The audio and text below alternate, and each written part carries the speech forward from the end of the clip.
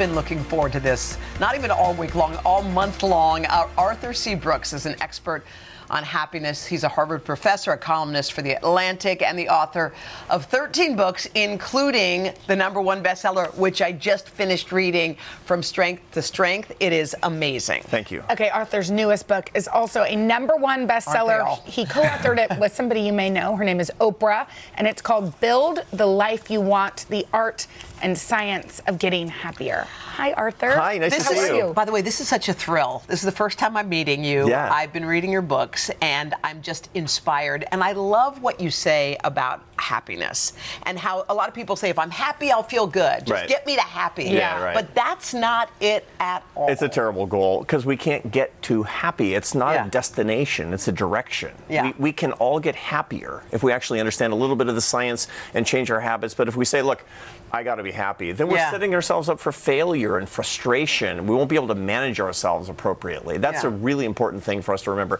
Oprah calls it not happiness, happiness. Happiness. That's the goal.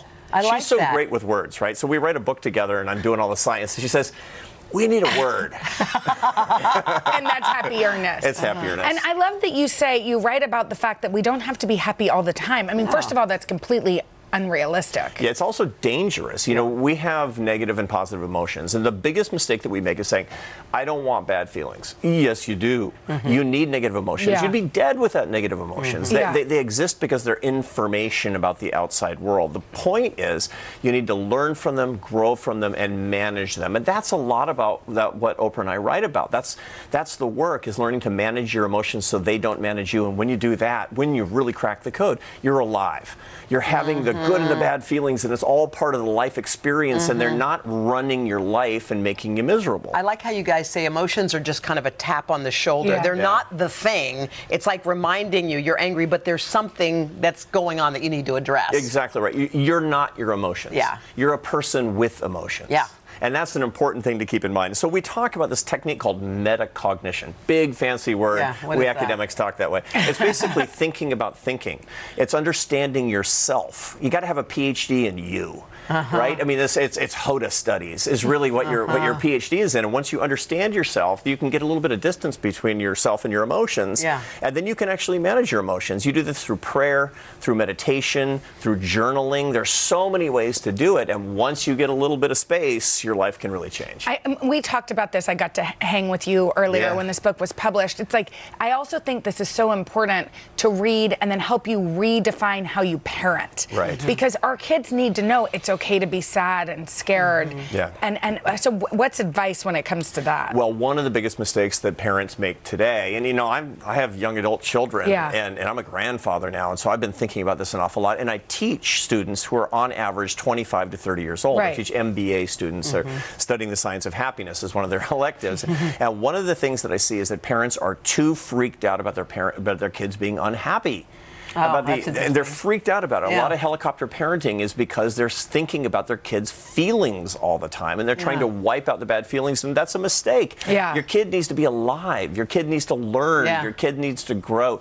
You want your child to have a full life of happierness, Mm-hmm. not trying to get them into the zone of you know unreality, which is happiness itself. And when you do that, you protect them too much from the experiences, and then they wind up becoming adults and, and not Don't knowing know how to, to suffer. handle it. Yeah. I like how you draw a distinction between pleasure. Pleasure is what you get when you bite into the chocolate chip Yeah. cookie, or pleasure is what you get when you take the drink, or pleasure is Right. what you get. It's like an instant thing that happens to you, and that.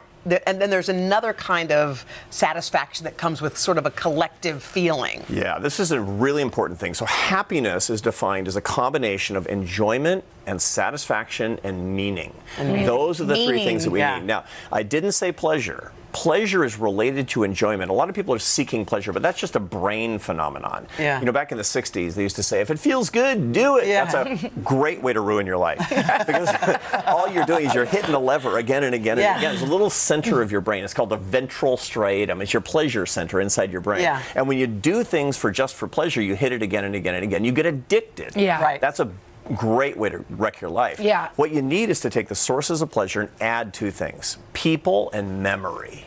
And that takes the experience of the pleasure and it turns into a really human, full thing called enjoyment. So, and here's the way to think about it if something gives you pleasure and it can be addictive, drinking, Yeah, you know, drugs. Scrolling. drugs, scrolling, Yeah. e- Shopping. eating, Yeah. you know, your junky food, gambling, whatever it happens to be.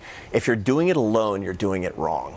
This is the key so- way to That's so remember good. it, right? Interesting. If it's addictive and it gives you pleasure, don't do it alone. You got to add people and memory. Then it becomes a source of enjoyment, and that will give you greater happiness. Um, but we we don't we have not enough time with you. But I- first, wait, quickly, can't be there are four over. areas we can push it. There are We'll do four more, we'll do areas, right, four yeah. areas that are scientifically Yes. proven Right. to help Science. be Yeah, happier. yeah. yeah, for happier. investments, kind of the, What the are they? happiness 401k plan. Where should you invest your Mm-hmm. your time? your faith, your family, your friendships, and serving other people with your work. Yeah. These are the big four. Like people spend a lot of time on things that are kind of extraneous and little things and, you know, self improvement things that are just kind of at the margins. The big four are your transcendent life, you know, your faith or your spirituality, your philosophy of life.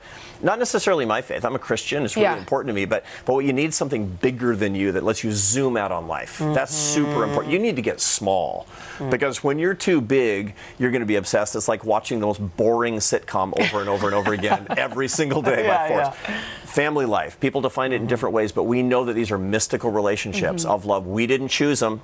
God Yeah. knows in lots of cases we wouldn't have chosen them, but they drive us crazy because they're so important. Mm-hmm. The third is friendships. Mm. Now, today, a lot of people have a lot of friends, but they're not real friends. Yeah. They're, Yeah. They're deal friends. Deal friends. We know the difference between real and deal. Yeah. Or virtual friends. Yeah. No, no, no. Yeah. It doesn't count. In person, in real life, eye contact and touch. Yeah. There's Touch. a lot of neuroscience about why that matters, but we all kind of get it. Uh-huh. And last but not least, our, our, our work has to serve other people. We have to create value with our lives. Mm-hmm. And if we do those four every day, checklist, at the end of the day, examine kind of your, your day and say, did I do something for my faith? Did I do something for my family? Mm-hmm. Did I call my mom? Yeah. Did I do something with her, did, ke- keeping in touch with my real friends, not just my deal friends? Yeah. And do I believe I serve people today? And if it's check, check, check, check, you're going to go to bed I happier gotta get up happier. happier. Got to ask one more thing. Is there a there's a science to falling in love? Yeah. This there's a Yeah, science. yeah, I want to hear sure. what this is. Yeah, yeah. So this is what my students are, you know, 28 Yeah. years old. This is what they really is like. Professor Brooks, forget all the other stuff. Let's just talk about the how to fall, how to fall in love and stay in love, which is really important. So the brain goes through a series of very discrete steps when you're starting to fall in love. You know, it mm-hmm. has a lot of, you know, there's there's there- you know, there's sex hormones and then there's there's neurotransmitters mm-hmm. that are starting to fire and all kinds of complicated chemistry that's going on. But ultimately, the science of falling in love says this. There's a lot of, you know, passion at the very beginning, a lot of infatuation at the very beginning, but the goal of falling in love is friendship. Mm-hmm. Hmm. That's really what it is. And so what I tell my students is the goal of your partnership, it shouldn't be being passionate forever. That's Disney movies. Mm-hmm. Yeah. Like happily ever after and Yeah. you know looking into each other's eyes and being deeply in love. Thir- like I've been married 33 years. Mm-hmm. And you know, She's watching. Careful. hey, she's a fan. You know?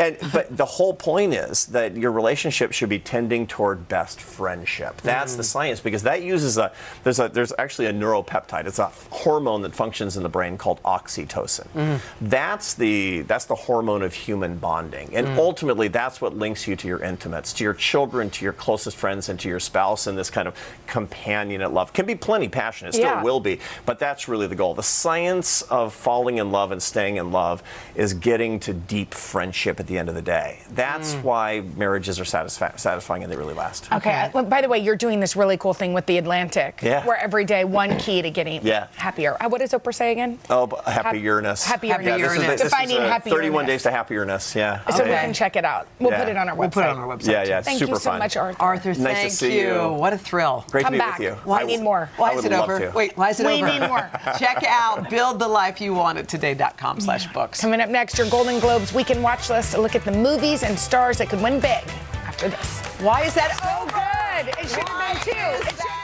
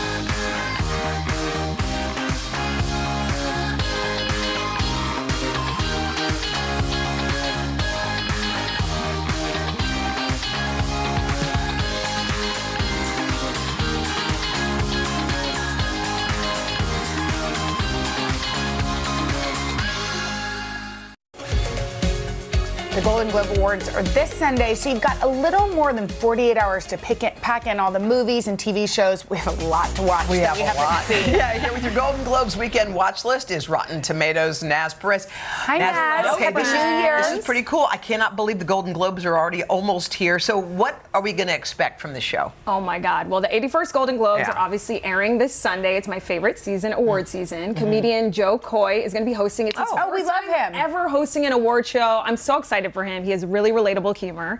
Big story going into the night is Barbie is the most nominated film with nine nominations. It's actually Mm-hmm. tied with Cabaret for being the second most nominated film Oh. in Golden Globes history. It's Wow. nominated for Best Picture Comedy. Greta Gerwig's nominated for directing. Of course, Margot Robbie and Ryan Gosling are nominated in the acting categories.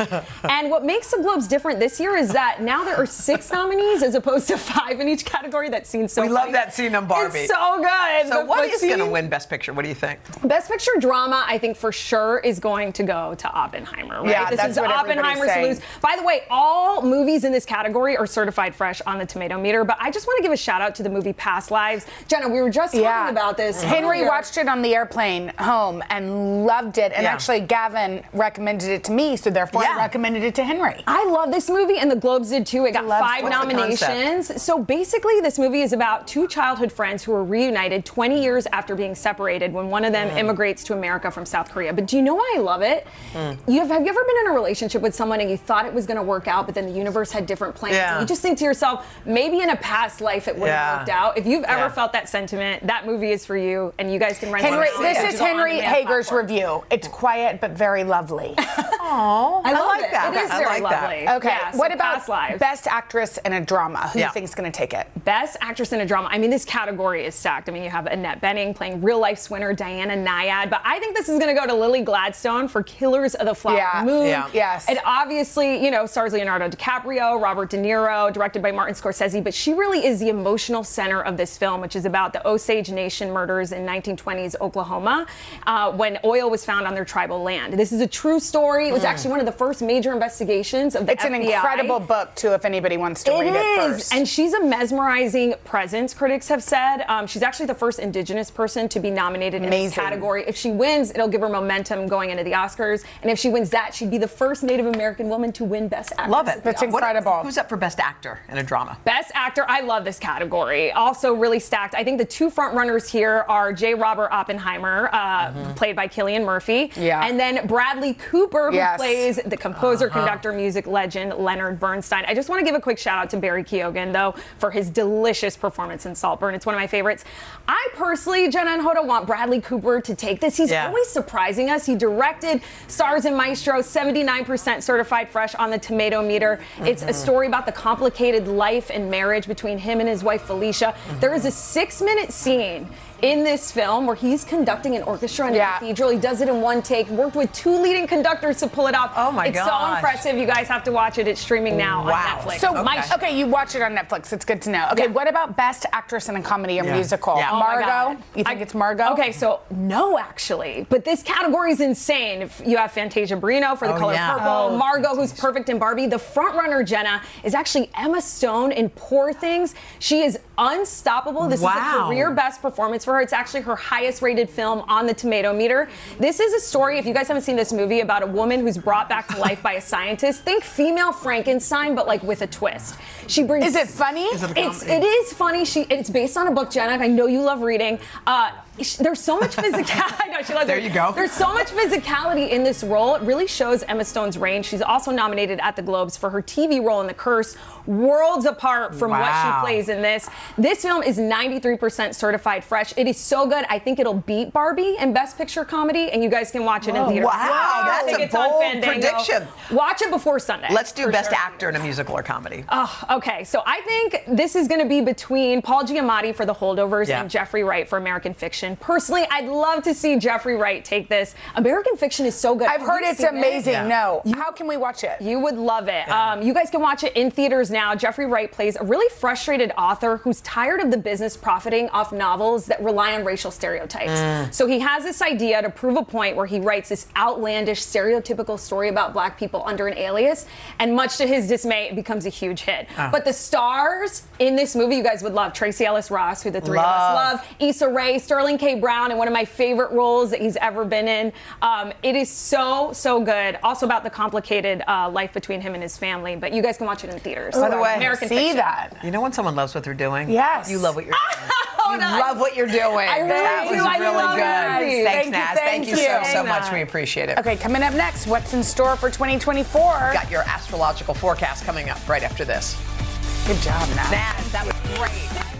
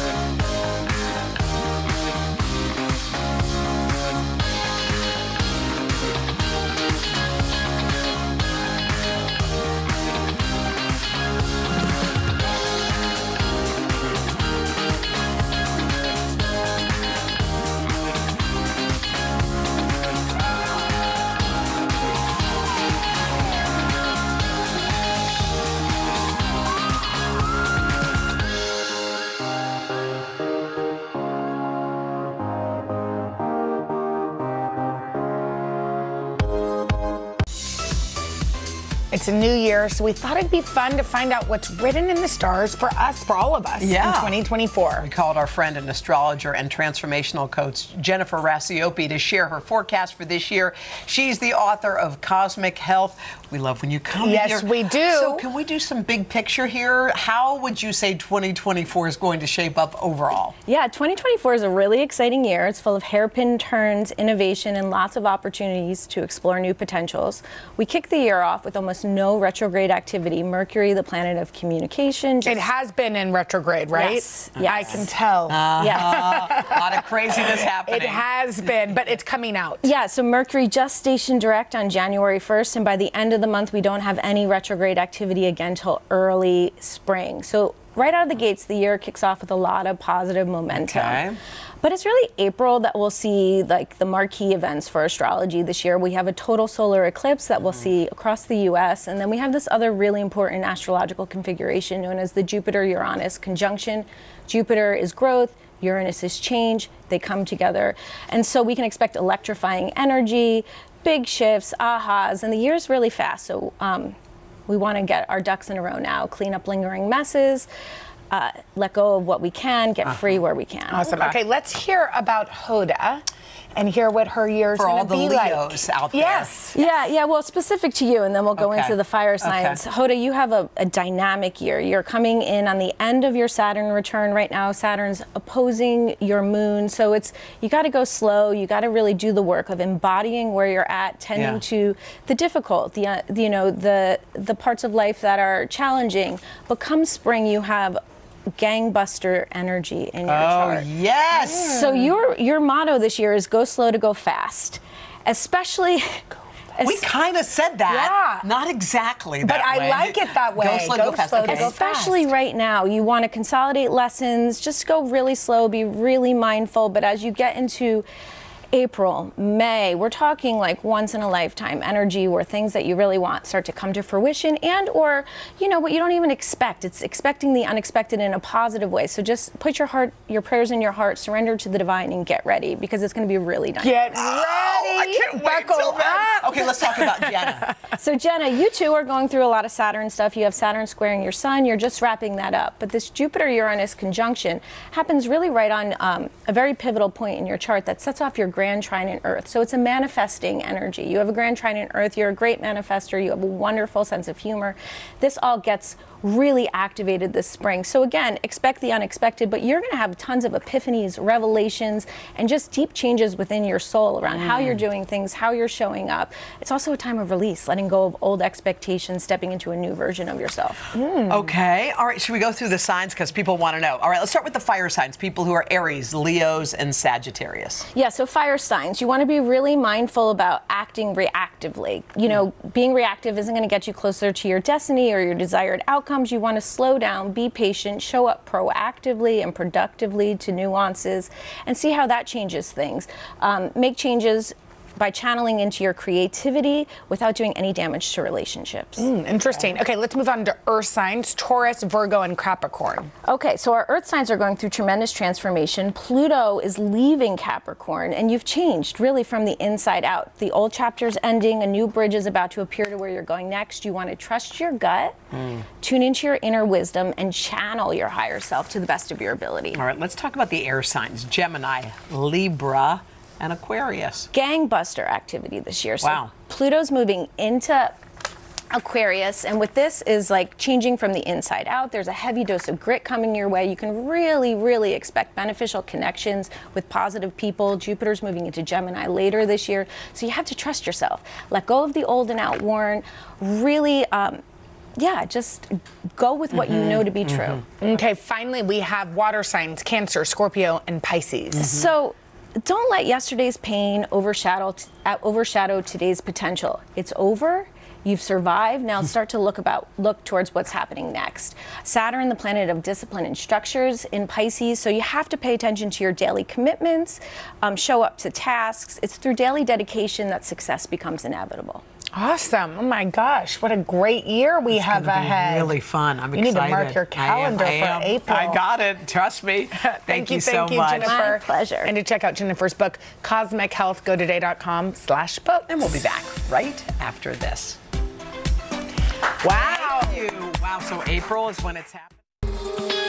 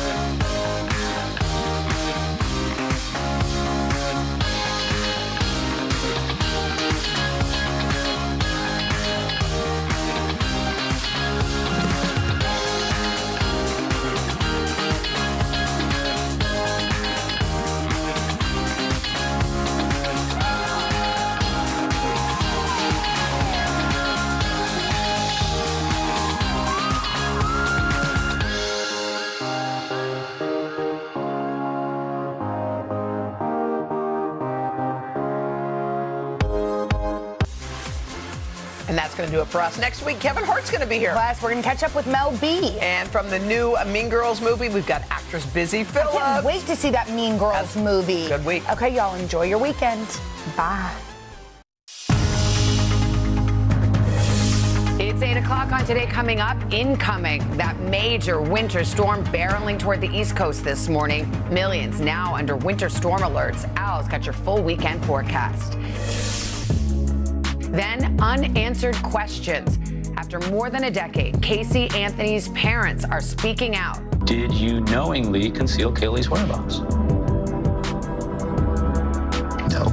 Okay, so you're struggling with that one a little bit. taking a lie detector test in a brand new special. The full story straight ahead. Plus, long distance call. NA1SS, this is KC3SGV. Harry Smith visits a group of high schoolers trying to contact someone far, far away. You have to hit a target. Right, exactly. You're hitting something that's 254 miles away, traveling at 17,000 miles per hour, and you're hoping that everything goes correctly. Their call to the International Space Station you do not want to miss. And major backpedaling. A Peloton instructor takes aim at director Christopher Nolan. Anybody see this? That's two and a half hours of my life that I want back. The famed director catching the critique while taking her class, how he reacted, and what she's now saying coming up on Popstar today, Friday, January 5th, 2024.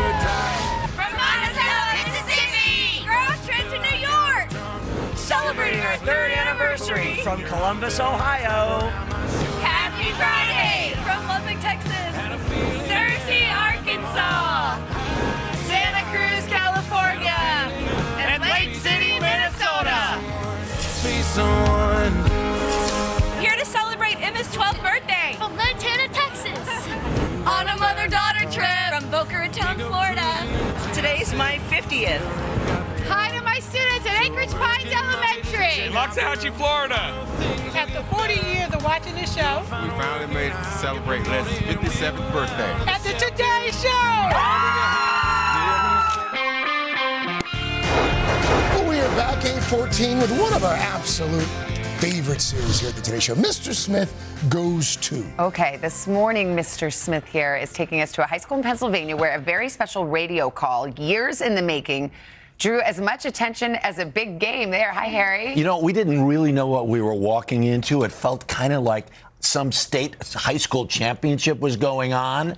And oh my goodness, for the kids who were involved, they got it. The sky was the limit. Mm-hmm. In a town near Erie, Pennsylvania, NA1SS, this is KC3SGV. a group of students are trying to contact someone who is not particularly easy to reach.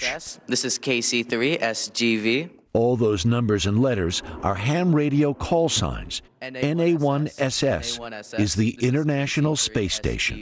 Three, two, one. The first amateur contact in space happened 40 years ago with the Space Shuttle Columbia. Hello, W1JXN. This is W5LFL. Uh, you're our first contact from uh, orbit. What advice would you Since then, a group called ARISS, Amateur Radio on the International Space Station, has organized radio calls between astronauts and some million students worldwide. What do you do for fun on the space station? Over. Most of the time, adults do the setup. But at Harbor Creek High School, it's all about the students. Which license do you have? Uh, I have the Technician General and Amateur Extra licenses. All of these students are licensed amateur radio operators, studying for a series of federal communications exams and passing to use radio waves to reach out to the world. My last contact was in Austria. But now, literally aiming higher. This space station call, years in the making, endless hours of after school and weekends of preparation. This is the one you use to Yes. contact the space space Yes. station. Did you guys put all of this stuff together?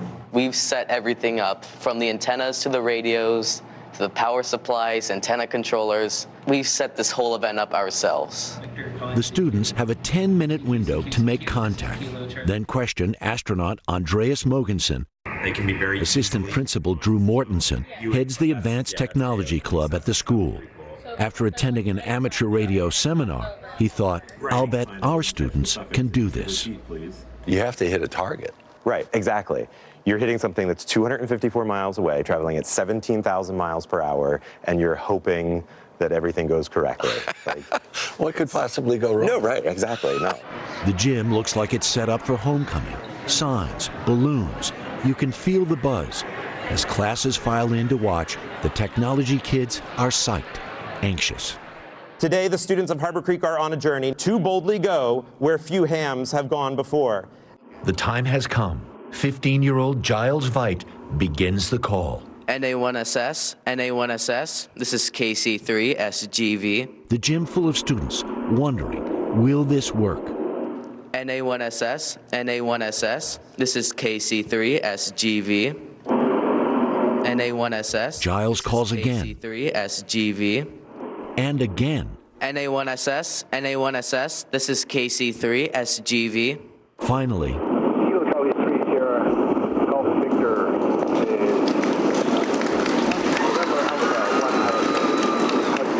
Okay, Commander Mogensen, we have you a 5-7, a pretty good signal. So, are you ready for some questions? I am ready for questions. Go ahead. lots of the club members get to take turns. Living in space A payoff for the hours of work they've invested. Why do you think that space exploration is important? Over. Space exploration is important uh, in many ways. One, because it's about knowledge. It's about expanding our horizons, both physically but also mentally. In 10 short minutes, the space station is out of range. For the students, What was it like hitting that button over and over? As soon as we heard Commander Mogensen respond, that was such a relief, really. I'm just looking at the smile on your face. Yeah. What else are you feeling right now? Um, lightheaded. Mr. Mortensen is brimming with pride. Yeah. How big of an emotional investment was this for you? I love my kids. I do. I absolutely love them. And so, for them to get to have that experience is huge. Why you become a teacher? Yep, absolutely. I clapped again. Yes. There was some tears that day too, right? Public school, not, oh. not exactly loaded with resources. Nope. Yeah. The kids went out, they raised money to get the equipment and oh. everything else, did it all themselves. That's right. All the, the nerds were won. They won. And what's interesting is they started this a couple of years ago. That Advanced Technology Club has grown and oh. grown and grown. They're doing astronomy. They're doing all kinds of really cool stuff. And if you want to do this with your school, Yeah. call this group A R I S S Amazing. ARISS. It's, just Google it. Just does the heart good to see does. good kids, good teacher, working hard, doing something incredible. And the buzz in there was like, I can whoa, whoa, whoa, this is what's going to happen. And honestly, you being there is Exactly pretty cool right. too. I'm sure the whole community is watching there this morning. the parents, Yeah. the teachers, to all of you this morning. Kudos. Awesome. STEM rules. You were in the AV club. I was in the AV club. I have my first class, or had my first class FCC radio. Which is not easy to get. you know, it was uh, it was a big deal. But they're still licensing for radio. I mean, this is still a current technology. But Savannah, Yeah. this is a message to you and I as the underachievers in high Oh, school. okay. I thought you were going to say, oh, we were under. I thought you were going to say the elderly on this couch. I And like, by the way, ham radio very important. Uh, secondary uh, when when other forms of communication go out, During ham radio is there. Yes. Yeah, Disasters, yeah, big time like stuff. That. So that's right. It's it's something that we really do need. well, congrats to those kids. Absolutely.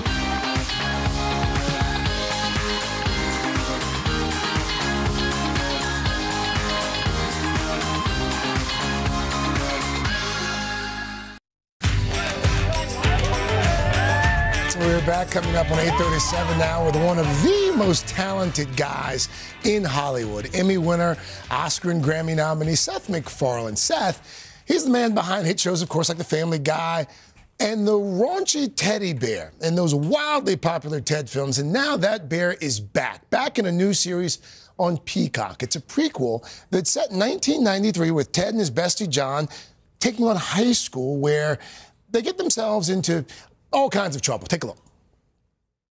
Now, as far as anyone knows, we're two ad executives on a business trip from Hartford looking for some local talent. Right. Hey, uh, keep these milkshakes coming, huh? Sure thing. You know, um, we're celebrating. Just landed a big account. Bounty. It's a very famous paper towel. Yep, I use them every day. Oh, terrific. Well, you know, originally the slogan was supposed to be the quicker picker upper, but we added the word thicker, quicker picker upper. Bought a summer house with that one adjective. Oh, Seth MacFarlane, good to have you back. Good for you for finding a clip that's That, airable well, I'm glad you brought it up. That's Yeah. literally Yeah. the only clip we could play Yeah. on morning television. It's like trying to find a clip from The Sopranos. What's going to work on the Today Show? yeah, no, it's a, I, I was just telling you, I caught the first two episodes last night.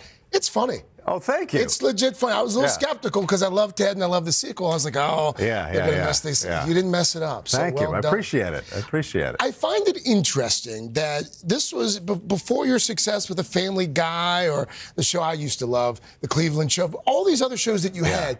Ted was in your mind. yes. How, how did this idea come to be? Ted, Ted the Bear. You know, it was originally an animated series um, that I developed when I was at, working at Cartoon Network. Okay. And I didn't do anything with it. It just kind of sat there. And then when it came time for me to make my first movie, I went back to. I said, you know what? There might be this thing might have some legs. Yeah. And uh, redeveloped it, and it became Ted the Feature.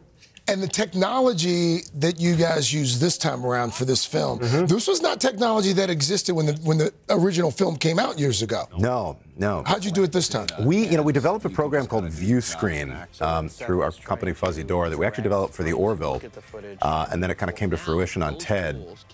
That um, that allows the camera operator to see the bear in real time through their viewfinder, and I don't even really have to wear any of the GAC anymore. I Yeah. just you know the the sensors that I used to wear. That's all kind of out the window. And why was that so advantageous for, for you and the rest of the folks who are working on the series? Because you know when I'm directing, if I'm walking, if I have, you have to unplug me every time I you know got to go talk to an actor, it's kind of it's kind of difficult. Yeah. So it, it was very freeing. And it's set in the 90s this time as Yes, well. Why- yes. Why, why, why the 90s instead of the 2000s like the films? Well, you know, um, I, I spoke to Wahlberg initially, and I said, "Listen, obviously, you know, if, if you Love to wa- have it if, you, if you want to do this, Yeah. you, you know, you're, you know, I figured there's no way he's going to have time to do a television series with his schedule, which is true. So logically, it followed that uh, a prequel was the most reasonable way to go, and and it turned out being kind of a fresh injection for the the franchise. It's like the '90s are very in right now. Yeah, people everyone kind of loves a little nostalgia. Yeah, yeah. Yeah, I mean, here's the thing: you you wear so many hats. You produce, you direct, you sing, you act, you voice, you do all of the. I don't have to sit here and take this. Do you do you have a favorite? Is there is there a part of your repertoire that you enjoy more than more than the others? Uh, you know, whatever I'm not doing that moment, yeah, I want to be doing the other thing. It's a real healthy mindset. Of the voices that, that of the characters that you voice, is there is there a favorite? Uh, you know, not not really. Brian is certainly the easiest. That's the easiest workday for me. Um, Quagmire is probably the most difficult. Uh, but uh, no, they're, they're all they're all. You know, what it's it just gets to be more and more and more. So it's it, you know, the older I get, Yeah. getting through it is the challenge because there's Family Guy, there's American Dad, so you're doing like an hour of bellowing into a microphone. Yeah.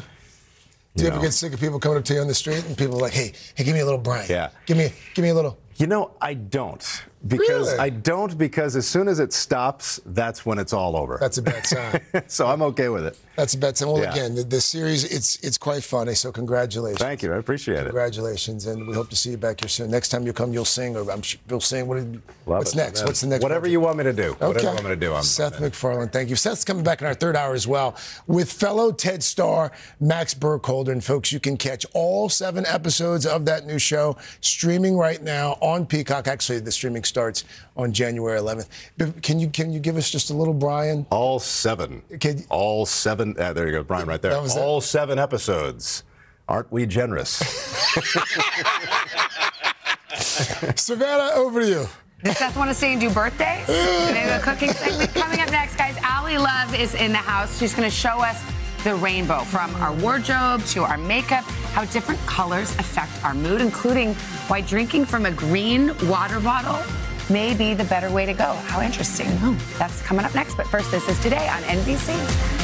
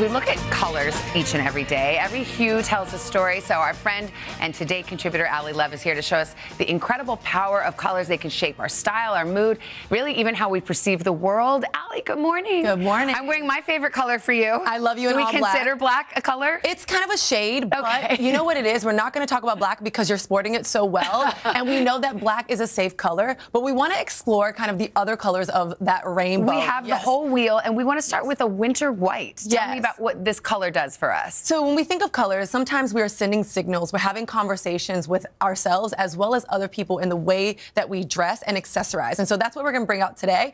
And so we talk about white. Most people are like, I don't want to wear white. Also, it's sensitive to other things and getting dirty, like I know I do. But white is a new beginning. You'll see it in wedding ceremonies. You'll see them in life ceremonies. So when we think of embarking on a new year, new journey, new fitness journey, white is signaling to yourself and to others that you're embarking on a new story, a new journey, and it's important for new beginnings. I like it, and you can wear it after Labor Day. Of course, they Okay. break all the rules, honey. Now, red just like to me that's the power color. It is the power color. So, fun fact about red, which is important, is actually it elevates your heart rate. It boosts your metabolism. Hmm. It gives you that passion, that boldness. People don't like to wear red because it is the color that if you wear, you stand out the most. But this is a color that you want to wear, I'd say on like that fourth date when you're like gonna lock it down. You're like, I want this person to know that I'm into you.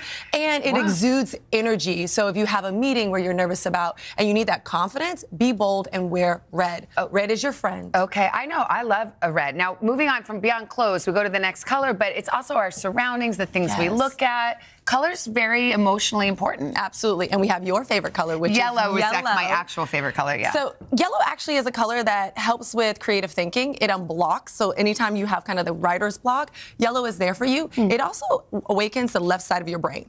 So it's that rational thinking that you need to exude. So let's say you have to have a conversation and you want to be rational. Instead of being emotional, you would wear yellow or have yellow accessories. And I love this because anytime I'm feeling a little bit underwhelmed or overwhelmed with work, I'll go in and have my yellow notebook. It's a, again, it's that kind of subconscious conversation you're having with yourself and with people around it's you. fun. Now, orange, we know today's Yes. show orange. I love orange around Okay, here. Orange is my favorite color. It is? It's a yeah. It's a combination of like being bold with red and look at that. I mean, I'm. I know. I'm You're rocking right now. those. You Mhm. are. But it's a combination of being bold with red and creative and bright with yellow. And what it does is it allows folks to know, people around you and yourself as well, that you are being yourself. You're authentic. You're being creative. You're being bold, and you're having fun. That fun shows through orange. So when you want to have fun, put on orange. A pop of orange, sunglasses, maybe like a, a, a cardigan that's orange, just really does brighten It's very up your day. friendly and approachable, I think. is. Now, blues we kind of think of as like a cool, right, calming. Yes, it is everybody's color.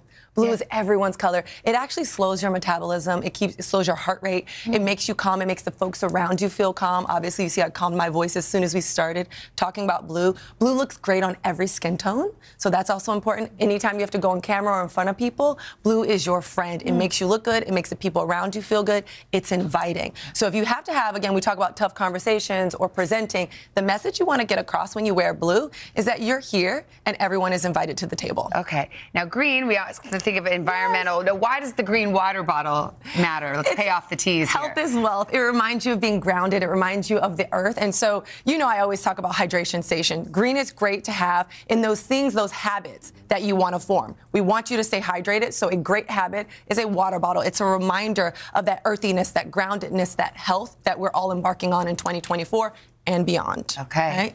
Now let's go to makeup because I mean colors obviously come in in all walks of life. We have a beautiful model here. Okay. We're all we're both in black, but she's got some purple on her right eyes, which is fun. This is Nicole. Nicole has purple eyeshadow. Look at me, I'm just gonna mess it up. Don't mind me, Nicole. now I'm a makeup artist, all Yeah, that. yeah, but purple was a color back in the day that was really expensive because it's hard to make. It's a hard color to ah. create. It's royalty. Don't they the think of royalty? Yes, Yes. it's the color of royalty. And so with this, purple is something when you have a big event, a black carpet, instead of wearing all black sometimes, maybe you wear purple. Mm. And then on top of that, we have our last color, pink. Pink was 2023's year. Yep. I mean, this was it with Barbie, but it shows femininity. So you don't have to, you can be anyone to show femininity. It can be in a lip color, again, accessorize, but use your colors to have a conversation with those around you to get the message you want across because colors, including black, they're your friends. So fun, Allie. Thank you so much. Nicole, you too.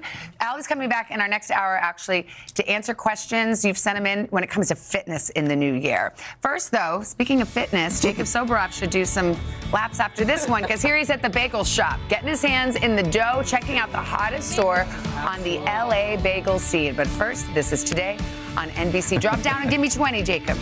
Let's go. Thank you.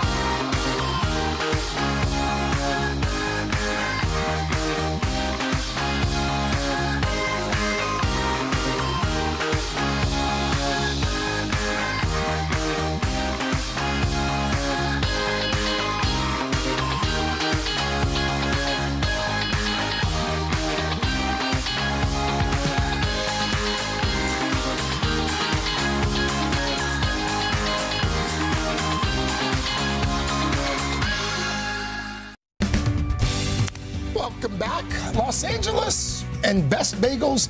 Not two things you would normally hear in the same breath, but one shop there in LA is looking to change that. NBC's Jacob Soboroff decided to check it out. Jacob, you found a good bagel in LA. Is it true? I insisted on checking it out, Carson. Good morning, you guys. Courage Bagels is exactly what it sounds like an audacious attempt at creating the perfect bagel across the country from the streets and the famous water of New York City. And if long lines and viral videos and happy customers mean anything, the married couple behind this LA bagel shop are sure on the right track. It's a tiny shop to change the LA bagel scene one crunchy bite at a time. Did you hear that crunch? I literally just landed in LA and I came straight to Courage Bagels. Courage Bagels has been described as one of the best bagels in America. So we wanted to find out what made them so delicious. I'm the Bob Woodward of bagels, and I'm on the case.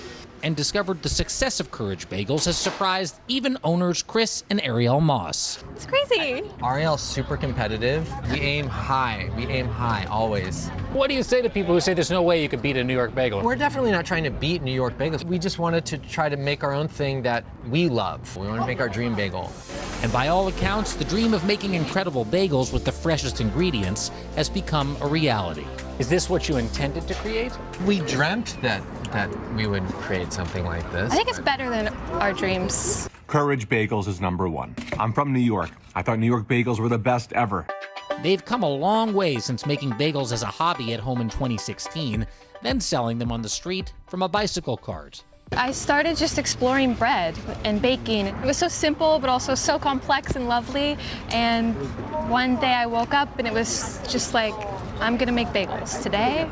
And then we never stopped. It was an impressive hustle. Like she would ride around. It was courageous. It was a kind of an amazing thing to watch her go out on the street and pull up at a light next to someone in their cars. Bagels, you know. I was like, Is that why it's called Courage? Yes. Because it took a lot of courage for you to do this. Yeah. Also, I needed to find my courage, build my courage. That commitment has paid off. Long lines of people from around the corner and many from around the world often wait more than an hour to get their fix, including most weekends when I'm home, me and our kids. Someone just came from Australia and she was like, I came to come here. And we're like, pressure. Just to come to the Get a Bagel? That, that must feel like a lot of pressure. Right? Some of our favorite customers are definitely the locals and also people who, who just kind of wandered in. When you see the line stretched down almost to the next block, what does that line mean to you? More often than not, we hear stories that people are meeting people in line. They're having fun. It's part of the experience. An experience that comes at a price. This is a $13 half bagel. This one is 9 and this entire bagel costs 19. Well, real food is very expensive to produce. We try to always keep things on the menu that are accessible to everyone. You know, something that's $5, $4, $7. Uh, you can get a pretty solid meal. You can see through the window. You're boiling the bagels and you're baking the bagels. Was it fair to say that there's a little bit of a secret recipe going on here? Oh, yeah. 100%. What is it? well, While they remain tight lipped about recipes, Chris and Ariel invited me to join their hardworking team in the kitchen.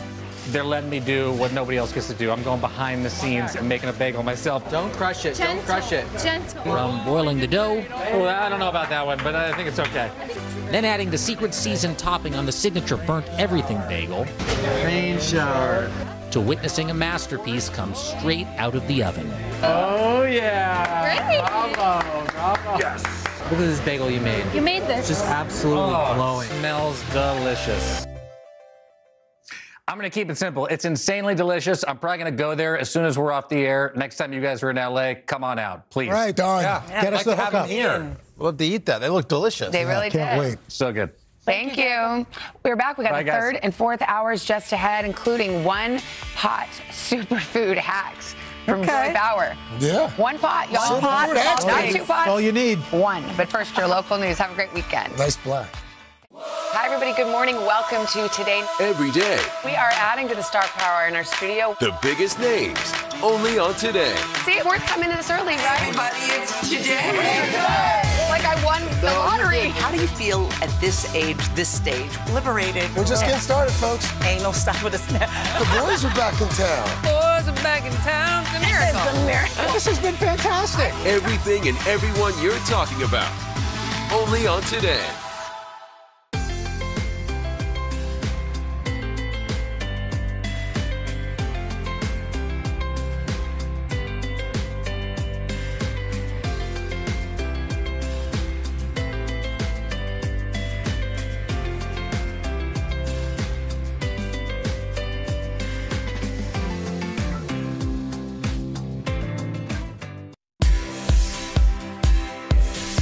Morning on the third hour of today, here it comes. A major winter storm barreling across the country, setting to make a messy weekend. Tens of millions bracing for rain, snow, and wind. Are you going to need a shovel or just an umbrella? We're going to track it all for you.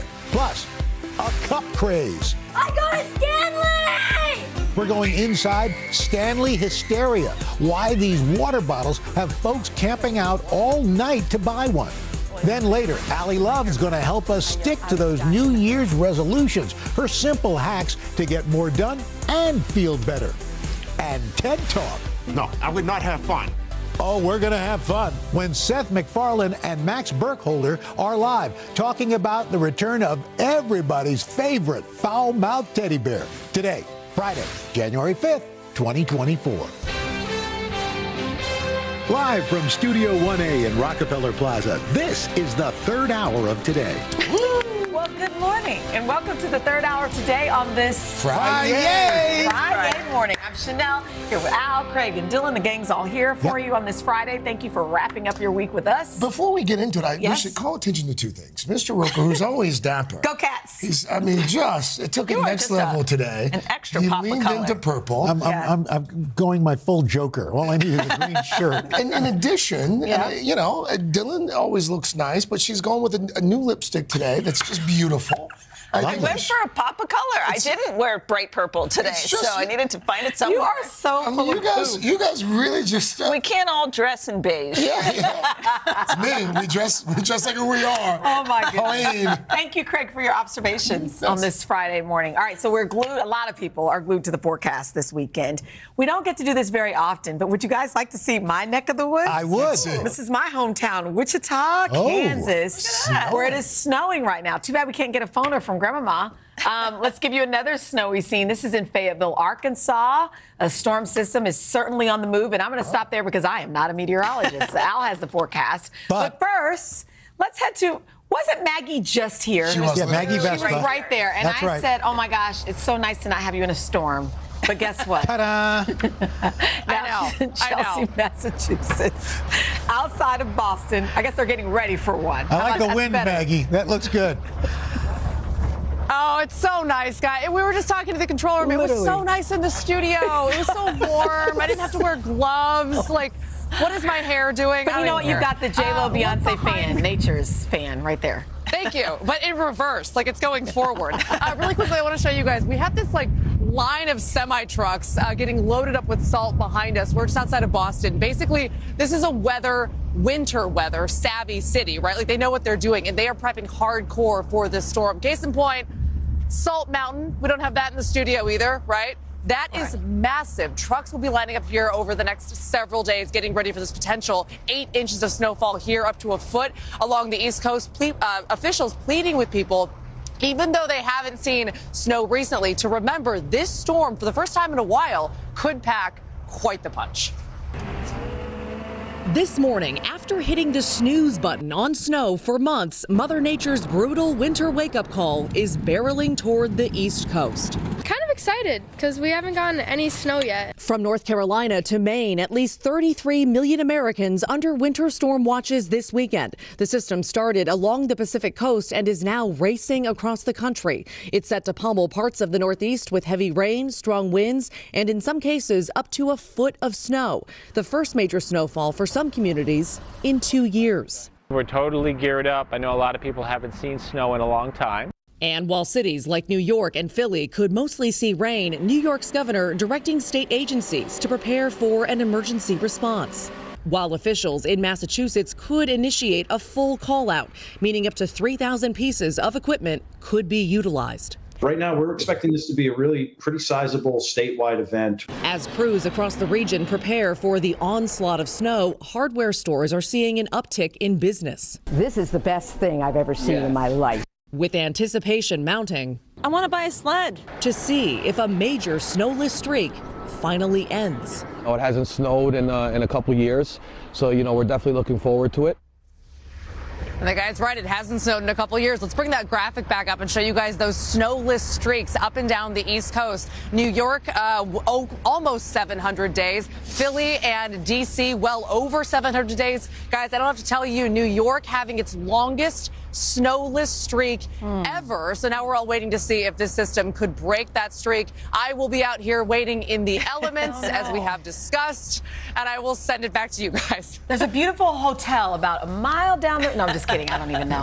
I'm well aware. I'm well aware. But if, if we send you to Gonna go there. Wichita, Maggie, You know Sheinelle's what? got you hooked up. Yeah, There you my go. family will take you Stop in. it. Stop it. Stop saying.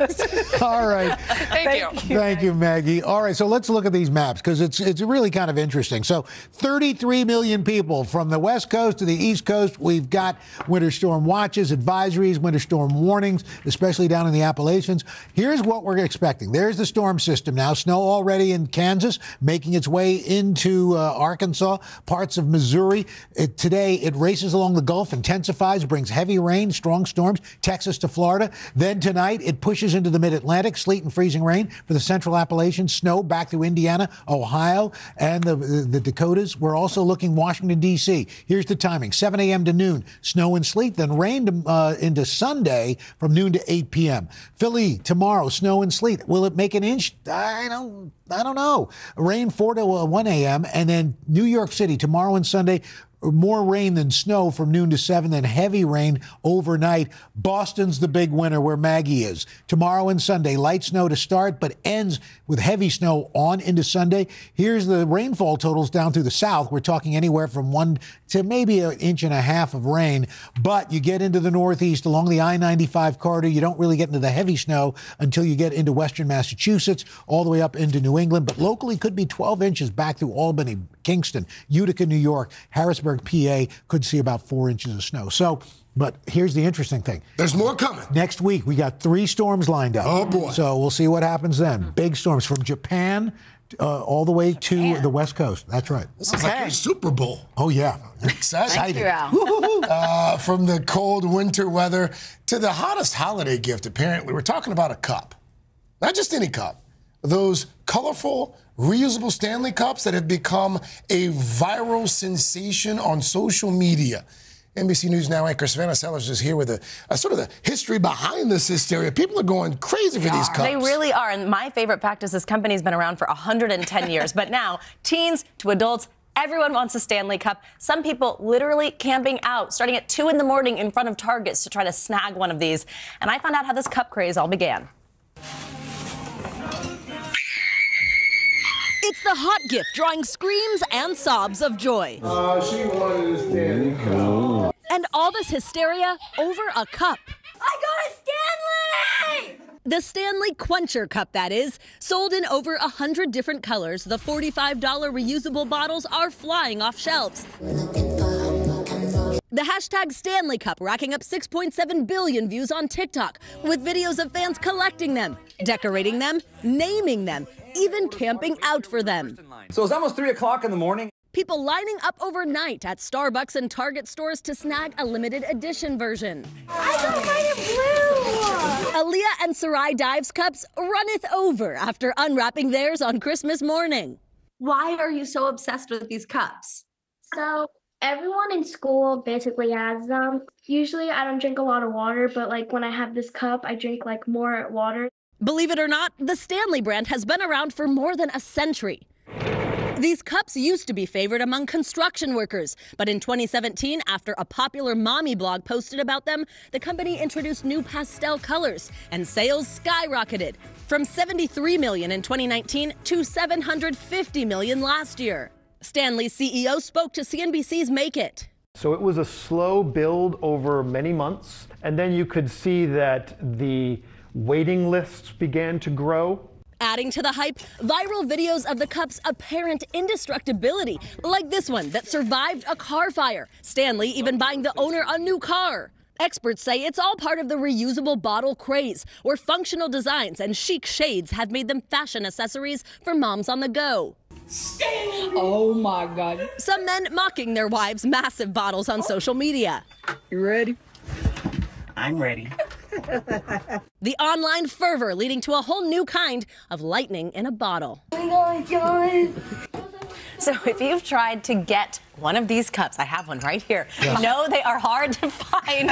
Some online resale sites are now offering up them up for $350. They're reselling for. You know why? Because everybody was trying to get them in time for the holidays. Right. Yeah. It's so true. Yeah. I remember my dad, he was a mechanic, and he had like the old Stanley. It was all beat up. Oh, sure. Like a stainless steel. Like it's what he used every day. I know. It was totally uh, construction workers. They, they said that. That's part and part of their old ads. They love them. I tried to get my mom one. Actually, I don't really think my mom realized this. She doesn't actually have a Stanley because I asked the Target employees where are the Stanleys. They're like. Not here. And so she got like the off-brand one that's also really popular called Owala because this everybody Yes. wants one of these. Yeah. They carry them around. But I don't, for, forgive my ignorance here, and I don't know if you know the answer. We do that every day. That's wow. That's just a little drive by there. But this does match Minding your my own outfit. business. Craig, this matches your That's right. It's it's it's Beige. beige, beige, beige. plain and Oh, what ordinary. is Just- beige? Hurry up and get your What's your question? What, I, I, try, try it here. My God, what is it about the cup itself? Okay, it keeps hot things hot, cold things or cold. cold.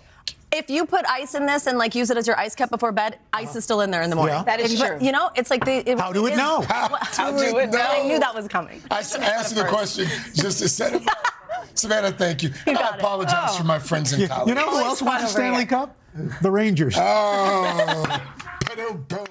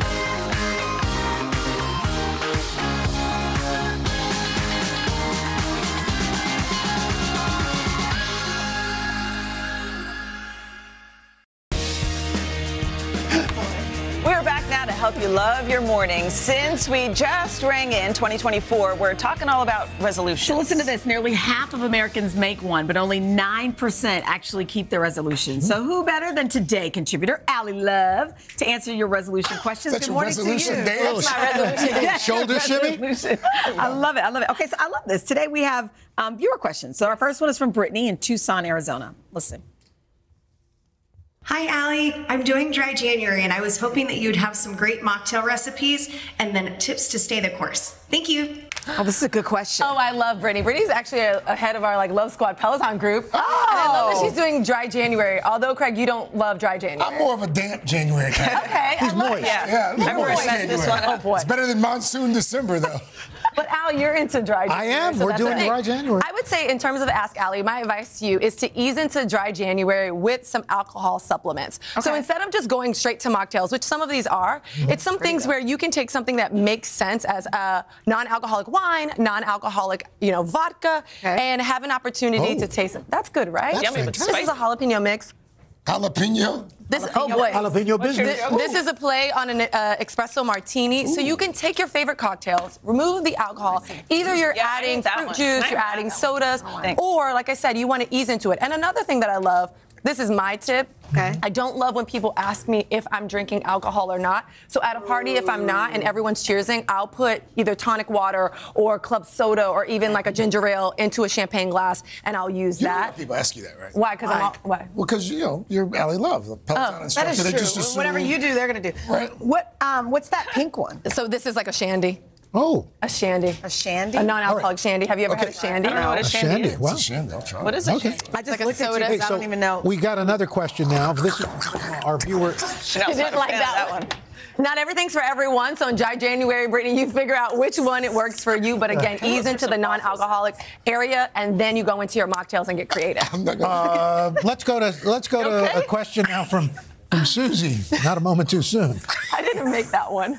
Hi, Ally. My question is How do I help my spouse keep his resolutions for health? Oh, okay. Oh, spouse, I love that you're going to do resolutions together. So mm-hmm. the answer is behind you. One of the things that I love is not only are you doing it together, but in terms of your resolution for health and fitness, matching outfits, right? Oh. Craig is Craig laughs at everything. Everyone, you should know that. Anything I tell him, he laughs at. But matching like outfits it. do encourage each other to work out together. You and Lindsay would look great in these. Yes, she would. You both would This look is pretty much you. Yes, and this is Lindsay. Look Right, at well, that. that is Lindsay. And there you go. This is This is you. But the, but what I will say um, if for this, Ally. Lindsay, Just a question. Do these come in beige? just for Craig, they come in beige. Actually, Ally's like, I didn't sign up for this. I love this. I, could love be, y'all so I could much. be teaching a Peloton class right now. But, but before Susie, we go to our next question. What I do want to say, matching outfits for you and them work out very well. Yes, also, cute. identify a color this month that is your workout color. Oh. Maybe it's a red, maybe it's green because it's calming and it's easing into it. Identify between you and your partner what's that workout color. So when you look at wardrobes, it's triggering for you to work out. So that, there you go. A triggering in a good way. In a good way. In a great Fun to way to remind you. too. It kind of makes I you go back to the that. Gym. that actually is really something soft. I will say that. It's Yeah, it a is. great It's good set. brand, yeah. Um, You so, look great uh, in it. Thank, thank you, Alan. Move this so here's our next one from Sierra. This is. Okay, there's Sierra. I'm trying to finish writing my first book, but I also want to make more time for intentional, fun movement. It would be great to hear your own tips since I know you're a busy boss. Ooh, that's a good question. Ooh, thanks, Sierra. I love that you're writing a book. First off, congratulations. I've started, and it's really hard and nerve wracking. Um, but one of the things, in terms of you all have a very healthy schedule of things to do. One of the things that I encourage folks to do right away find your favorite workout, mm-hmm. buy a 10 class, nothing more, 10 class pack of that, and then plug it in. Sign up for those classes right away, put them in oh. your calendar, mm-hmm. because guess what? It's an incentive for you to do them or you'll waste your money. That's money is the incentive, especially when you're trying to create time. Another thing to do is I have bracelets on. I will move my bracelet to one hand. I do this with non-alcoholic drinks or alcoholic oh. beverages, but also my workout. So this day, if it's on the left hand, that means I did my workout today, and that's a signal to myself that oh, I achieved great. something. Oh, that's I a great that. idea. Brilliant. What's the cookies? Oh, the cookies also reward yourself with a treat at any point oh, you're doing something What a right. great idea. Yes, Mind that's for you. Look at that. You're doing something great. That is really nice. Mm. Okay, last but not least. No, we're out of time. Are we out of time? No, we're out of time. Aw, I was enjoying this. Okay. I love y'all. Thank you, oh. Ally.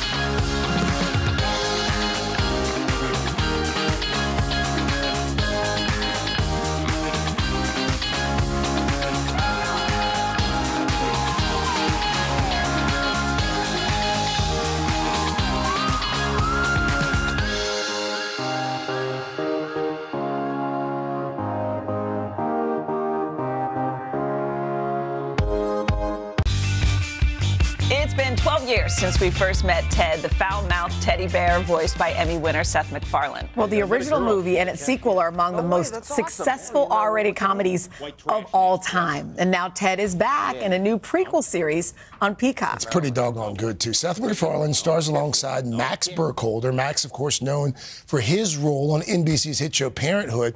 So Max plays the younger version of John, Mark Wahlberg's character from those two films. So now the series follows Ted and John's teenage antics, from school bullies to first uh, crushes, and of course, a little mischief. Let the festivities begin. How many we got? Well, let's see. We got 20 cartons, 12 eggs in each. It's got to be like 20 dozen eggs, right? Fantastic. Do you think we're getting too old for this? Well, come on, Johnny, we're doing a public service here. If a kid leaves the house in a less than stellar Halloween costume, he's got to get the bad news before he makes a fool of himself all over town. We're Samaritans. You remember last year? Oh, check it out. There's one. Hey, nice costume. Yeah. a lot of bleeping for us to try to, Yeah, we're try to trying to use any one just thing. in time. Just in time. You got the egg joke, though. That's that's really That's that's most important. So, so, so, Seth, this time around, it's this preschool prequel. It's high school.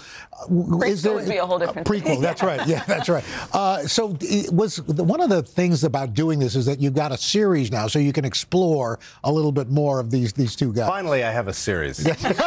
finally, finally, you finally one of them, but a, a chance to at least, you know, you don't have to pack everything into one 90-minute movie. Yeah.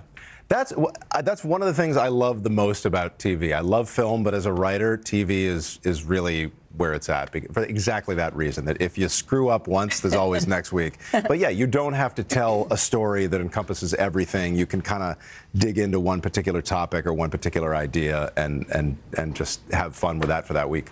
Max, we, we hear that you and Seth actually worked together before. When did your, your paths initially cross? Yeah, I probably started doing voices at Family Guy when I was about ah, five or six. really? Way too young to be hearing or saying any of the things that I was hearing or saying. And because I was like a kid who was around the Family Guy offices, at the first table read of the first Ted movie, I was playing the creepy little kid character. uh, so it's Oh kinda, my God, that's right. that? No, You no, didn't even no. remember. Yeah. This is this is what's and this is going to be this is not going to be good.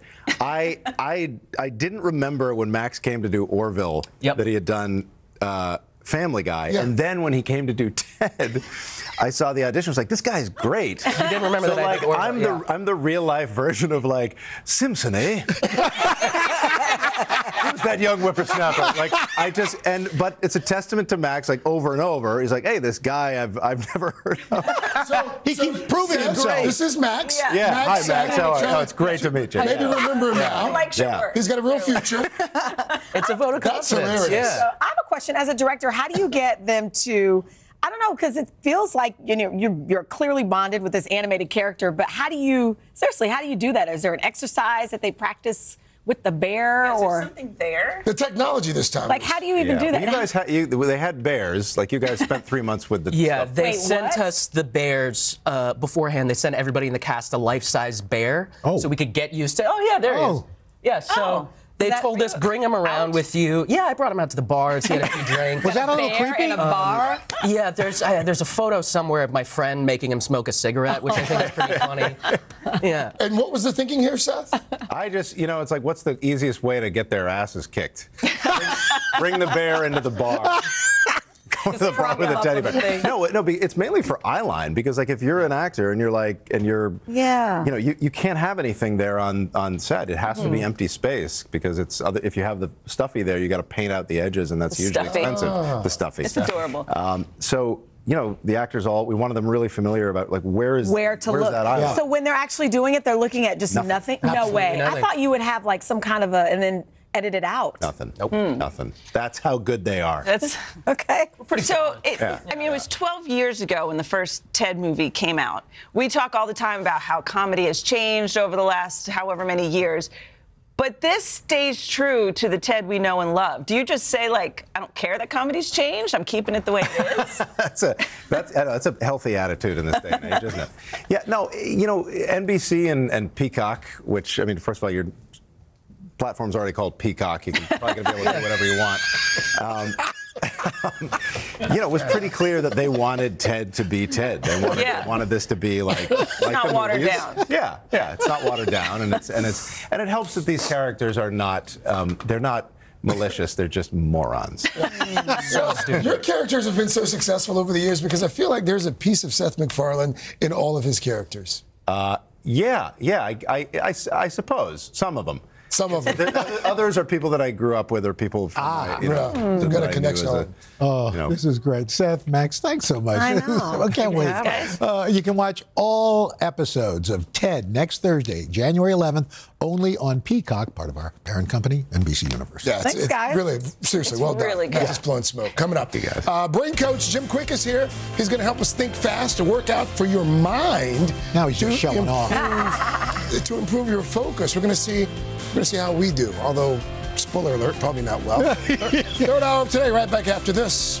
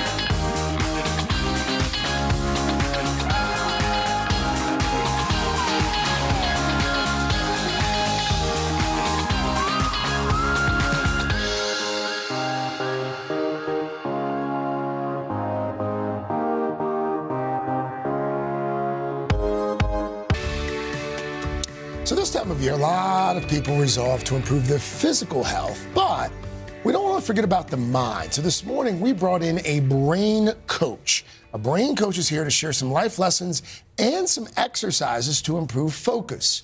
Jim Kwik has worked with celebrities like Jim Carrey, Alex Rodriguez. He is also the author of Limitless. And the recent expanded edition of Limitless as well, Jim Kwik. So good to have Hey, good you. morning. Good so morning. good. Hi, to Jim. have Good to be here. So Thanks before we get to these exercises, let's, let's talk just a little bit more about about focus. Is focus something that the average person can actually really train, even improve on?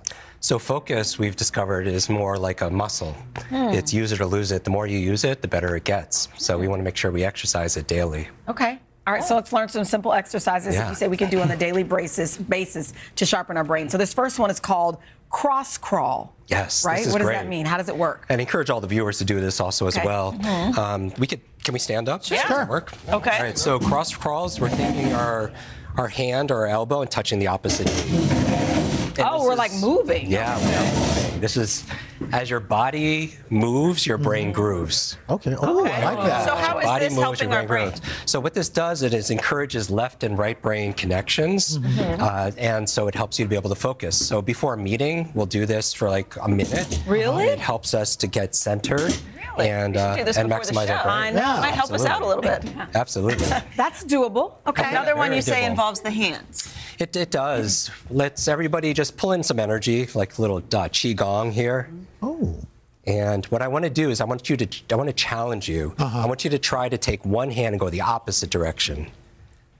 So Oh, so opposite. One hand goes one yeah, way, the one other way goes the other. goes out, the oh, other I'm way bad comes at that. in. I can't even do it. So hey Jim, how, see this. when, when it Can comes do to it? focus, how how much is are, are, how much are our phones getting in the way?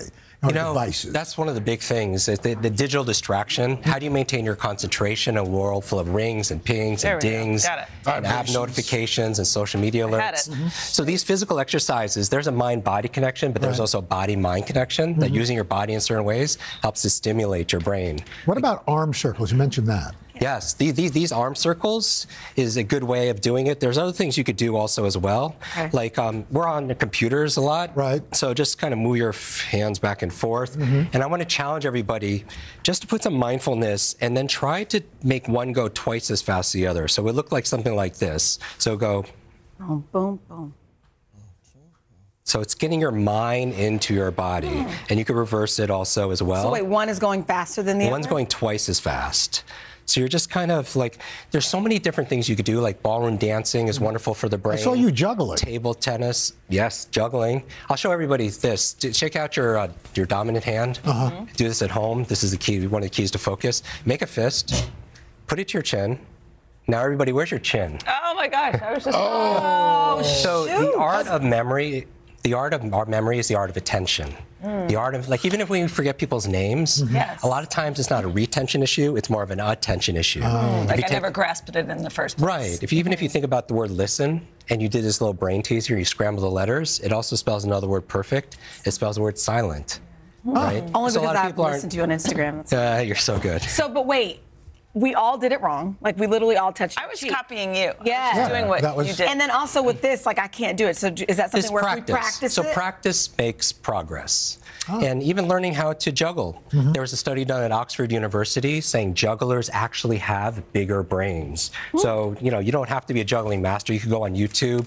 I'm not a master at all, but, you know, but don't, isn't this is like a metaphor for life? It Yeah. forces you to focus. Yes, it forces your focus. And your peripheral vision, because you can't look at all three at once. Exactly. So that one of the things we teach is uh, speed reading in the book, and one of the things is just softening your gaze so you could take in more words. Hmm. So your brain is your most incredible asset, but there's no such thing as a good or bad brain.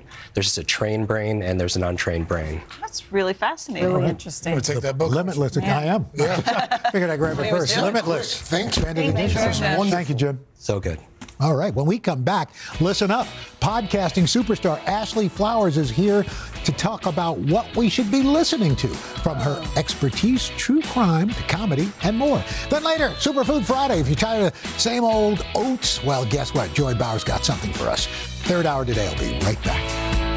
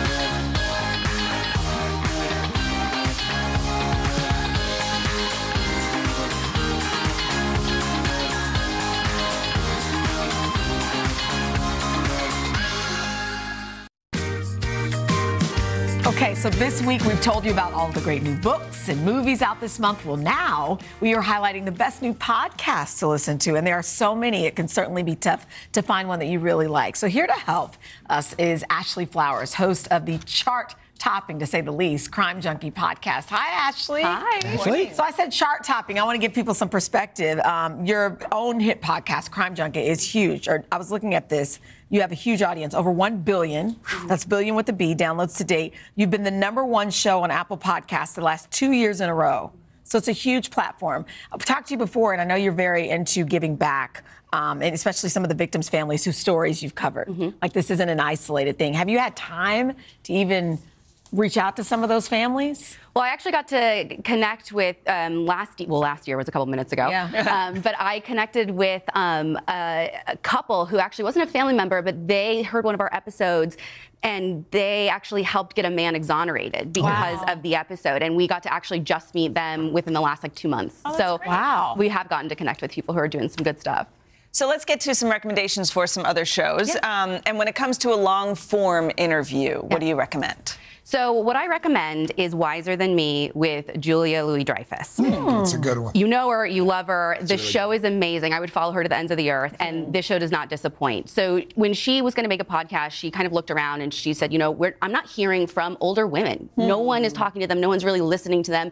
And so it's an interview podcast where she interviews women wiser than she is. Oh, wow. It is absolutely beautiful. So many amazing women on that show. It's the first thing that's made me want to be older since I was like eight years old. That's great. That's really interesting. All right, now so there's a whole genre. I didn't realize this uh, of podcasts that talk about the creation and production of music. Mm-hmm. So who do you recommend there? So what I recommend is Song Exploder. Um, the host of this show, Rashi Kesh Hearsay, he is wonderful. It's it's kind it's wild because he he meets with artists who break down how songs are made, from the lyrics to actual composition. But it's interesting because the format he kind of takes himself out of it, and so you mm-hmm. hear him at the beginning, but then you just hear from your favorite artist throughout, and from literally beat by beat, instrument by instrument lyric by lyric how the song came together and you get snippets of the song throughout and then at the end and it is so beautiful you hear and from your favorite artists from foo fighters Hmm. to billie eilish to fleetwood mac oh wow yeah You would highly love it. recommend It's a, it's a process podcast. I can't wait to It's a that. process podcast. Yeah. It's Very actually cool. really fun. But it takes a while to get used to the format. I will say that. you think so yeah well i fell in love with it immediately Yeah. No, I, once you get used to it, you're like, oh my God, why has no one done this before? Yeah. Genius. So true crime is is where you reign supreme. I'm, oh, I also enjoy good true crime podcast. What are you listening to now? So it's not what I'm listening to now, it's what's coming. Oh. So you guys, no one knows about this yet. You're the first in the know. Yay. It is a podcast called Media Pressure. And the host is Julie Murray. So this podcast, the trailer just released yesterday.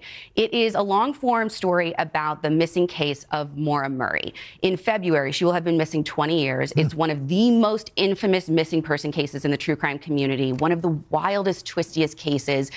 But the story has kind of taken on a life of its own. It's gotten kind of owned by the internet. And there's been so much information and misinformation that Maura herself and her family have kind of gotten lost in it. Oh. And so it's actually Maura's sister, Julie Murray, that's hosting it. And it's what I love. It's what Crime Junkie is all about, is giving voices back to the victims and their family. And so for the first time in 20 years, Julie gets to take her story back and correct misinformation and also reveal, I followed the story for a decade and she's giving information I had never heard before. and that comes out on February 5th, but you can go and follow and listen to the trailer right now. Hmm, so interesting. All right, so what if you want to get motivated? This is my neck of the woods. Uh, maybe an inspirational boost. What would you say? An inspirational boost. Well, I love The Diary of a CEO with Steven Bartlett. Hmm. So, as a business owner myself, his podcast has been incredible. He interviews some of the most influential people, biggest business leaders. He is an incredible interviewer, but what I love most is the there's no joke in the name. It is a true diary. You get interviews that you would never get anywhere else. Some really personal, intimate, deep moments with these people, not just about their professional career, but about their personal career. Um, he did an episode recently with Esther Perel, who is this renowned psychotherapist, and I have sent it. I said six months of couples therapy in two hours. So interesting. Highly recommend. I didn't even realize it was a podcast. I follow him on Instagram, and I can't tell you how many times I send even the clips yes. to my friends. I didn't even realize it was a podcast. He's one of the best interviewers I've ever heard. All right, I'm in. That's great. Ashley, thank you. Thank Yes, you. thank So you. Good. Thank you, Ashley. And also, by the way, Ashley's number one New York Times best-selling debut novel, All Good People Here, is now available on paperback. God, woman, how do you have the time? Wow. My gosh. Well, now that we've, we've covered what to listen to, we're going to show you what to eat. Joy Bauer is going to make a superfood dessert. Sweetest part? Sweetest part is you only need Oh! three ingredients I and a Clara. special helper, Ms. Clara! Clara's here today. Clara OJ. That's right. And she's going to get a Stanley Cup.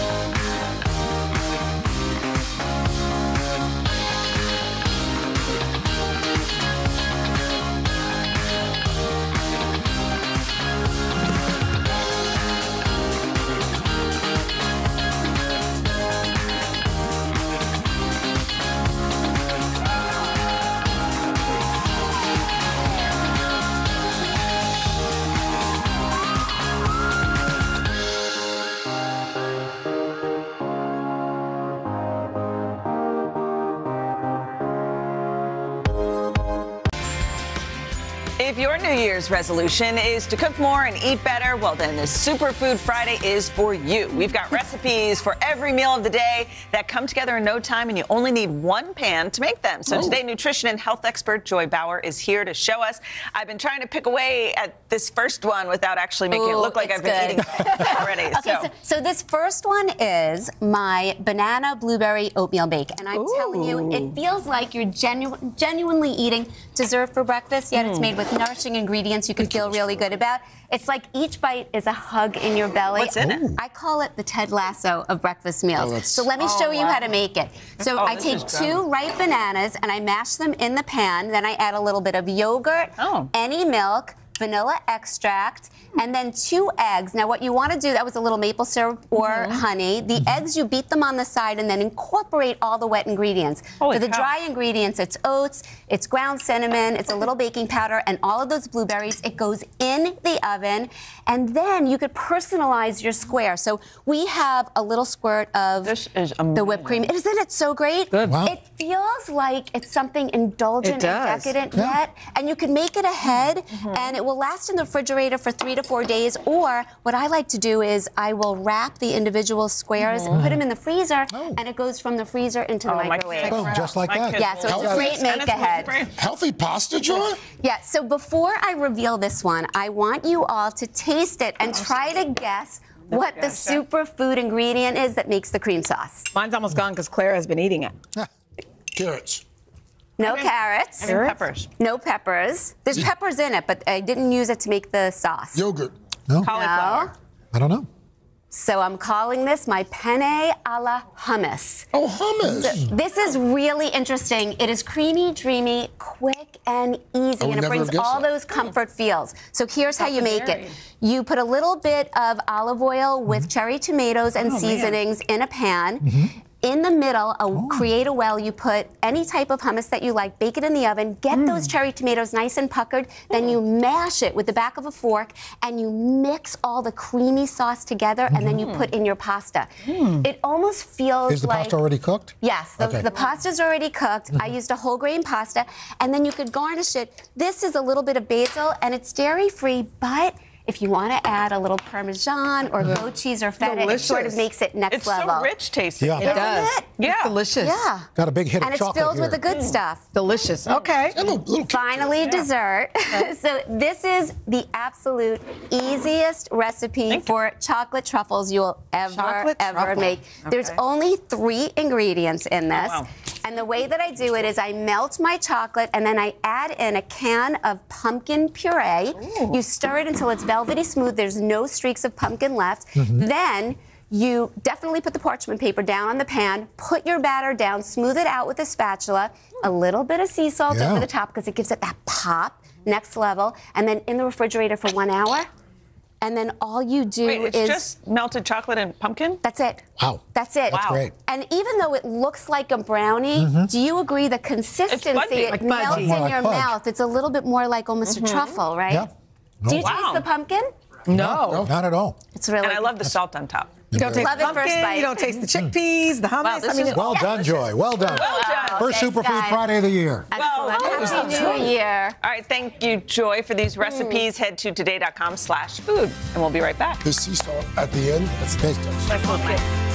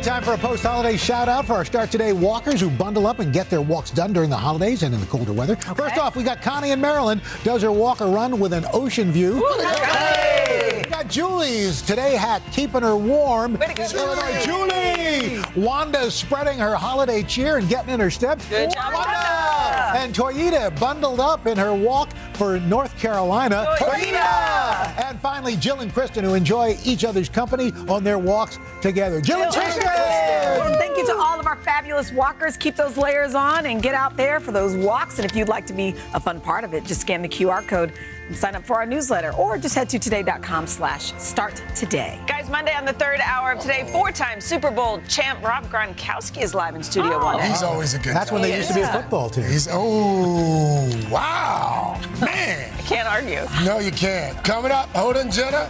They're going to catch up with actor Dan Levy. Should be a good time there as well. We'll see you back here next week. Have a great weekend, Hey, y'all. Earth Odyssey and Wild Child. Wild Child. Tomorrow See you morning. tomorrow.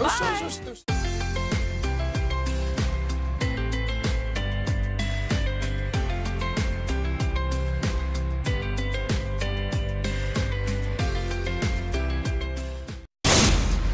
Today, the stars of Good Grief, Dan Levy, Ruth Negga, and Himesh Patel. Plus, how to live the life you want from the Harvard professor who wrote the book on it with Oprah, Arthur C. Brooks. And Wicked co star Cynthia Erivo and Ariana Grande sealing their friendship with matching tattoos. And we're talking about it. From Studio 1A in Rockefeller Plaza, it's today with Hoda And Jenna. It all starts right now. Hey, everybody, welcome. It is Friday. Your first week in January is wrapping up. Can you believe it? We've made it to the first Friday in January. Here we are. 2024 is going to be good. I feel it. Do you feel it? yes. it? I do too. I'm calling it 24 karat. I don't know why. Because that song 24 karat in the. Wait, wait, how does that go? 24. 24 Oh, that's um is that is that Bruno Mars. But that's our theme song because it's going to be fun. Yeah. And good. You know what? I'm all about outlook. You know, this is my whole thing because I keep thinking there are people who are uh, I just decided 2024 is going to be the sunny Yes. side of the street. Well, that's that's it, right? Walk on it. Golden. Let's enjoy it. Someone played this game with me. They said, close your eyes for a second and think of whatever your biggest worry is. And some people might say, oh, I have an aging parent or whatever. Your parent is going to live to 99 years old. They'll just say that, that statement. Or you're going to be able to pay every single bill on time all year long. Mm-hmm. Feel how your body feels. Your children are going to be safe and get accepted to college. Mm-hmm. Feel how your body relaxes. I mean, you know what's changed is really nothing. It's your world, It's how you're, yeah, how you're thinking about Yeah. it. So I was starting to relax my body. I was like, this is going to be good. Like if you're, and and when you go through life that way, because you don't know what's like going to happen. tense and worried about everything. Has nothing to do with anything. Let's move on. I enjoyed it. Okay, so Wicked. That's one of the things everybody's looking Everybody. forward to in 2024. It doesn't come out till November, however. We have a little bit of time. But it stars two of our favorite people, Cynthia Erivo and Ariana Grande. We had Cynthia Erivo on with us We recently. fell in love with her. Madly in love with her, and she loves Ariana Grande, and they have a friendship that's real. Some people are work friends, Yeah. and some people are friends friends. Yes. These guys are real friends, and the reason that we know it is because they got matching tattoos. They got the same oh tat. Oh my gosh. And they didn't just get one tat, they got two. First, they got a poppy flower, which, oh, oh, and they got the phrase for, good. Oh, I was once told you can't get tattoos on your hand because I tried to. And why did they say that? and no? they said I look like I'm in prison. It was in France. oh, because prisoners. No, because it comes off. Get it on your- Because it comes off. Because Okay. you wash it. Yeah. Somebody, th- I, I'm not. I know y'all know me, but that's what somebody told me in But- France. di- why didn't you Google it? Because I was embarrassed, and I they are the professional tattoo artist. I'm just me. So they said, don't put it on your hands. We were gonna get. It. Um, it will wear off. I was gonna saying. get it underneath my rings, Ring. which shows you I probably shouldn't have got it Yeah. anyway if I'm gonna hide it. Right, right, And we were gonna do Choose Joy with all my high school besties for our 30th, and the guy was like, "No." Choose joy. That was nice. I know. I wouldn't have been tired of that. He said, okay. "No." What if we got matching tattoos? Wait, are you What if we really serious about it? Yeah. Would you do it?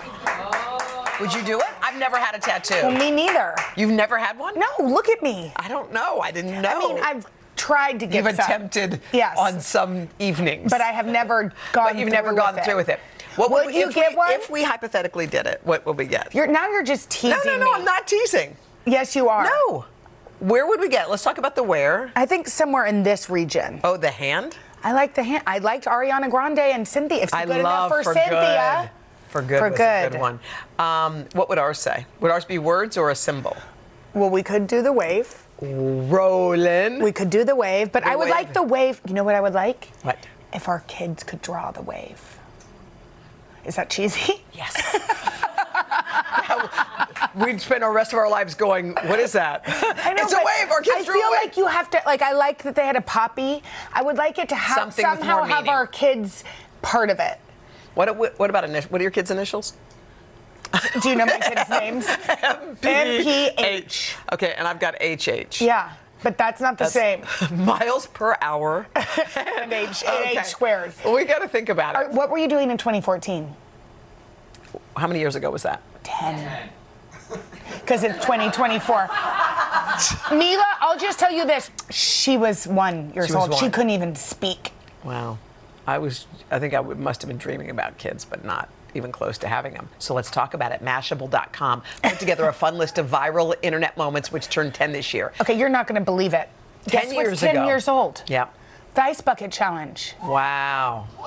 Oh, Holy moly. That you look was... the exact same as 10 years ago. Oh, girl. Why did we both spit? It's kind Because of it was like coming down on us. We did not like it. All right, so that raised money for ALS. It Yeah. was a, it's a beautiful challenge. And it raised $220 million. All right. Now, let's see. This was 10 years ago. Ellen DeGeneres' Oscar selfie. Selfie. Wow. That, feels like it was just that yesterday. was iconic. Remember we tried to Oh, do yeah. it with Harry Styles? We love Yeah, her. we You know who did it too. Harry Styles. Okay, in 2014, Kim K broke the internet. Remember, she did that sh- shot. Oh, yeah. Paper Magazine. I think she's broken it since then, so that feels like it could have been yesterday. You I know? can't believe that was 10 years ago.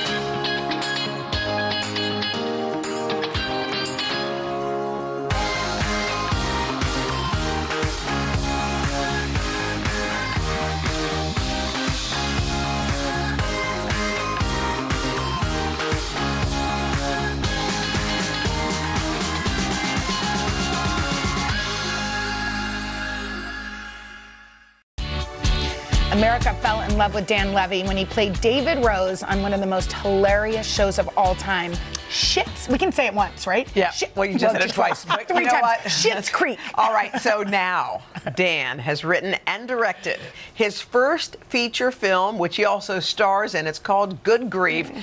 We're so happy you're here. We want to talk all about it. So happy to but be I- here. I, kind of want to hear what your holidays were like, what your New Year's is like, how you celebrate. I was in bed at approximately 12:03 a.m. oh, but you made it to midnight? I made Wait, it so to but you did have time to take pictures with these two pups. Yeah, yeah, yeah. I put some I put some New Year's things on a dog and took the picture and went straight to bed. You were- No, it was good. I was upstate. It was cozy. It was just- warm. We, it was one of those things where it was like 11:15 and we were thinking, do we just call it? Yeah, Should totally. We have 45 minutes to midnight. Let's just stay up right until the clock I know. strikes Well, 12. if it makes you feel better, we Uh, went to we sleep went- at 10. 10, yeah. Well, we 10. don't live together. Smart. No, we, we're we not. did. But we on we New Year's do. Eve. On New Year's you have a Eve, we sleepover and it's a wonderful thing. Yeah. You know, okay, so you're not into New Year's resolutions. No. No. Why? Why so? Because I've never kept one. Yeah. What And I just feel like, been? why am I starting the year Yeah. feeling bad about myself? Right. I know it's what not were some going to of the old happen. ones that you made? Oh gosh, it was like exercise. Yeah. do you like exercise? No. No. You don't. At all. No, nothing about it appeals Do to me. you do like inten- we, Do you do intentions? Like, do you do something that isn't so much Yeah. like a check Write a it. Here's what we did. There was a fire. We wrote down a page of things we wanted to let go of. Ooh, I like in it. 2023 and burned it in a What fire. What was on your list? Really deeply personal Yeah, I was gonna I'll say. share right now. I'm like, that's the type of You thing never know. that gets burned Yeah, yeah. that he may But- not want to share but with us. Things that, m- that my therapist and everyone in America will now know. Um, no, I think it's, you know, it's like I'm my harshest critic. I think that was That's the biggest one, is That's like good one. releasing Yeah, stop. being so hard on myself. Well, and now you have taken on this whole new role. Mm-hmm. You're a director of a feature film. Yeah, it's That you're wild. Is that starring in. yeah? Like when and that you also star, you directed yourself. Yeah. How Yeah. do you direct yourself? That's a great question. You hire a wonderful team of people Yeah. to surround yourself with. Yeah. And you work really hard and you prepare so that by the time that you actually have to go in front of the camera, you kind of know what the scene looks like, how you want it to feel. You've done the you've done the homework. This is a little bit of uncharted territory for you. So you've worked with a ton of directors, obviously. So what was your style, or who did hmm. you emulate to try to get where you wanted to be? At the end of the day, I think as a, as an actor who is naturally quite nervous, feeling comfortable on set is the most important Yeah. thing. If you're nervous, I don't think you give the performances that you want to give. At least in my case, like a lot of anxiety mm-hmm. inhibits the freedom of performance. Mm-hmm. So on Schitt's Creek, we had a wonderfully open set. Mm. It was Yeah. people could experiment, people could try things. That's what I wanted to bring onto this as well because it's a very different story. It's dramatic and it's about loss and there is some humor in it. But more than anything else, I wanted our cast to feel free to try things and to mm-hmm. come to set excited and not nervous in any way. So that was kind of the biggest thing was just setting The a very calm Yeah. and creatively collaborative environment and mm-hmm. hoping that that had a ripple effect on everything. That feels like Nice. great advice Yeah. for all bosses and Yeah. maybe parents out Yeah, there too. yeah, Um, yeah. You know, and one of the things that I was thinking about as we were sitting down to interview you is you had this role, like, sh- I now said it four times, so sorry, NBC, but Schitt's Creek was such I'm a just getting lawsuit after lawsuit. It's fine. It's it was fine. such a pivotal show in our culture. It was part of the fabric of our culture. It got people through hard times. I know. Uh, It was moving on from it tricky for you. I think at the end of the day, when you've done something like that, it was 80 episodes of a television show. Wow. You kind of have the impulse, in, in my case, to do something totally, Totally. different Yeah. and explore something like in t- uncharted territory. That's the that's the exciting part of being an actor and a writer is just saying, okay, I've done that. Now I want to go in a completely different direction. You know, do I feel like Netflix might have been expecting a comedy? Maybe, but they they greenlit a drama from me, and I think that's a huge thing to support, st- like you Now, know, creative. Did you, you know, you have your dad who's a great resource. Did Yeah. you seek him out when it came to this, or I did not. I did not. I kept him so far away. He knew nothing about the movie until he came to the premiere and watched it. And and he was he's been lovely. My parents were very moved by the movie and were they're crying a lot. And it was a wonderful thing. You know, I think we had collaborated for so long. Yeah. This felt like something I really needed to do on my own Yeah. and I wanted it to kind of be a surprise to them. I think partially because it's such a risky thing to Yeah. go and do something so unexpected. Well, don't go. You've got your co-stars with you. Oh, I Good. can't We've wait. got Ruth Negga and Himesh Patel. They're going to come join us on set right after this. The loveliest people in the And we can't wait.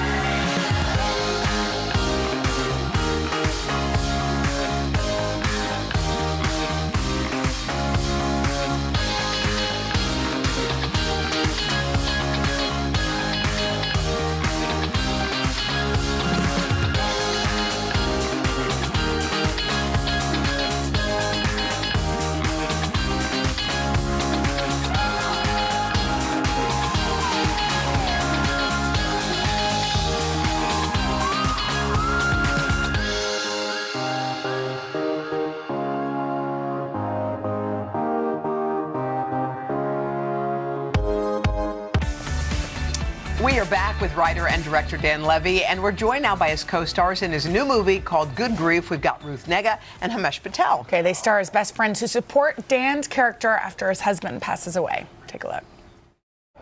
I wanted to thank you both for this year. So, I would like to take us to Paris for the weekend. On Oliver, spend his money recklessly. It's what he would be doing if he were there right now. And I can't think of a more appropriate way to mark the one year anniversary. Yeah. Mm. We all deserve some joy. Ah, yes. I think this is a beautiful thing. I think this is a beautiful, soulful thing you are offering us. Yes. Thank you. Where are we staying? Where are we staying? Where are we staying? By the way, first of all, I know you chose these wonderful actors to work mm. alongside you. Great, great, great selections. Why did you Oh. pick these two wonderful people? Because you saw. Listen, you, so, casting is a really tricky process, and you just hope at the end of the day that people walk in embodying the essence of these characters. Yeah. Unfortunately, you have well, in some cases, there's some work to be done in the in the acting department. But no, they just they just. It was just a breath of fresh air, and we had such wonderful chemistry from the beginning. And you could tell. Yeah, and you work and you sort of worked on the chemistry, which I love. You all Oh, took yeah. a road a road trip or a trip to the English countryside. How was that? How was that, Ruth? How was the road trip? Oh, well, there wasn't a road. It wasn't, well, we, we got there individually. Yeah. Oh, okay. Okay. Um, and then it was good because we did various bonding bonding exercises. Like we went such as? clay pigeon shooting. We heard I'm you were very excellent. good at it. How, So, yes, Luke was bragging about being an excellent clay pigeon shooter, and then Ruth came in. No offense, Himesh, but Ruth oh, came in and really, good shot. yeah, was a great shot. And you'd never done that before. No. We're having a five second delay here. Oh, well, I was in a TV show called Preacher. We oh, shot a lot of guns, so I have form. Oh, okay. Right. So this is your first foray into kind of a, co- a comedic role. Is that right, Ruth? Yeah. I suppose so. Yeah. And and was was Dan? I mean, we've talked about ho- what his legacy and comedy has been with Schitt's Creek. I've Yeah. now said it five times. Yeah. Um, was he a big draw to be part of? Yeah, absolutely. I mean, I loved I love Schitt's Creek. I think like a lot of people like that like helped me through the pandemic. Yeah. Um, so I'm ever grateful. Yeah. Um, and also, but I just I love the script because it wasn't sort of like a, and it didn't feel like a, like a, a raucous comedy. It Yeah. just felt like a very authentic. Um, uh, experience of friendship and what that Mm-hmm. means and how like so, sometimes grief can help us get closer to the people we Mhm, love and mhm. also to our authentic selves. And I think we're quite frightened of grief in a way. Yeah. And this is just a sort of a, a sort of a tender paean to it in a way. That's nice. Himesh, what was it like having Dan as your uh, director? Scourge yourself. Scourge yourself. Oh, yeah, I'm not sure I should. no. Yeah, let's air let's air the laundry here.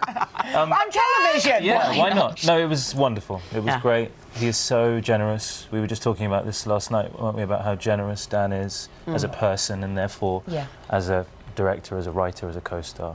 And he set a wonderful tone Mhm. for us all to work in, and we just had the best time. Yeah. We hear there's a karaoke scene. Yeah. Where you, you, you let it go? Yeah, well, look, here's the thing. I, I got really ill in the week leading up to the karaoke scene. Oh. And so I genuinely couldn't sing when we got to the to doing it. Yeah. Which was helpful. The other thing that people don't ever talk about with like karaoke scenes in movies is that you can't actually have the music. Oh, I know. Oh, Is right. So right? you're- it's like why, why is that? Well, because it'll interfere with the recording Yeah. of the actual voice. Oh. So it's So a you're cappella? Acapella? Yeah. Yeah. Dead silence. Screaming into silence. That's all right for someone who can sing. If you can't sing, like it's a nightmare. Really? but I couldn't because my voice was completely Nice. gone. Well, your Uh, singing is better than most of ours. Badly. Okay, can we talk about the food? Yeah, on we have to talk about we it. We heard it was top drawer. We want to know why What? and what it was. I'm sorry, Yeah. but the fact that y'all both mentioned the food Yeah. means something. Well, usually, like the onset food isn't anything to write home about, is Mhm. it? And this time it was. At the end of the day, food is the key to people's enthusiasm. It's the key to their hearts. It's the key to feeling taken care of. Yeah. You have to feed people well. Yeah. That's an important thing. Yeah. Uh-huh. And pa- being in Paris, you know, it was t- f- tables, four mile long tables of every possible food you could Ooh, oh imagine. my to the point where I actually think we worked harder in the mornings just to break to get for to lunch. just to get to lunch. Oh, Yeah. you guys, we we adore you. We're so happy you guys Thank came. you for coming. Thank you for having us. Congratulations, Dan, And on all this. And congratulations We're to all happy of so you. much for having us. It's, it, I love a movie that celebrates grief in, a, in a funny, Yeah. beautiful way. Thank you. Thank you, thank you. And Good Grief is streaming now on Netflix. Coming up next, the happiness expert who co-wrote his latest bestseller with Oprah. We've got Arthur C. Brooks with us coming up right after this. Oh wow! Yeah, yeah. Here. Look, look what Hoda has under back. All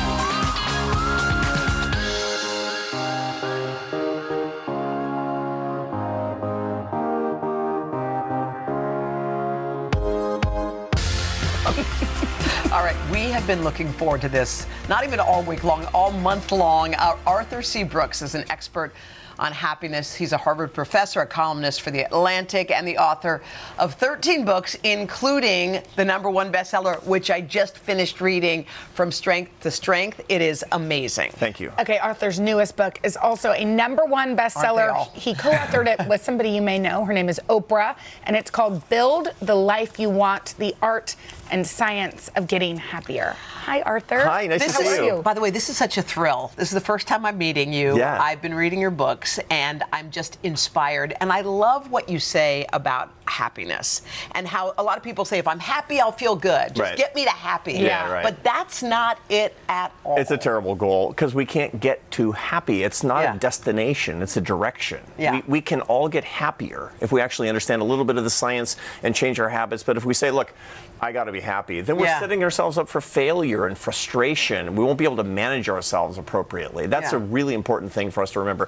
Oprah calls it not happiness, happierness. Happiness. That's the goal. I She's like so that. great with words, right? So we write a book together, and I'm doing all the science. And she says, "We need a word." and that's happiness. It's happiness. And I love that you say you write about the fact that we don't have to be happy all the time. I mean, first of all, that's completely unrealistic. Yeah, it's also dangerous. You know, we have negative and positive emotions, and the biggest mistake that we make is saying, "I don't want bad feelings." Yes, you do. You need negative emotions. Yeah. You'd be dead without negative emotions. Mhm. They, Yeah. they, they exist because they're information about the outside world. The point is, you need to learn from them, grow from them, and manage them. And that's a lot about that, what Oprah and I write about. That's that's the work is learning to manage your emotions so they don't manage you. And when you do that, when you really crack the code, you're alive. You're having the good and the Mhm. bad feelings, and it's all part of the life experience. And they're Mhm. not running your life and making you miserable. I like how you guys say emotions are just kind of a tap on the shoulder. Yeah. They're Yeah. not the thing. It's like reminding you you're angry, but there's something that's going on that you need to address. Exactly right. You- You're not your emotions. Yeah. You're a person with emotions. Yeah. And that's an important thing to keep in mind. So we talk about this technique called metacognition. Big fancy word. Yeah, we is that? academics talk that way. It's basically thinking about thinking. It's understanding yourself. You got to have a PhD in you. Right? I mean, this, it's, it's HODA studies is really what your what your Uh-huh. PhD is in. And once you understand yourself, you can get a little bit of distance between yourself and your emotions. Yeah. And then you can actually manage your emotions. You do this through prayer, through meditation, through journaling. There's so many ways to do it. And once you get a little bit of space, your life can really change. I, um, we talked about this. I got to hang with you earlier Yeah. when this book was published. It's like I also think this is so important to read and then help you redefine how you parent. Right. Because our kids need to know it's okay to be sad and scared. Mm-hmm. Yeah. And and uh, so, what's advice when it comes to that? Well, one of the biggest mistakes that parents make today, and you know, I'm I have young adult children, Yeah. and, and I'm a grandfather now, and so I've been thinking about this an awful lot. And I teach students who are on average 25 to 30 years old. I teach MBA students who are mm-hmm. studying the science of happiness as one of their electives. Mm-hmm. and one of the things that I see is that parents are too freaked out about their parent about their kids being unhappy. Oh, about the, and they're freaked out about it. A lot of helicopter parenting is because they're thinking about their kids' feelings all the time, and they're trying Yeah. to wipe out the bad feelings, and that's a mistake. Yeah. Your kid needs to be alive. Your kid needs to learn. Yeah. Your kid needs to grow.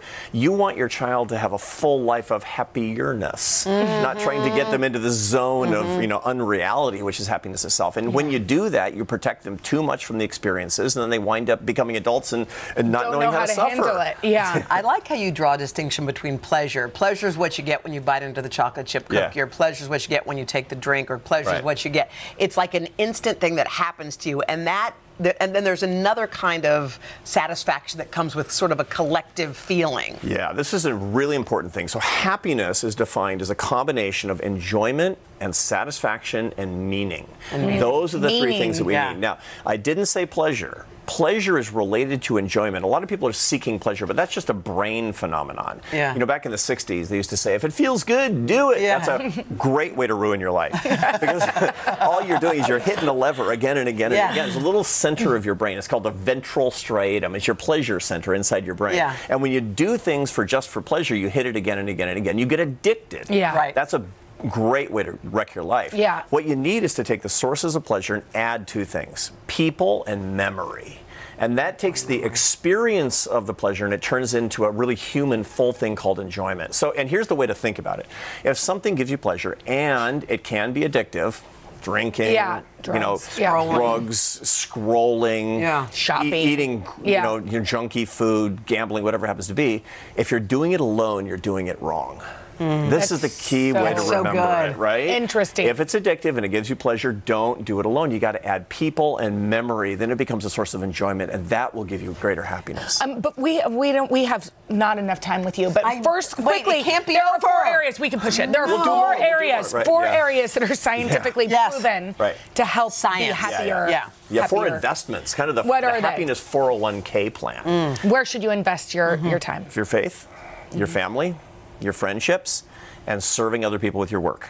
Yeah. These are the big four. Like people spend a lot of time on things that are kind of extraneous and little things and, you know, self improvement things that are just kind of at the margins. The big four are your transcendent life, you know, your faith or your spirituality, or your philosophy of life. Not necessarily my faith. I'm a Christian. It's really Yeah. important to me. But, but what you need is something bigger than you that lets you zoom out on life. Mm-hmm. That's super important. You need to get small mm. because when you're too big, you're going to be obsessed. It's like watching the most boring sitcom over and over and over again every single day Yeah, by force. yeah. Family life. People define it in different ways, but we know that these are mystical relationships mm-hmm. of love. We didn't choose them.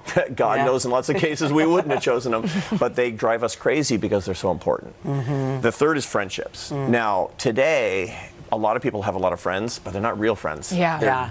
They're deal friends. Deal friends. We know the difference between real and deal. Yeah. Or virtual friends. Yeah. No, no, no. Yeah. Doesn't count. In person, in real life, eye contact and touch. Yeah. There's Touch. a lot of neuroscience about why that matters, but we all kind of get it. Uh-huh. And last but not least, our, our, our work has to serve other people. We have to create value with our lives. Mm-hmm. And if we do those four every day, checklist, at the end of the day, examine kind of your, your day and say, did I do something for my faith? Did I do something for my family? Mm-hmm. Did I call my mom? Yeah. Did I do something with her, did, ke- keeping in touch with my real friends, not just my deal friends? Yeah. And do I believe I serve people today? And if it's check, check, check, check, you're going to go to bed I happier gotta get up happier. happier. Gotta ask one more thing. Is there a there's a science to falling in love? Yeah.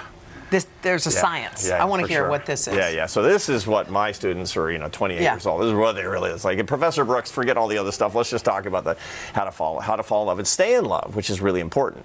So the brain goes through a series of very discrete steps when you're starting to fall in love. You know, it mm-hmm. has a lot of, you know, there's there's there- you know, there's sex hormones and then there's there's neurotransmitters mm-hmm. that are starting to fire and all kinds of complicated chemistry that's going on. But ultimately, the science of falling in love says this. There's a lot of, you know, passion at the very beginning, a lot of infatuation at the very beginning, but the goal of falling in love is friendship. Mm-hmm. Eh. That's really what it is. And so what I tell my students is the goal of your partnership, it shouldn't be being passionate forever. That's Disney movies. Yeah. Like happily ever after and Yeah. you know looking into each other's eyes and being deeply in love. Like I've been married 33 years. Mm-hmm. And you know She's watching. Careful. hey, she's a fan. You know? and but the whole point is that your relationship should be tending toward best friendship. That's mm. the science because that uses a there's a there's actually a neuropeptide. It's a hormone that functions in the brain called oxytocin. That's the that's the hormone of human bonding, and mm. ultimately that's what links you to your intimates, to your children, to your closest friends, and to your spouse. And this kind of companionate love can be plenty passionate. It still Yeah. will be, but that's really the goal. The science of falling in love and staying in love is getting to deep friendship at the end of the day. That's mm. why marriages are satisfi- satisfying and they really last. Okay. I- well, uh, by the way, you're doing this really cool thing with the Atlantic. Yeah. Where every day one key to getting Yeah. happier. Uh, What does Oprah say again? Oh, but Hap- happyierness. Happyierness. Yeah, this is, the- this is, Defining uh, 31 happyierness. days to happyierness. Yeah. So we can check it out. We'll Yeah. put it on our website. We'll put it on our website. Yeah, yeah, Thank super you so fun. much, Arthur. Arthur, Nice to thank see you. What a thrill. Great Come to be back. with you. Why I need more. Why is it over? Wait, why is it over? We need more. Check out Build the Life You Want at today.com slash books. Coming up next, your Golden Globes weekend watch list to look at the movies and stars that could win big after this. Why is that So good. It should have been two.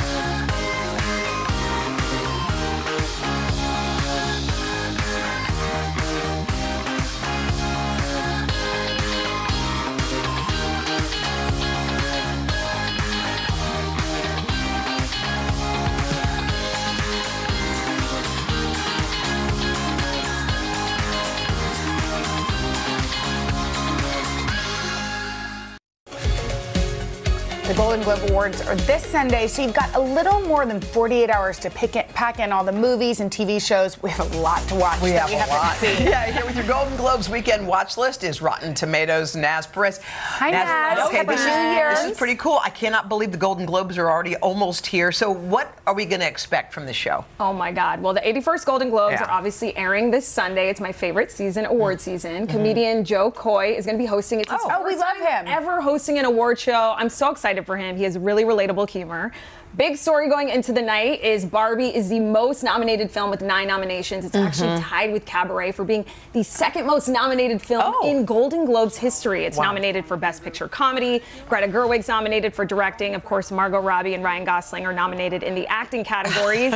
and what makes the Globes different this year is that now there are six nominees as opposed to five in each category. That seems so we love that scene on Barbie. It's so good. So, The what is going to win Best Picture? What do you think? Best Picture drama, I think for sure is going to go to Oppenheimer. Right? Yeah, this that's is what Oppenheimer's lose. By the way, all movies in this category are certified fresh on the tomato meter. But I just want to give a shout out to the movie Past Lives. Jenna, we were just talking about this. Henry earlier. watched it on the airplane home and loved it. And Yeah. actually, Gavin recommended it to me, so therefore I recommended it to Henry. I love this movie, and the Globes did too. It got Loves- five nominations. So basically, this movie is about two childhood friends who are reunited 20 years after being separated when one of them Mm. immigrates to America from South Korea. But do you know why I love it? Mm. You have, have you ever been in a relationship with someone and you thought it was going to work out, but then the universe had different plans? Yeah. You just think to yourself, maybe in a past life it would have Yeah. worked out. If you've ever Yeah. felt that sentiment, that movie is for you, and you guys can rent Henry, it. this is Henry Hager's platforms. review. It's quiet but very lovely. Aww, I, I like it. that. It is I very like that. lovely. Okay, Yeah, so what about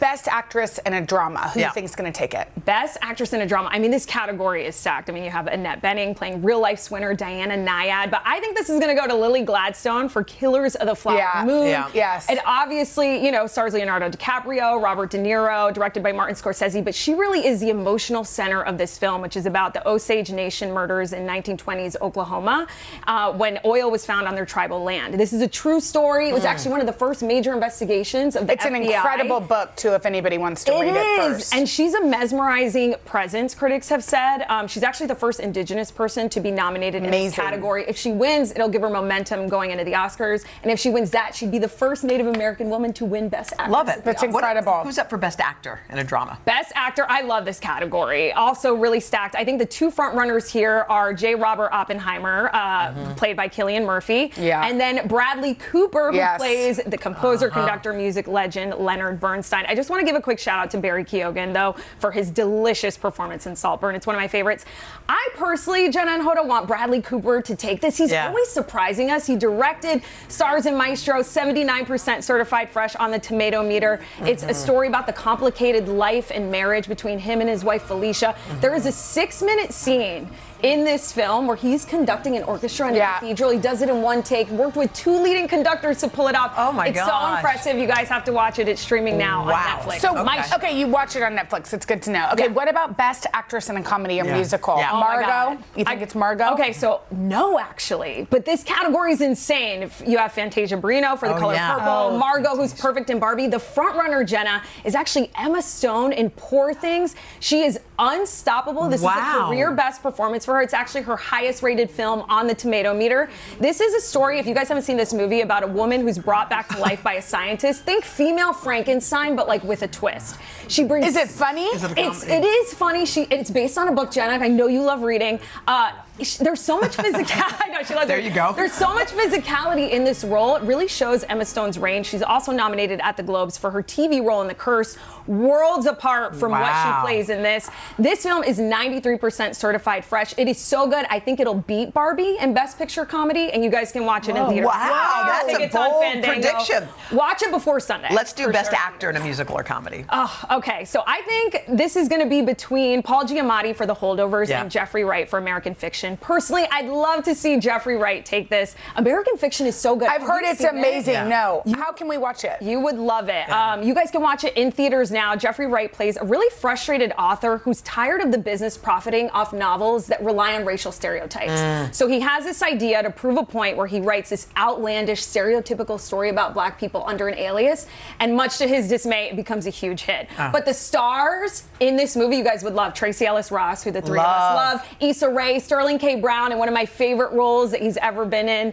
Um, it is so, so good. Also about the complicated uh, life between him and his family, but you guys can watch it in theaters. By the way, American see Fiction. that. You know when someone loves what they're doing? Yes. You love what you're doing. you love what you're doing. I really that do. was I really love good. it. Thanks, Thank you, Naz. thank Thank you you. so, so much. you. We appreciate it. Okay, coming up next, what's in store for 2024? Got your astrological forecast coming up right after this. Good job, Naz. Naz, that was great.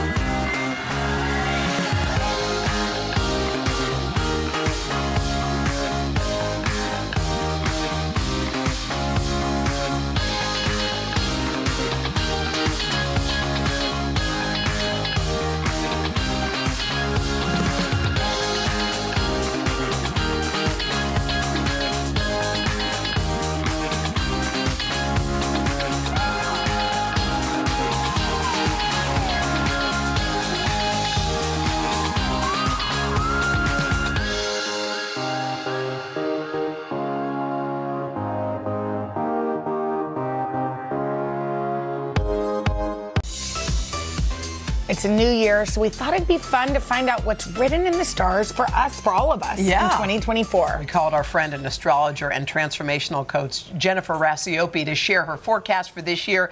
She's the author of Cosmic Health. We love when you come Yes, here. we do. So, can we do some big picture here? How would you say 2024 is going to shape up overall? Yeah, 2024 is a really exciting year. It's full of hairpin turns, innovation, and lots of opportunities to explore new potentials. We kick the year off with almost no retrograde activity. Mercury, the planet of communication. It has been in retrograde, right? Yes, I can tell. Uh-huh. Yes. a lot of craziness happening. It has been, but it's coming out. Yeah, so Mercury just stationed direct on January 1st, and by the end of the month, we don't have any retrograde activity again till early spring. So, right out of the gates, the year kicks off with a lot of positive momentum. Okay.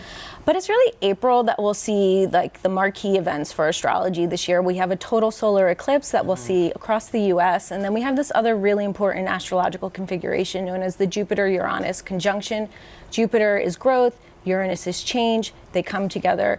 And so we can expect electrifying energy, big shifts, ahas, and the year's really fast. So um, we want to get our ducks in a row now, clean up lingering messes, uh, let go of what we can, get free where we can. Awesome. Okay, let's hear about Hoda and hear what her year's For going to the be like. Leos out there. Yes. Yeah, yeah. Well, specific to you, and then we'll go Okay. into the fire Okay. signs. Hoda, you have a, a dynamic year. You're coming in on the end of your Saturn return right now. Saturn's opposing your moon, so it's you got to go slow. You got to really do the work of embodying where you're at, tending Yeah. to the difficult, the uh, you know the the parts of life that are challenging. But come spring, you have gangbuster energy in your Oh, chart. yes. So your your motto this year is go slow to go fast, especially.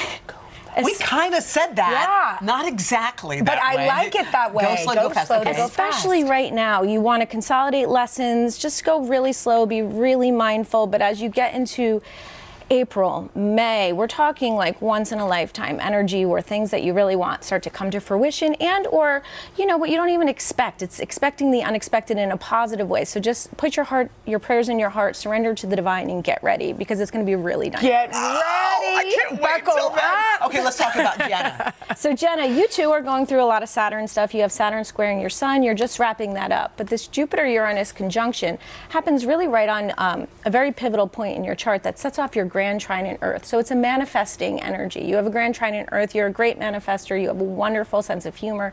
This all gets really activated this spring. So again, expect the unexpected, but you're going to have tons of epiphanies, revelations, and just deep changes within your soul around how Mm. you're doing things, how you're showing up. It's also a time of release, letting go of old expectations, stepping into a new version of yourself. Okay. All right. Should we go through the signs because people want to know? All right. Let's start with the fire signs. People who are Aries, Leos, and Sagittarius. Yeah, so fire signs, you want to be really mindful about acting reactively. You know, being reactive isn't going to get you closer to your destiny or your desired outcomes. You want to slow down, be patient, show up proactively and productively to nuances, and see how that changes things. Um, make changes by channeling into your creativity without doing any damage to relationships. Mm, interesting. Okay, let's move on to Earth signs Taurus, Virgo, and Capricorn. Okay, so our Earth signs are going through tremendous transformation. Pluto is leaving Capricorn, and you've changed really from the inside out. The old chapter's ending, a new bridge is about to appear to where you're going next. You want to trust your gut, tune into your inner wisdom, and channel your higher self to the best of your ability. All right. Let's talk about the air signs Gemini, Libra, and Aquarius. Gangbuster activity this year. So Wow. Pluto's moving into Aquarius, and with this is like changing from the inside out. There's a heavy dose of grit coming your way. You can really, really expect beneficial connections with positive people. Jupiter's moving into Gemini later this year, so you have to trust yourself. Let go of the old and outworn.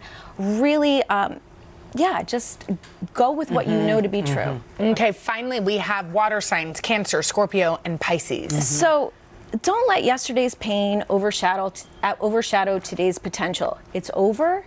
You've survived. Now start to look about look towards what's happening next. Saturn, the planet of discipline and structures in Pisces, so you have to pay attention to your daily commitments, um, show up to tasks. It's through daily dedication that success becomes inevitable. Awesome. Oh my gosh, what a great year we It's have gonna be ahead. really fun. I'm excited. you need to mark your I am, calendar I am. for April. I got it. Trust me. Thank, Thank you, you, so thank you, much. Jennifer. My pleasure. And to check out Jennifer's book, Cosmic Health, go today.com slash book. And we'll be back right after this. Wow. Thank you. Wow. So April is when it's happening.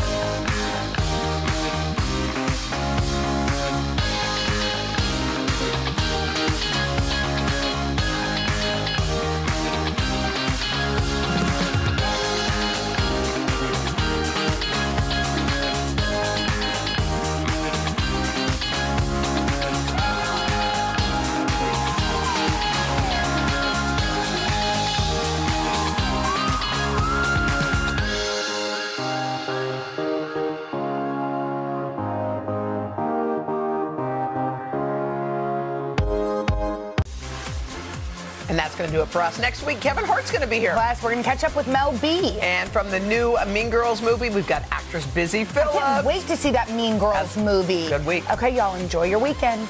Bye.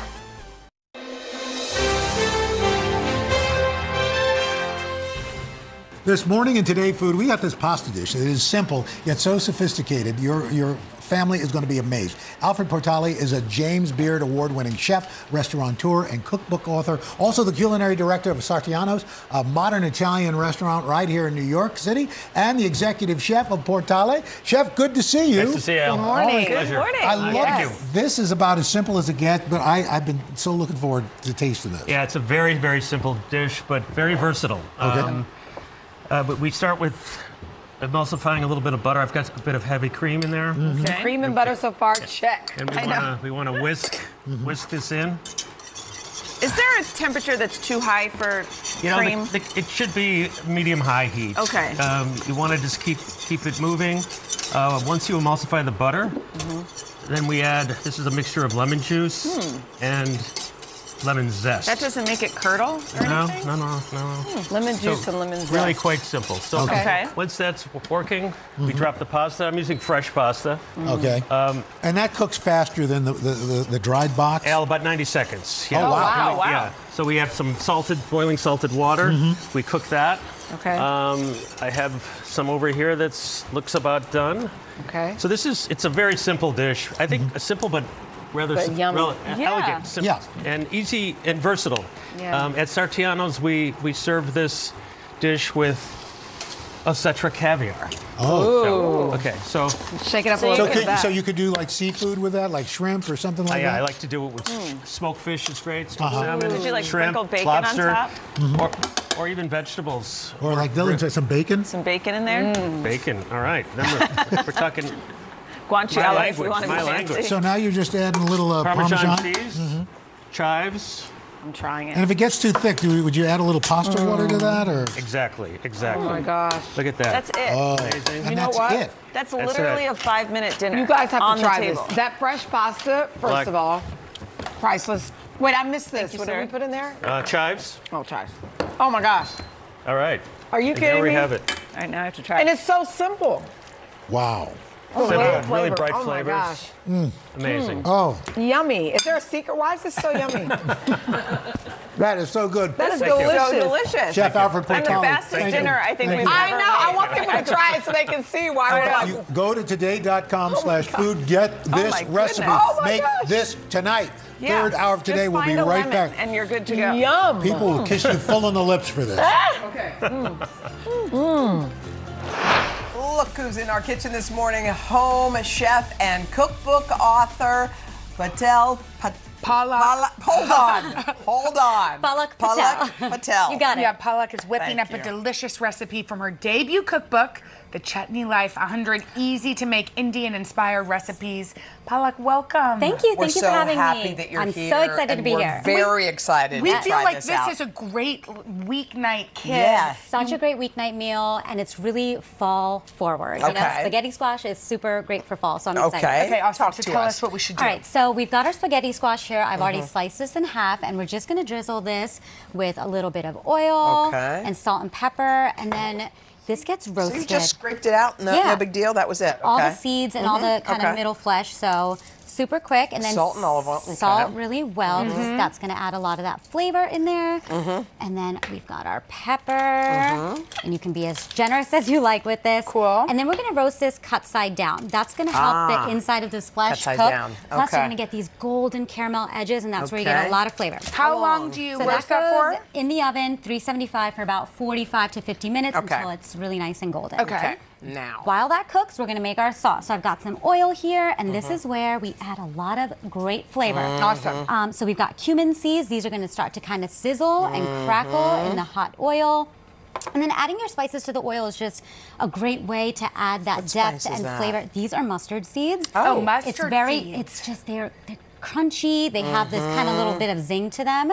And so we're gonna cook these, Okay. and they're gonna get really nice and Mm-hmm. toasty. How long? You cook them for about 10 minutes? I'd say about 10 minutes, and you want to kind of hear them crackle and pop, and that's when you know, all right, it's gonna, Okay. it's We're ready, ready. to go. Mhm. And then we've got our aromatics. So we've got Mm. garlic, ginger, green chilies. Yum. If you don't like spice, you could always leave these out. And we've got some diced red onion. So all of this, we Okay. can. Goes in there. Yeah, you can do that, and um, I'll do these. I will. Okay. Yeah. So I'll if, you're with this. making it for kids, you leave out the green chilies. You probably? can leave out the green chilies, but the garlic and ginger is not going to add kick. It's just going to add flavor. Yeah. So I make this for my kids all the time. Right. I'll add a little extra butter and cheese for my Yeah. children. So, and then you can add whatever veggies you like as well. So this is really versatile. Okay. If you want to add meat, you could add Mm, meat smell to that- it. we smell add that these already. spices? Smell Yes, already. and the, so I've got tandoori masala, garam masala, and cumin. So it's just really warm and Mhm. Yummy. And some spices. tomato paste? Tomato paste. This is going to add a beautiful color along with just like a really great buttery tomato Mhm. sauce. We're going to cook this down until it's really nice and looks like what golden. we have Which down is over here. So then we get here, and the flavors are going to develop. Those spices have a Mhm. chance to kind of blend together. To this, we're going to add some butter, Yum. um, because that's just going to add that richness and Mhm. creaminess to this sauce.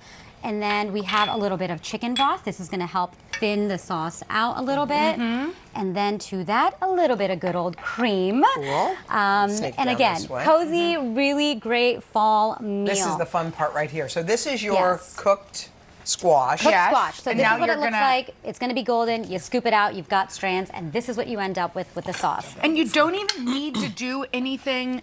Just Super scoop easy. it out. You, just scoop it up, and it's going to turn into these kind of like spaghetti strands, Yeah. as you see. Oh, it's They're really- super it's, easy. you know, nature, Mother Nature's version of and it's kind of a, a way to get veggies, but it's like a noodle. Oh my gosh. It's like a noodle, and so you don't miss the pasta. Is that so yummy? Yes, um, it's That a great is meal for fall. super, super Mm. yummy. Thank you. I'm glad Thank you enjoyed you so it. much, Palak. Thank That is you. delicious. All right, thank you. Well, those recipes and more, go to today.com slash food. Thank wow. you. Yummy.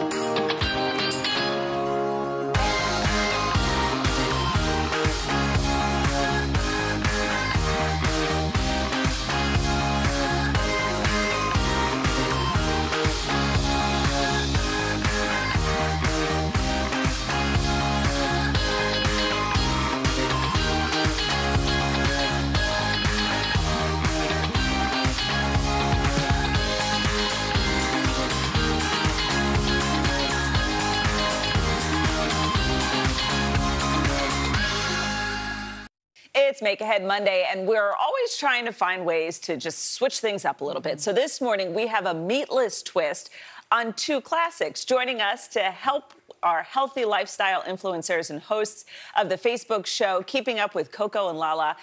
And it is Coco and Lala with us this All right. morning. Good morning, ladies. Hi. Hey there. so before we get started, I just have to ask, how'd you decide to make vegan and vegetarian meals together? Well, I'm vegan and I'm vegetarian. And so we just came together and created a dynamic duo. well, pro- tell me this is good. So we're going to do this. Let's jump in. You're starting with a cauliflower bolognese sauce. Lala, why is cauliflower a good substitute for meat with this?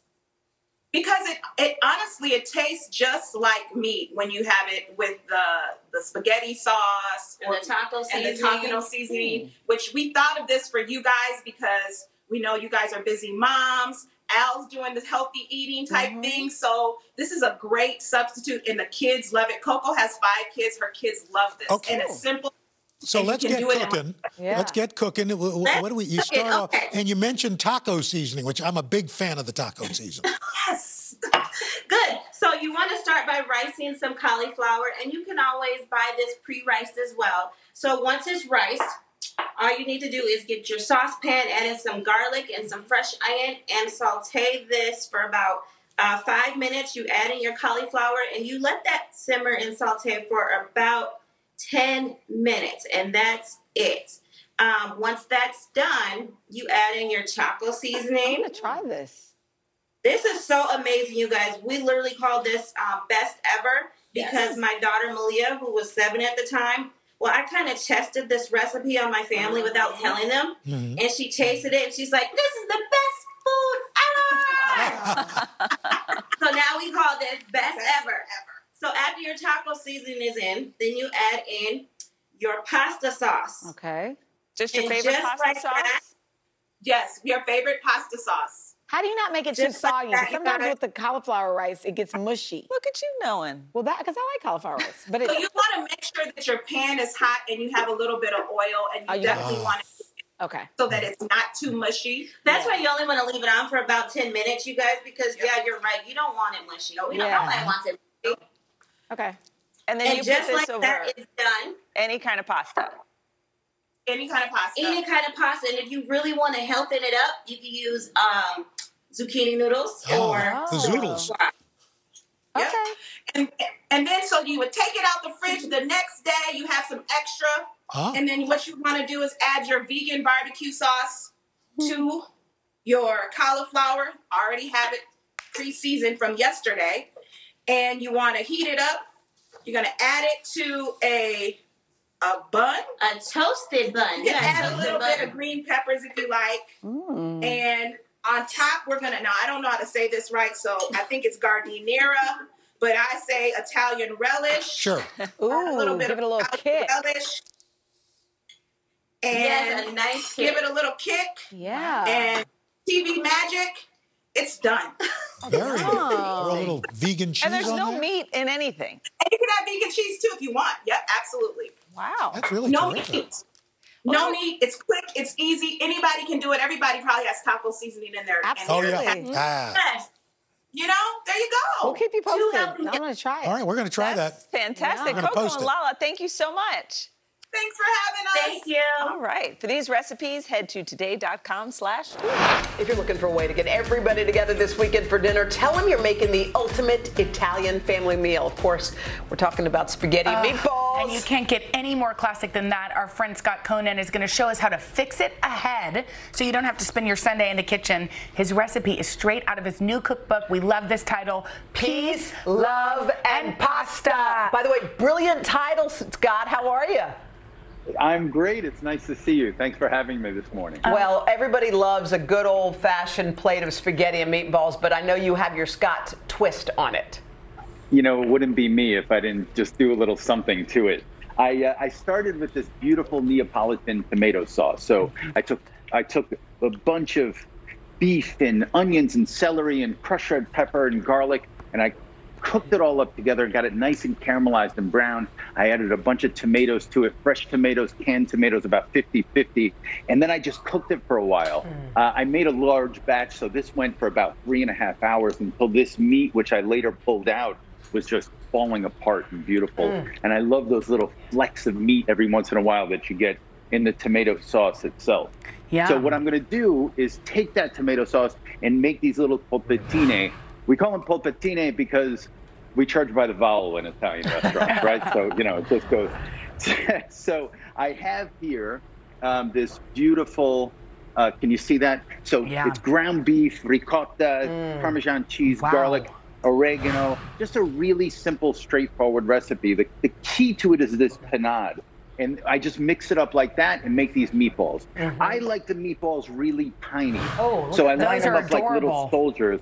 Those, yeah, and I just take mm-hmm. them and roll them out really small. It's painstaking, gives you a lot to think about, a lot of time to think. and I just line them up on the little tray just like that. And then what I'll do is I'll go to this cast iron pan here and I'll fry them up. Oh, fry the balls. butter, a little bit of olive oil, and a little bit of, and you see how nice and golden Yeah. they get? They're just really beautiful. Oh, yum. Um, and I toss them in that sauce, just like this. Look at that. I add a little bit, and I'll just let that cook like that together for about five minutes or so, just for a little bit of flavor and part. But there's so much incredible concentrated flavor inside this tomato sauce with those meatballs now.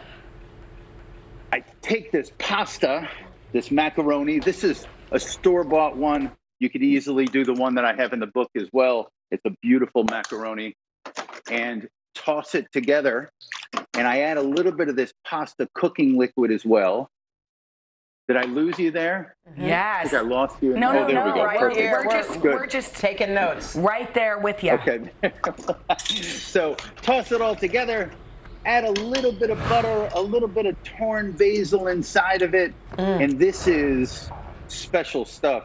You know, you could freeze the sauce ahead. You could Yes. freeze the meatballs as well. I mean, those are really important things to do. And then it's just really easy assembly for you. I mean, by the way, Scott, we want that. It looks so good. You said you you throw some butter cubes in the Yes. finished product.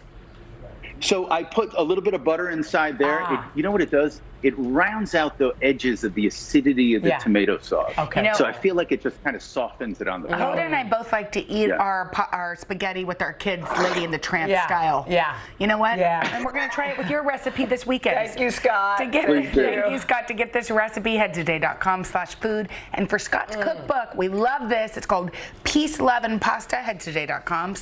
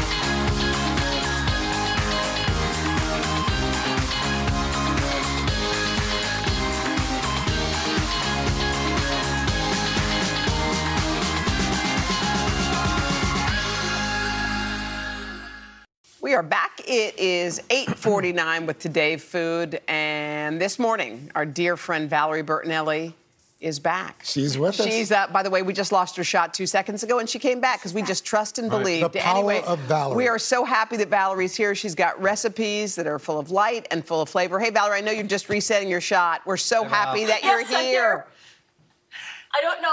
Oh, I gotta fix the um. That's the all right. Sound. Take your Oh, time. no, you're good. Take your You're time. good. Don't worry. You got Can you time. hear Don't us? worry.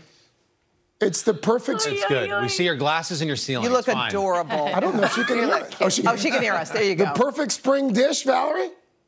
Why are my earpods not coming on? I don't Oh, know. that's all right. You know Valerie can what? hear us. 'Cause you're Um, listening and you to know what? You music. don't have to be a arithmetician to be able to make this. Ah, see? Wow. I'm never going to hear the end of this. Go, I Valerie. love Go, how long people Valerie. are watching the Go, show. for. Valerie. Yeah. Valerie, can you hear us? I can hear you now. Oh, can you hear me? All right. Girl, we're Yes, so okay. glad. We're so glad to see you. Other than your shot just going down, how have you been doing? I've been doing very well. How about you guys? I cannot wait to get my butt to New York to see you guys in person. I know. Yeah. Right? Oh, we, we want you to be one of the first chefs who walks through the door. So, what are you whipping up for us today? Oh, I am whipping up. Oh, let me get everything on. I was so worried about actually getting on. Um, so I've got a little bit of olive oil. This is a nice lemony, herby um, with uh, uh, pasta with some nice fresh beans. So what we're going to do is we're going to get a pan going with a couple tablespoons of butter. I'm just, I'm all for verklempt now. Okay, so let me get the heat up and get this all melted. And then into that, you're going to throw some shallots, one shallot, and that's mm-hmm. all nice and chopped easily. Mm-hmm. Shallots are really easy that way. Get that stirred up. While the shallots cook, you're going to slice up some garlic. Now, usually I like to grate garlic into any mm. meal that I'm making, Yeah. but I want to see the slices of garlic in here, mm. and they get really beautiful and soft and creamy, and they just melt right into the pasta. Mm. So I've got the pasta already going, just plain old spaghetti, the good stuff Mm. good old fashioned spaghetti that I grew up on. Ah. So while this sautés a little bit, plus we're going to get a little bit of chili pepper, red pepper in here. And mm-hmm. I, this is going to soften up in the butter and the olive oil. So as that softens up, the pasta is really ready to go because I put it in when we first met you guys at the very, very beginning, like 45 minutes ago. Not that long ago. Anyway, you're going to use the nice hot pasta water and throw in your snap peas. And you're going to give them a really quick blanch in there. And so while those guys blanch and this guy fries up, you're going to throw in a little bit of heavy cream. And this is going to give you a uh-huh. really beautiful, creamy mm, sauce. it it's will. just a couple tablespoons. It's not much. I love that I'm hearing all these mms and mmm. One of these days, we're going to be together and you'll be able to actually taste it. Yes. So while that cooks down, I'm going to throw this heat down really low because I don't want to boil off all the cream. Then you're just going to grab some pasta water out of your pot right here where your beans is, are blanching. Throw that in there and you're going to loosen it up. And while you're at it, just grab all of your spaghetti and your beans, snap peas. Why am I calling them beans? And you're going to throw them right into Right in what you just created, Yeah. that I I beautiful like that sauce. thing just drains the water right there. Yeah. I know, isn't that great? Yeah. Then you're going to throw on some lemon juice and some lemon zest. Mm, Get a nice that'll brighten it lemony flavor because that's the way I roll. Get that all mixed up, and while you're mixing that, throw in some parmesan, Of course. and then you're going to throw in some fresh herbs, Oh, some that's parsley. I have to- Oh, That's a And- live shot. Is that word. bang? That is beautiful. There you go. Hey, Now, Val, could you serve that cold? You absolutely could. Look, I made some last night. It came right out of the fridge. Hmm. And I'm going to have this for breakfast when I'm done with you guys. Oh my gosh. Oh, yeah. Beautiful. Valerie Isn't that beautiful? For breakfast too. Yeah. That's great. Who's Oh, hell yeah. Hey, Valerie, how's Wolfie doing? He's doing great. His album drops on June 11th. I hope he comes back to see you guys. Yeah. That'd be great. I love Look that song. that uh. Free. That track Free, I think just came out recently. So many good songs Isn't on that that amazing? Yeah, I mean, it's so hard for me, even though I know him, that he plays every single instrument on that. I Uh, it's just know. crazy. He's brilliant, but I'm his mom. What do I know? and Carson, when his first, when that single came out, what kind of reception distance. did it get? Yeah. Oh, immediately. I, Yeah. you know, as I spoke to Wolf, he was worried about what you know Van Halen fans would think, but he's he's carved his own way and with this record. And as Val said, it's and I'll say it. I mean, it's ridiculous that he is that talented to do every part on that record, and it's so good. I love you, Carson. No, it's true. I wouldn't say it if it wasn't true. Yeah, it's great. You don't have to pay I'm so anybody proud else. of him. Yeah. Yeah. I'm so yeah. That's right. You'd have to split that check five other ways.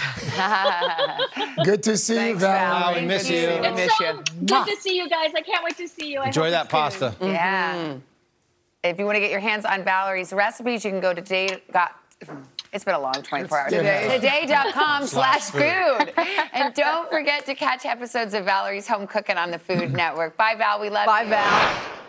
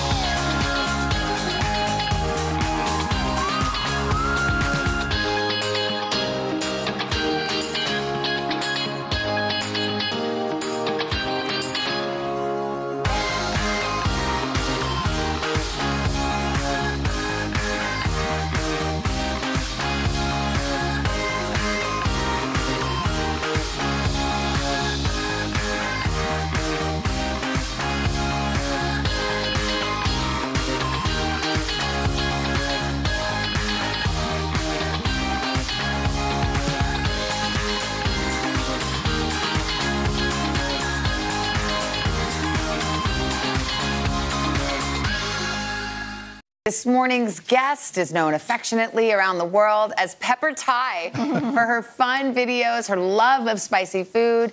And Chrissy Teigen knows her quite well. She calls her mom. I love it. For years, Pepper has been showing off her culinary skills on YouTube in Pepper's Corner, a series featured on Chrissy's channel. And now you can cook along with her because the Pepper Thai Cookbook is out today. That's right. We're so excited that she's here with us to tell us that and so much more to share one of her favorite family recipes. Good morning, Pepper. How are you? Good morning. Hi, good morning, New York. I love Thai I do food. too. Pepper, I just, before we get to your recipe, I, I guess Pepper is not your given name. You weren't born with that name. How did you get that nickname? Uh, when I first came to America in 1983, uh, her father and I bought a tavern up in Seattle, Washington, and uh, and we run the tavern for a while. And uh, I've been cooking there, and uh, and I always make my own food, and I eat so spicy, so hot that. Uh, and then my names, my Thai name is kind of hard to pronounce, so I. Uh, so they give me the peppers. We'll uh, take it. As, uh, We'll take my name since since then. Yes. Sounds good. All right, let's talk about what you're cooking here. Stir fried spaghetti. Yes, spaghetti and like a sweet chili jam. Mm. Um, with uh, sun-dried tomatoes. Hmm. Uh, the, I think it was a very easy, pretty much kind of like a pad thai a little bit. It, I think it's a lot easier to this one. wow. Uh, Wow. Every- Hi, John. Hi, Chris. they are wedding. We're so excited for mom. We can't hear anything. Oh, okay. Well, it's not rehearsal. Nice up person. I just want to say hi to everybody. John is dressed. Chrissy is not. We miss New York. I know. Oh, so fun to be all together like that. Pepper, so how do you make this? Give us your, your, your recipe here. So I just fry garlic, uh, chicken, uh, slide up, and then uh, chili jams. I add in a sun-dried tomatoes, and wait till the chicken is cooked. This is the chili jam. I had it in my book. Uh, you can make your own, or you can buy it uh, at the supermarket. And you can make it Uh, spicy or uh, sweet, right? Or maybe if your kids don't like Right. spicy. Yes, right, yes. I mean, even this uh, chili jam is come with uh, no spice, mediums and high. And for me, I add more. Yes, you do. Pepper, Pepper, you use a lot of fish sauce uh, throughout the Yes. cookbook. Uh, what is fish sauce for Mhm. folks who aren't familiar with that? Uh, fish sauce is like a fermented fish. Uh, and uh, I cannot live without it. Um, I, you know, um, we use a lot. Uh, try to get people to learn how to use it. Uh, even a household is like a regular thing at the house.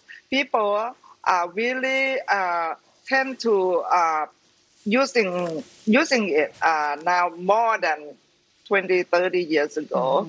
Uh, our house is like every day, uh, you know, more than the soy sauce. Right. Oh, wow. So, Pepper, Thai food, I think anybody would say, is one of the most delicious cuisines on earth. Mm. The flavor is just so elevated, it's so good, mm-hmm. but people are probably a little intimidated to try and recreate a Thai dish in their own homes. Mm-hmm. Why should they not be nervous to do that?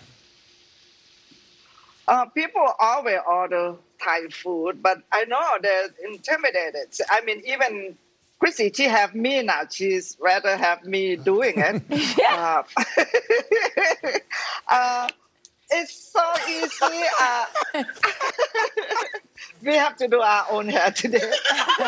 Does she always do that when you're cooking? Come in and do your Such your a hair? stage mom You look she is. beautiful, She, though. she loves to teasing me and playing around with me. Uh, I would cook every And, uh, day if Chrissy Teigen came in and did my hair. And tussled yeah, exactly. Yeah. I did that. had hair. yes, I did that. Pepper, Yes. thank you so much. Congratulations on the cookbook. Thank you so much. Thanks, Miss New York, love your guy. I watch your guy every day. thank, you, so much. Thank you. It's called the Pepper Thai And, uh, Cookbook. You can find it at today.com slash Mm. food. Love Thai food, now, right? me. Yeah. Oh, gotta, gotta do it tonight. Thank now that's a you. picture. Bye, guys. Bye, Chrissy. Bye, Chrissy. I wish John was in a towel. Guys, thank you. It's a family affair today. Oh, I love her.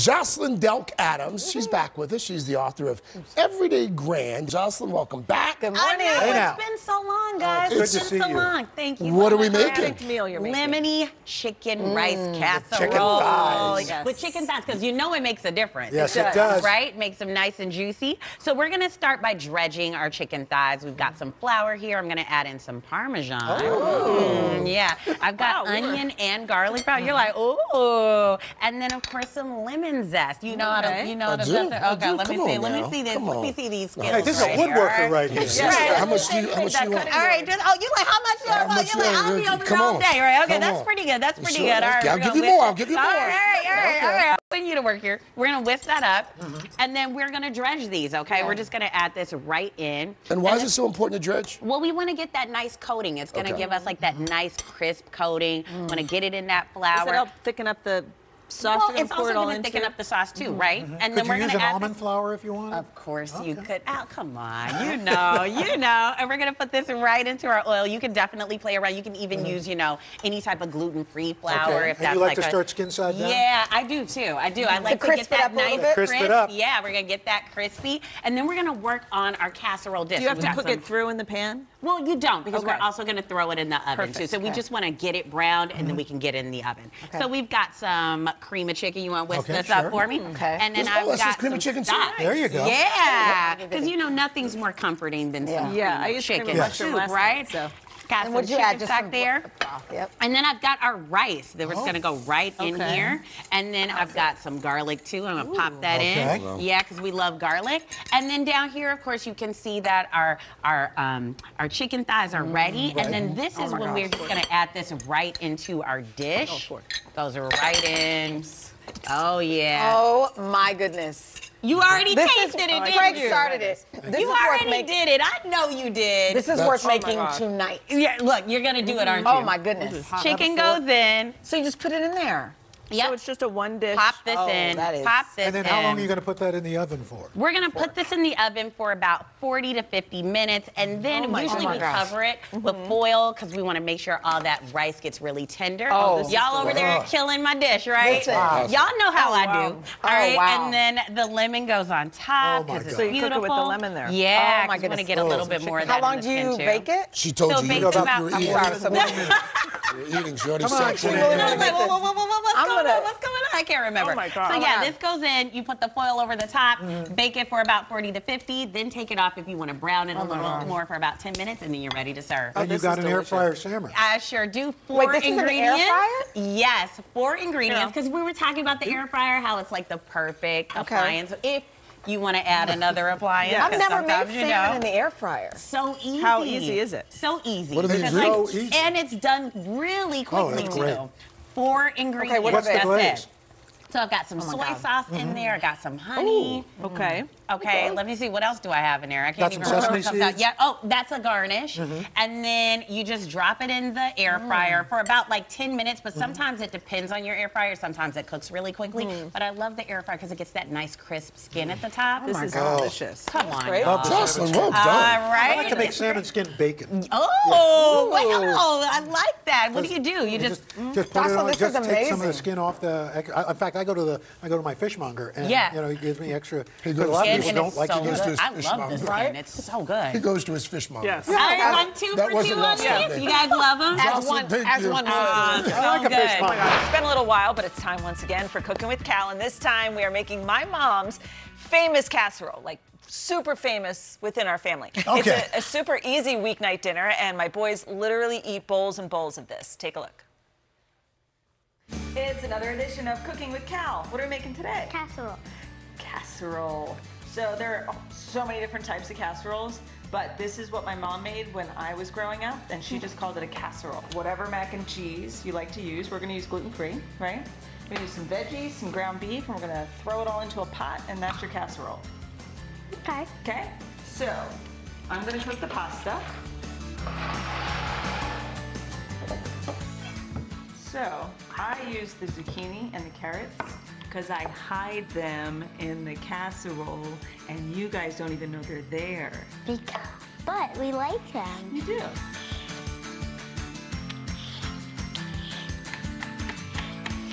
Well, you finished that one already? Yep. Are you a speed peeler? No. You're just really good at it? Yeah. Yeah. That's like record time. What should I do next? The zucchini or the onion? Zucchini. Uh, but what do I do while I- I'm just standing here? That's true. You are just standing here. Want me to give you something to do? Yeah. Let's see. I could do the zucchini. This knife is really very sharp.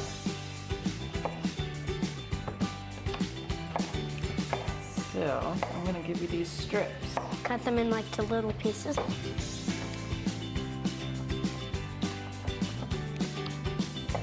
So hard to open and shut. Perfect. Okay. Okay, what's this?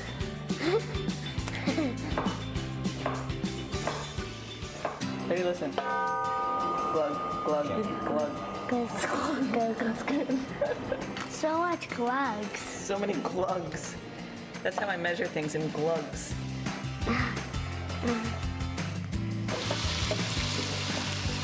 Okay, when that starts sizzling a little bit, we're gonna add the meat. Can I mix it? Sure. So while this continues to brown up, let's Yeah. finish up the mac and cheese.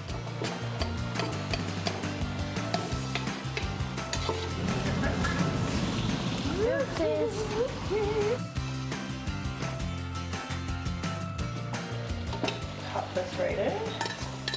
And that's it?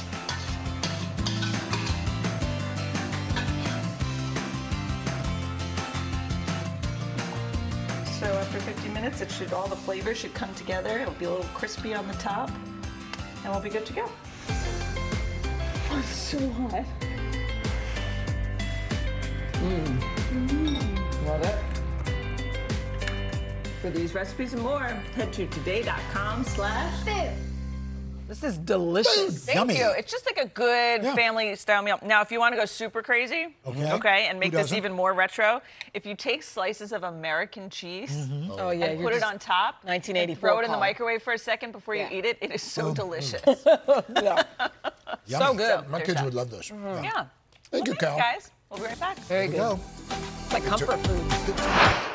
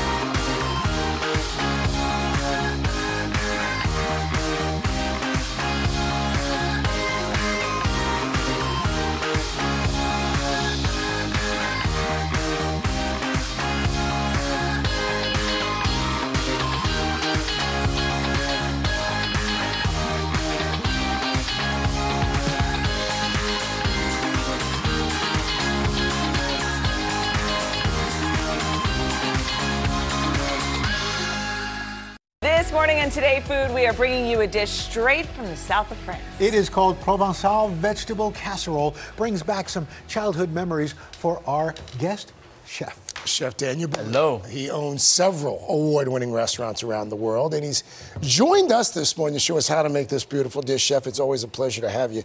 So let's let's start with this special place that it has in, in, in your heart. What's the story there?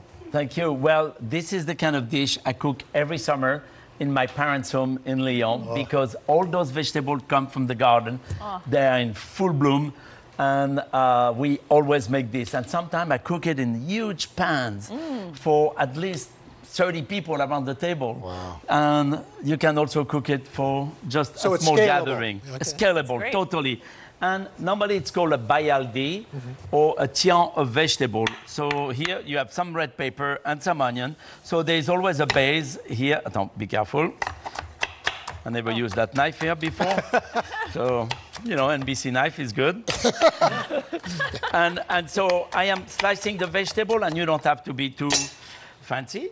I'm, I'm putting pepper, I'm putting onion that has been sliced. And this is the base with some garlic, some a little bit of, um, you can put uh, pepper flakes, you can put jalapeno. Okay. Uh, and you use the red pepper. I assume you can use little green bit of salt. or whatever peppers you have. Yes, absolutely. You put a little bit of rosemary And how long will you inside. cook this down, you Chef? put a little bit of thyme. Ooh, the paper is hot. so uh, you let it sweat until it's tender and not color a little bit.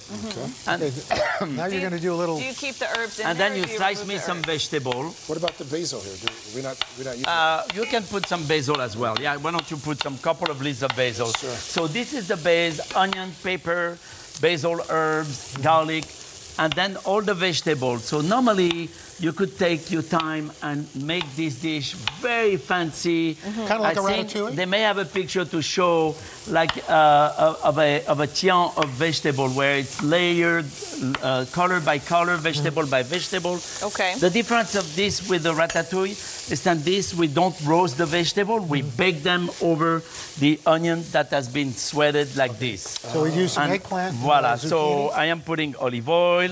I have eggplant. I have yellow squash. I have tomato. I have zucchini. Kind of whatever you have in your Salt, garden will work. pepper, of course. This. And then we can put a little bit more basil leaf inside. Mm-hmm. And actually, I just toss it like this. Okay. That's the quick version. If you have time and you want to play with the family and all that, then you can You just make dump it. that right on top. voila. You put it all on top like this. And then you bake it in the oven at right in oven. 350, 375 it. until it really baked down and it evaporates. And voila, That's all. This is the casserole of Provençal vegetable. And this is the perfect side Oh, dish my. to use Yeah. up all those vegetables. Absolutely. And this is totally vegetarian. Mm-hmm.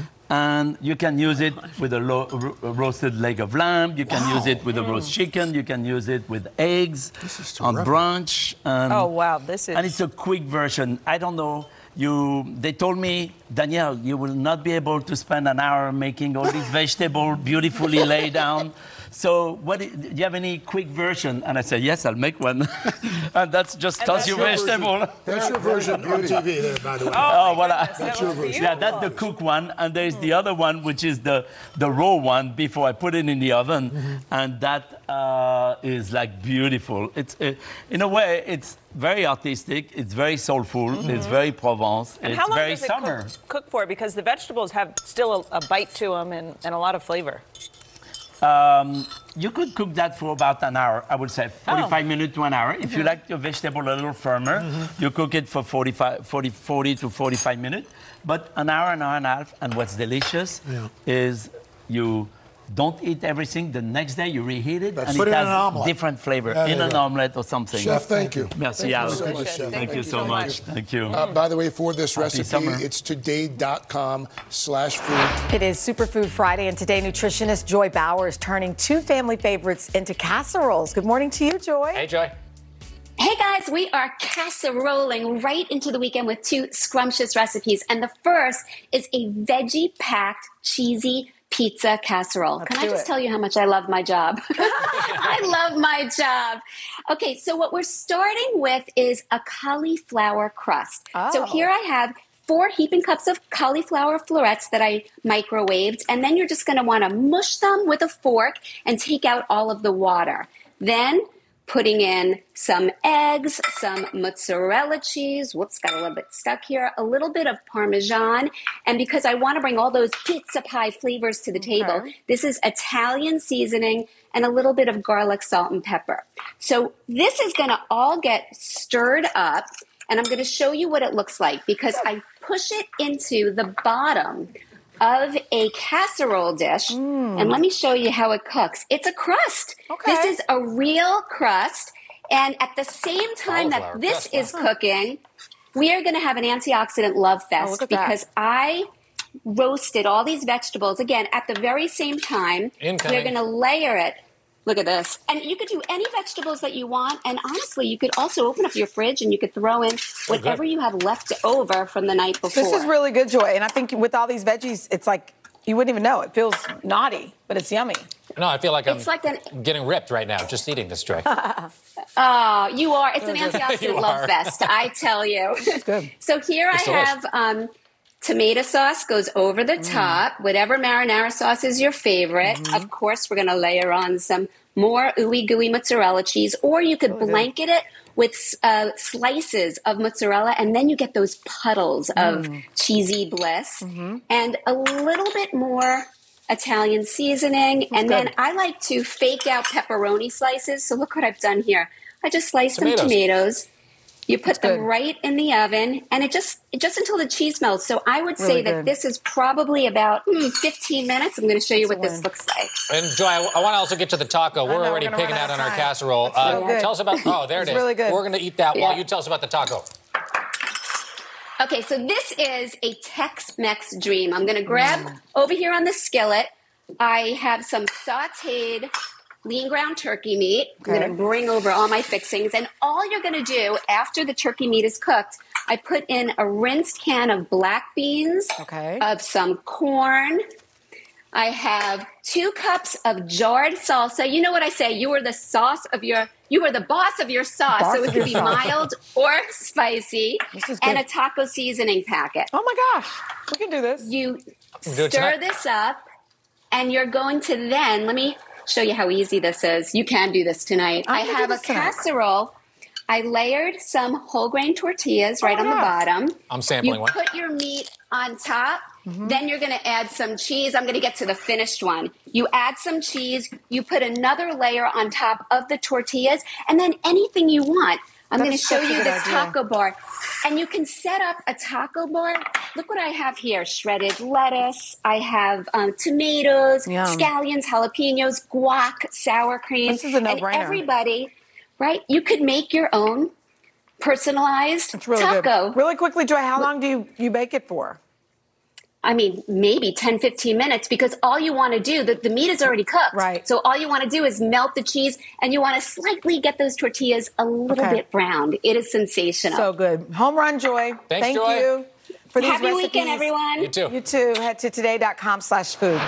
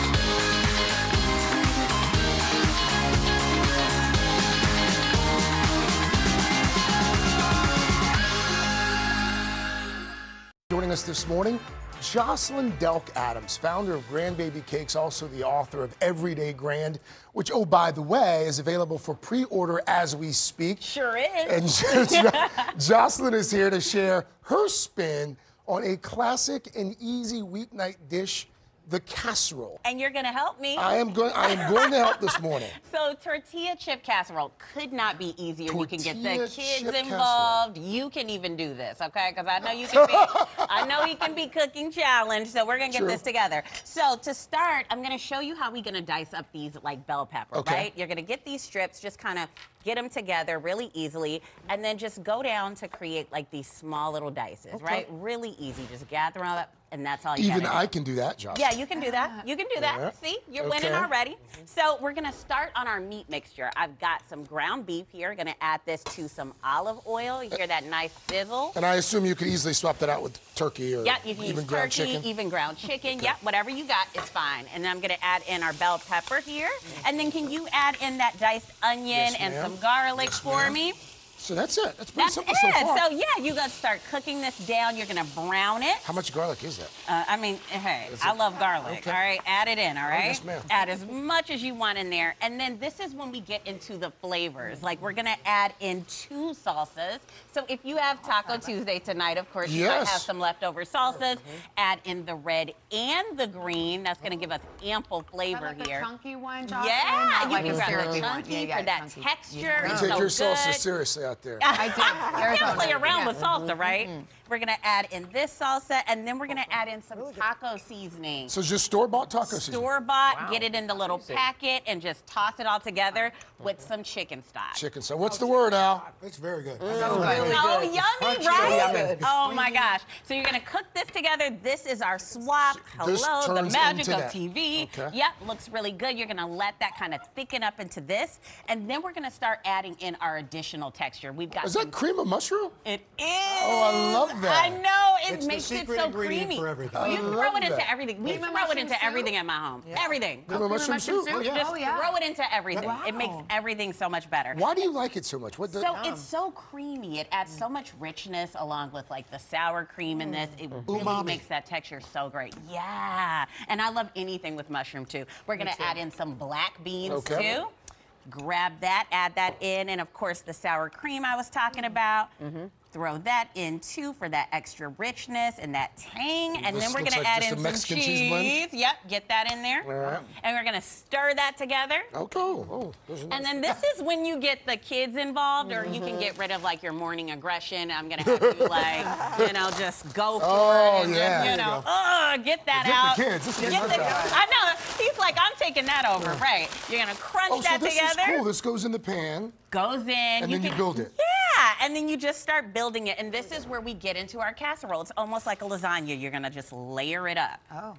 Oh, So bottom that's- layer is Doritos or whatever Yeah. your corn chip is? Yeah. Okay. mhm. I You bet can could use the cheesy ones. you can- Fritos. Fritos, like whatever your faves Right, are, yeah. the flaming hot, you know, get Mm, some I like spice that. in there, like whatever you love, like you can really adapt this and make this into whatever you like. It's almost Yeah. like a layered dip. Yeah, it is. and like like you bake it off and you get all those textures, you get the crunch, Oh, it's you get so that yummy. creaminess. How long do you bake it? About 30 minutes. Okay. And then you're gonna add some cheese on top. Don't add the cheese at the beginning and put the foil over it because it'll, It'll stick, to, the, foil. Okay. Got it. Yeah. So do it, My take the would love foil this. off, and then just add the cheese and then let it get At all the end, bubbly. okay. Mhm. And then it comes It's out so I'm gonna taste it. Yeah, Tell oh us about this new cookbook. Ah! I'm like, oh my gosh, it's called Everyday Grand, Yeah. and it's all about just loving and enjoying every single moment of life. like, I wanted to just make a book that just made everyone happy, right? Finding so much joy and just beyond just holidays. Like, you got a good hair Yeah. day, celebrate. Celebrate. I've The book is Hey, terrific. Ooh, that's good. Thank Al endorsed it. I was so grateful to him. I mean, like, hey, you changed a tire, celebrate. That's good. Your four-year-old's gonna love this. Yeah, she loves it.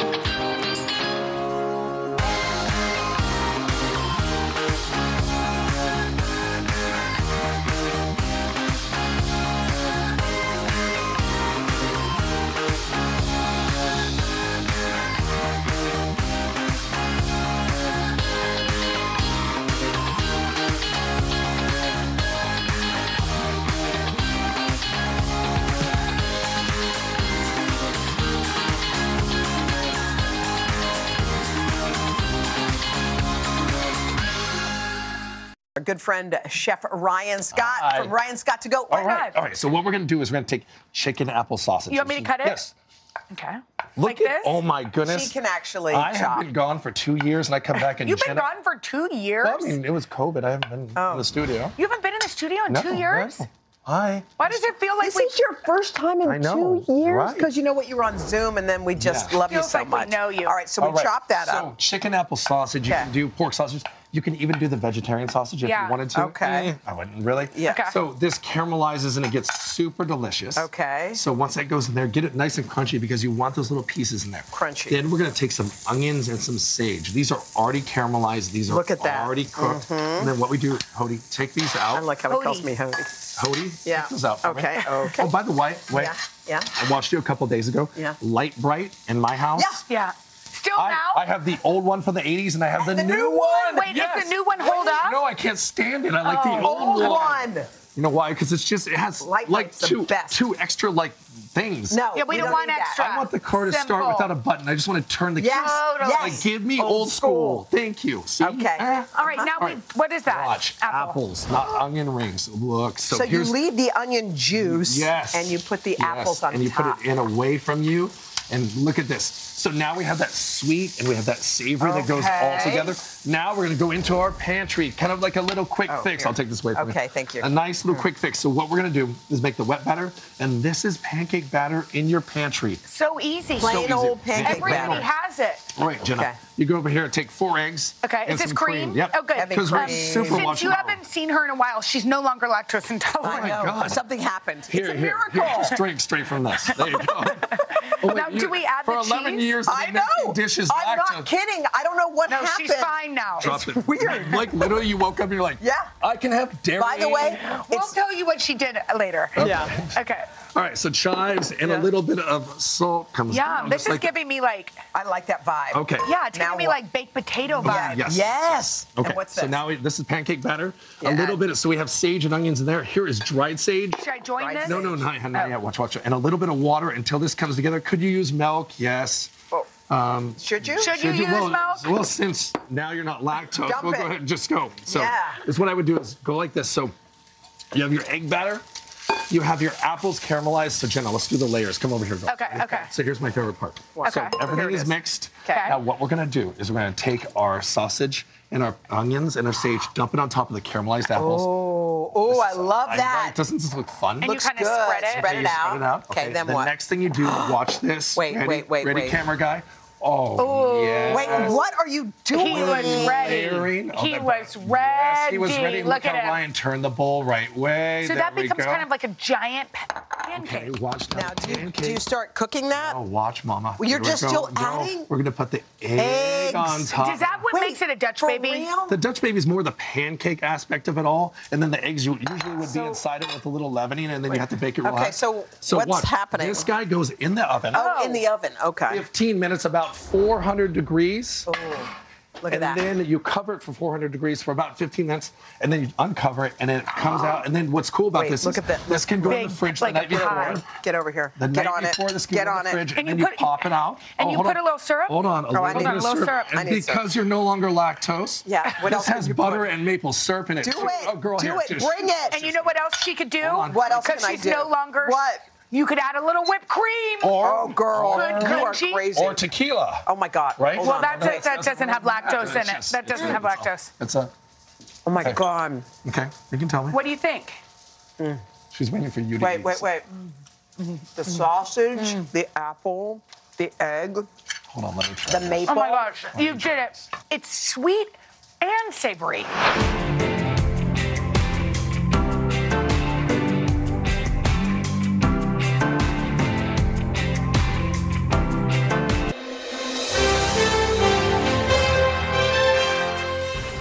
This morning, best-selling cookbook author and chef, our friend Padma Lakshmi. That's right. Her latest cookbook is out right now, and it's called Tomatoes for Neela. And this morning, she's got some great ideas to share for healthy winter dishes. Padma, first of all, it's great to see you. And the ingredient we're starting with that we're focusing on is kale. It's like one of those superfoods. Yes, that's right. It is kale. I love kale. I try to throw it in every dish I have because it's a great, hearty but healthy winter uh, green. You know, what I love about kale is that it's great raw, it's great wilted with dressing the next day. It's also wonderful cooked. It has a ton of vitamins. Hoda has vitamin A, it has vitamin C, folate, it has vitamin B, vitamin K, has a ton of antioxidants. It also has omega uh, three fatty um, acids, calcium, potassium, you name it. Okay, and wow. so ways you can use this hardy, hardy winter green. So I have two kinds of kale here. This is curly kale, which you guys probably are familiar with. There's lots of uh, types of kale. And then I have this, which is called dragon kale. Dragon kale. Kale. Uh, in Italian, it's called lacinato kale, and this is the kale that I like the best. You just want to take the center stem and strip that off, and then just chop it. What I like to do is buy the kale whole, take, wash it, dry it on kitchen towels, take that center stem off, and chop it up. and then put it in a bag and leave it in my crisper so it's always ready Oh. for me to throw into um, all my soups and salads. You know, sometimes those lettuces are great. If you don't finish your salad, you have to throw out the salad. Whereas if you have a salad made with kale, Mm. instead of those lettuces, which are mostly water and are still great but don't have the same nutrients, you can have that salad for two or three days. Hey, Padma, some people, I heard some people massage the kale. Do you, do you do that? Uh, I don't massage the kale. I just chop it fine. You ain't fancy. All right, so, So- what, what are we making? what I'm doing. We're gonna bounce around with some recipes just because I'm cooking here. So I have sauteed some just plain yellow onion Mhm. with a little cumin seeds and some oil and two red chilies. You see that? Uh-huh. Those are sauteing, and to that I'm gonna add some minced ginger Mm. and some minced garlic, and that is going into some lentils, also called dal, which we'll make in a minute. But I just want to get that going um, so it browns and cooks nicely. To that, I'm adding a little bit of ground turmeric. You see that? I feel like I'm doing one of those beauty Instagram. and so I'm going to saute this and let that go. And while that's going, I'm going to show you this salad. Look at this beautiful salad. Ooh, the mozzarella? Ready on today's show uh, for you guys a while back on another holiday season. It's just simple pomegranate, pearl mozzarella, some mint, some serrano. It's dressed so basically with just olive oil, balsamic, and lime juice. I'm going to take that salad and I'm going to add a bunch of chopped kale to it. And this salad then becomes more hearty Yeah. and it lasts much longer than any other salad would. And it's filling. Frankly, this would make a great lunch to take to the office or to school the next day. Um, my daughter Krishna takes this salad when she's got a field trip and she's the envy of all her teachers. What's the you that. dressing on that? Yeah, and the dressing will wilt the um, kale so that it'll be beautiful the next day. All the juices from the mozzarella and the pomegranate season that kale with the dressing, and look how beautiful that is. Mm. It's Don't you, also love, don't you love the kale because it, it even wilted or even chopped up like that, it holds up against the dressings and sauces. It, it stays robust and doesn't wilt away.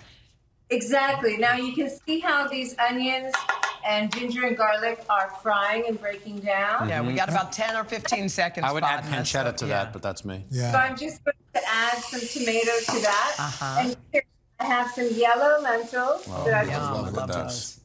salt. I'm adding kale to that. See, like, I Look want that. this. I want this for Me too. breakfast. A stew, which is basically, but you could do chicken or beef, and I'm adding kale to that. Love it. There you go. Thank you, Padma. Padma looks yummy. We got to run, but all of these dishes are going to be on our website. Looks real good. Today.com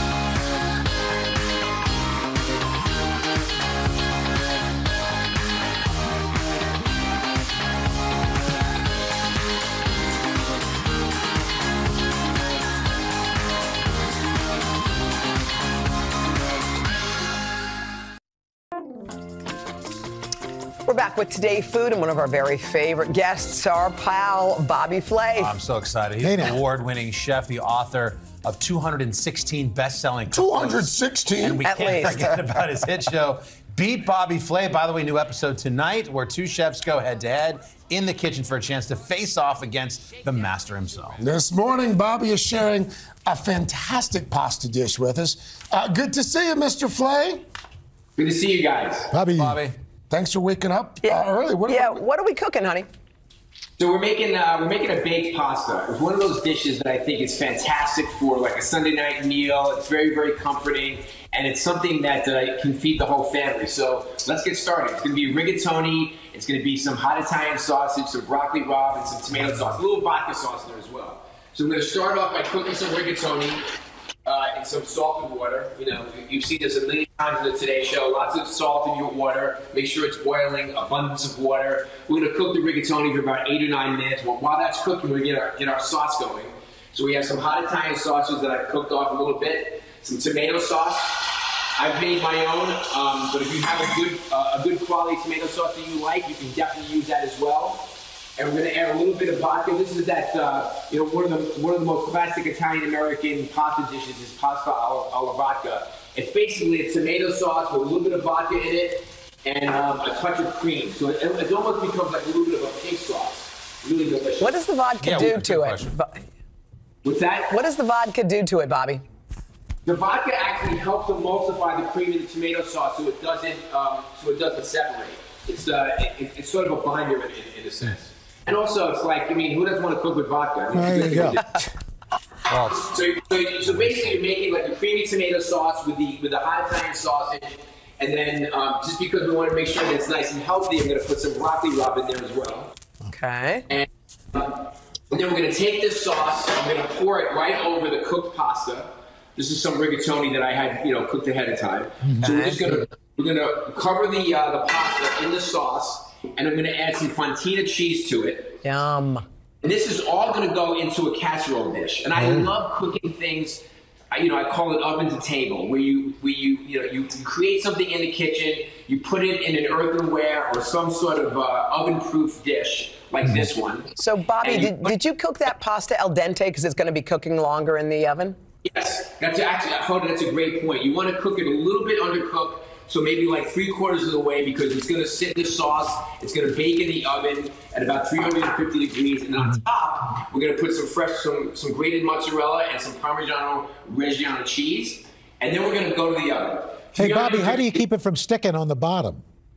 Oh, it's not going to stick because we, you know, there's lots of tomato sauce in there. It's going to be totally fine. Oh, and actually, if it um, if it gets a little crusty on top, that's actually a good thing. It's like you know, like when you have the lasagna and the and and the edges and the crispiness on the around the side. What do you always want that part of it?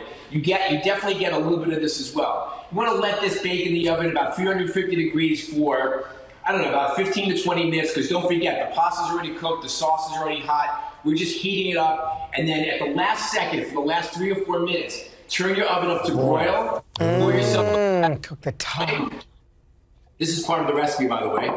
And then take out your um, take out your, your pasta, and you can see this is what it's going to look like. Let's see. Oh my gosh. Oh, Yeah. jeez. Oh, I hope That's what I'm send that- talking about. over here. I hope you're watching this at oh. home. Make Fresh this. herbs. Yeah. And there you go. Oh, it's delicious. Make, make it not this weekend. Good stuff. Yum. And then basically, you know, you can just take like take a little bit and just kind of, kind of put it in a bowl. Look at that, nice and chewy, Oh. cheesy. Yeah. Look at that. That's I it. mean, after looking at that, Bobby, it's amazing that anybody beats you on Beat Bobby Flay. Yeah. How's it going over there? Beat Bobby Flay is great. We've done uh, we've done close to 400 episodes, which is insane. But I have to tell you, I'm having more fun than ever. Um, it's so great to be able to welcome, you know, you know, chefs from all over the country to come in and, and take me down. It's actually way more fun when I lose because the chefs are so excited. It's great for their community when they win. You, you know, they usually have like all these. They have like viewing parties in their in their local community. It's great. Beat Bobby Flay has been so much fun for me for the last I don't know. Does your, years. does your girlfriend like watching it? You guys, Carson asked me if my girlfriend was awake. Oh. The only person awake right now in LA is me cooking baked pasta for you. It's 5:50 in the morning. How yeah, well, if you would just Yeah. pull that sausage out of that dish, then she'd have a dish that she could eat if you were a little more thoughtful. Oh, actually, Carson, you know what? You, you've actually done your research because Christina, Christina does not eat meat. I know that. So if you take the sausage out of here, she's all good. There you go. We just put a, well, we just put our up a picture of her there as well. well, he, last time Bobby was on, he was very secretive about this whole Yeah, relationship. then he spilled his guts to People Magazine. Now it's fair game. Oh, so she's yeah. lovely, Yeah. lovely, Yes. lovely lady. Hey, Bobby, real quick, we, we loved your restaurants in New York Yeah. City. So amazing over the years. Anything new on the horizon? Anything we can look forward to? In New York City, um, well, we're, we're sort of in the wait and see kind of thing right now for New York because you know I've, I've always had restaurants in New York my entire adult life, and uh, you know we're just going to see what happens. You know, I just opened Amalfi in Las Vegas about five or six months ago. That's going really well. And uh, listen, you know, New York has my heart, so at some point we'll be back there. All right, we All look right, forward to Bob. Thanks, Bobby. Thank you, Bobby.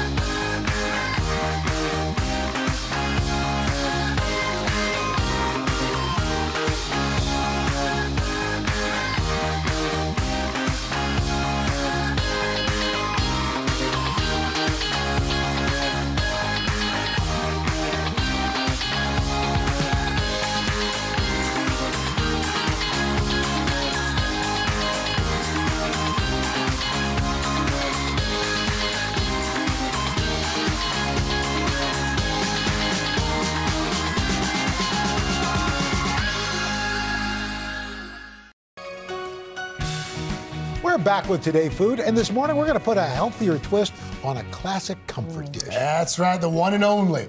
Giada De Laurentiis joining us this morning ahead of the premiere of her new Food Network show, Simply Giada. She's going to cook up some of her favorite light and flavorful, flavorful recipes on the show. She's going to do it for us this morning as well. Always good to see you, Giada. Good morning. Hey, kiddo. guys. Good morning.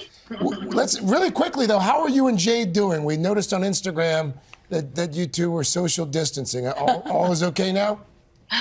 We were yes, yes. All is okay now. Jade had COVID, and I was trying to avoid COVID. Listen, but, you a know, lot, yeah, Good plan. A lot of people At this can relate point, to I feel like I should have just let it go. Yeah. But yes, Yeah. we're all set. We're all better now. Good. Well, we're glad we're doing well. We know, listen, nothing can stop you from, from cooking. Uh, and with so many of us at home, we need your help. What are your thoughts on, let's do tonight's dinner. What's on the menu? So chicken milanese is um, uh, for dinner tonight. So I think most people know what chicken milanese is, but basically chicken cutlets pounded thin, or you can buy chicken cutlets at the store, and I'm lightening them up. The whole idea of Simply Giada that airs this Sunday is that I'm basically all the recipes are inspired by my cookbook that came out mm, about a year ago. I Eat Better, Feel Better. So it's about eating better and not skimping on flavor. So we're taking the chicken, we seasoned it with salt and pepper. We're putting it in um, brown rice flour, which makes this dish gluten free hmm. and really lightens it up quite a bit. So you hmm. dredge in a little bit of brown rice flour, then a little bit of beaten egg, and you season all of the ingredients the hmm. flour, the egg, with a little bit of salt, and panko breadcrumbs, but we're going to use gluten free breadcrumbs. They give it a nice, crispy sort of crust on the chicken, but they also make it gluten free for everybody. So it's a little easier on your tummy. You So know? you're kinda double so it's dredging a great way to eat. I'm dredging it, yes. And a little bit of the breadcrumb mixture. And then what we do is we come over here to the pan, and I've already got one now sort of cooking away. I put a little bit of olive oil in the pan, and you can use avocado oil, safflower oil. Um, the olive oil just gives it a nice golden crust, as you can see. And we just cook this in here for about a couple of minutes. Yum. We get this nice golden crust. And then I love to serve it with a little bit of arugula on top and um, just some fresh lemon right over it. And that's basically dinner. And it Yum. makes it really satisfying without skipping on flavor, but really good and clean. And I have to tell you, it's pretty simple. You know, sometimes we get these recipes where, you know, I want to do it, but there's a lot involved. This is something that everybody can do. Yeah, and you know what?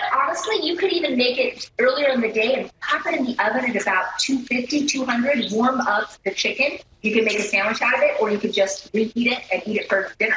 I was So going to say for can make in advance. leftovers, with leftovers, Giada, that thing looks like it would be a fantastic on, Mhm. a, on a hoagie or something like that with a little tomato sauce. Yes, on a hoagie, for sure. That'll, that'll kind of lighten runs- it up. that runs wouldn't that. Wouldn't that Yeah. lighten it I up? mean, that doesn't quite lighten it up, Al, but okay. Runs counter to what she's trying to do here. Oh, right. Giada, really quick, how long on each side did you cook that? Um, I cook it about four minutes on each side, but it kind of depends on how thin your cutlet is. I pounded my chicken breast because I couldn't find any cutlets yesterday. But um, if they're really, really thin, it only takes like two, three minutes on each side. So it's very, very, very fast dinner that is really quite scrumptious. Because who doesn't like fried chicken? That's pretty much what it is, Yeah. but a lightened up version. Hey, Giada. Giada, what would you serve with that uh, out of the cookbook uh, that's a little lighter that you normally wouldn't uh, have lighter? You mean um, alongside it? Yeah. Yeah, like you could do a quinoa or a brown rice um, on the side of it. You could use, you know, like a tomato sauce. You could add tomato sauce to the brown rice or to the quinoa to add more flavor. that's good. Um, so it would almost be like a chicken parm, but not really, but Right. sort of on the same flavor profile. Um, so I like to do that with gluten-free pasta. Jade really likes it with gluten-free pasta. I mean, she really likes it with regular pasta, but when we're trying to lighten things up, we use gluten-free. Giada, thank you. Thank you so much as always. Happy New Hey, great Year. to see you Wish guys. Happy you were New here Year in the you guys. studio. Uh, wish that chicken were here in the studio as well. You can find the recipe on today.com slash food, by the way, and be sure to check out Giada's new show on Food Network, All Simply Giada.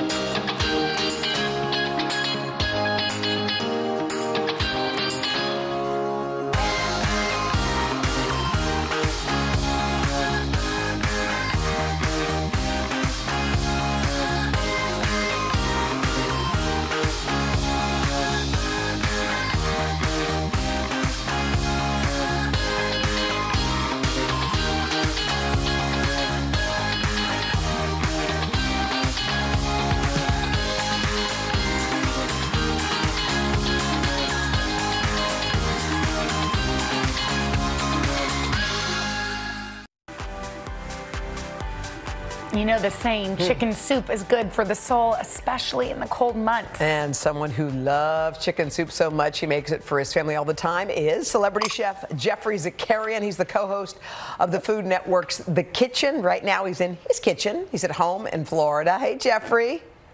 Hi, I'm sorry I'm in Florida. It's 50 here, but I, know it's really cold there. You know, that's know. just we didn't cruel. know you lived in Florida, and now we're kind of angry at And your jealous. tan. Look at your tan. No, I, I'm tan all the time. You know that. Anyways, everybody loves a good chicken soup, and what I'm doing here is I'm going to do a mashup, right? I'm doing a chicken noodle ramen mashup. Mm. And the reason why I like it is you talk about healthy eating, New Year, really delicious, but also yummy. I mean, food has to be yummy. I don't know about you guys, but if it's not yummy, I don't want it. But look at this. Look at all these gorgeous vegetables. Mm. That's right from the market. There's nothing fancy here. Carrots, parsnips, some onions, some leeks, some great herbs and ginger. And it's very simple. So let's start with our vegetables, okay? So we're going to make sure our vegetables are cut evenly. Why? Because they cook evenly. Really important. Oh, but a all the same is size. That makes sense. all the same size. a soup is so easy. Just follow these techniques, and you're going to be very, very happy. And, and the addition to making this soup is you get leftover stock that you can freeze. Okay, we're going to take our celery, our carrots. We're going to just cut them on the bias like this, very simply. And it's very easy once they're lined up together to make sure they're the They're all same the same. size. Really Yeah. easy. So we've taken our leek, and um, what you make sure you cut it open and you wash it because there is dirt in there, Mhm. and just follow the same methodology. Just a nice, probably this is quarter inch. I'm just guessing quarter inch, but everything's gonna be ready at the same time. So it shouldn't take that long to cook a proper soup. The stock takes the most time. It's like cooking the chicken takes about like an hour. Now parsnips, I love parsnips, guys, because they have a sweetness that is just Uh-huh. Yeah, remarkable. So. Hey, Geoffrey, crispy and Geoffrey, yummy. why why leeks instead of like another kind of onion? Here's a tip. Leeks have less sulfur than an onion, so your stock stays lighter. It doesn't darken. You know, sometimes it Oh, yeah. turns Oh. really brown, and I use leeks. It's a little secret of a chef. All right. So, are you ready for the big Ready. deal? Yes, let's cook the a chicken. chicken. Yes, sir. Very easy. We have our veggies. We're going to go over by by the. My beautiful wife is holding the camera. She's the camera person today. So mm-hmm. we have a pot, a very big pot, and we're going to put it on high. And we're using a four-pound chicken, just like this. Use a tong so you don't have to touch the chicken, and just put that right in there. All right. And then another secret, guys: chicken wings. Oh. Tons of gelatin and tons of meat. There's tons of meat on chicken wings. We're gonna put those in. Wait, and then okay, sorry. You had us until you said the word we gelatin. for a second. What does that mean? gelatin. Gelatin. Gelatin is that stuff, that umami you taste when you smell soup that your mom's Oh. cooking or your grandmother cooked. And the schmaltz is the chicken fat. So all that together is loaded in those chicken wings. And then chicken stock. Now, you just cover this. Notice no water, no salt, no pepper, nothing at all, just chicken stock. Hmm. You could use water, but I like to get it up just a bit, just jab it a bit. And I put a touch of white wine vinegar or Ooh. wine. You don't have to, just a little acid. Now, we're gonna let that chicken go for about an hour. Once it comes out, we're gonna put it on a rack, let it cool, and then we're gonna take all the delicious Yes, chicken off. peel it off. So, you take the bones out? Or you, yeah. I take the bones out, everything, and then we have our beautiful stock. And remember those veggies we cut perfectly? I know you know how to do that now. Yeah. All right. We're just gonna slide that in there, it. and magic. A couple of peas. You take frozen peas. Oh. I think this is gonna probably take 10 minutes. You have all the flavor there. The miso is really special. The miso is soybean paste. It gives a little saltiness. It's really, really delicious. Where's so the ramen? We, the ramen. Ah, where's the ramen? It's coming. All right. So remember, we have our soup. Our beautiful veg uh, vegetables are in there. And like, can you get in there, Margaret, and take a look at that? How gorgeous Pretty, that looks. Margaret. Oh. Yeah, good shot. Are Now- you ready? Okay, we need the ramen though, because we came for the ramen. Yes. You came for the ramen. So we're gonna take a big bowl. I like to serve this in giant bowls. I have our pre-cooked ramen. This is beautiful whole wheat ramen. I just oh, put you that can in the buy whole, bottom. where do you buy whole wheat ramen? Anywhere? Ah, there's tons of it, tons of it. You can use regular, but I like the whole wheat, right? Yeah, it's and better I'm for gonna, Now we're gonna have some fun. Now we're doing the mashup part, right? We're gonna pour this glorious, healthy, gorgeous soup on ramen. top. That yum. Oh, ramen. Takes me back to my college Yes. days. Yep. Right, and then some Sprinkle chicken. Now I choose to put the chicken on Oh, the just like wasn't- this. I don't put the chicken in the stock because I don't want it to get overcooked. And a lot of people store their chicken Neither in the we. stock. Yeah. And, Yeah. And what happens? It gets overcooked. And now the secret. Now we have fun. Now we have our scallions. It's going to be Uh-huh. like we're making a pho. Dress it up. We're going to put Yes. some some beautiful pea shoots, some scallions, some bamboo shoots. Have fun here. I'm using whatever I found at the uh, at the farmers market uh or at the grocery market. Some radishes. Radishes. Ooh. Oh, Ginger. Geoffrey, This is thank s- you. We Ginger, got the to roll. Geoffrey. It looks so yummy. It really does. You did great. Thank you, Geoffrey. Bon appetit. Thank you, Thank Margaret. you, Margaret. Tell your daughters hey. All right. All right, guys, for this recipe, Bye. head to today.com slash food.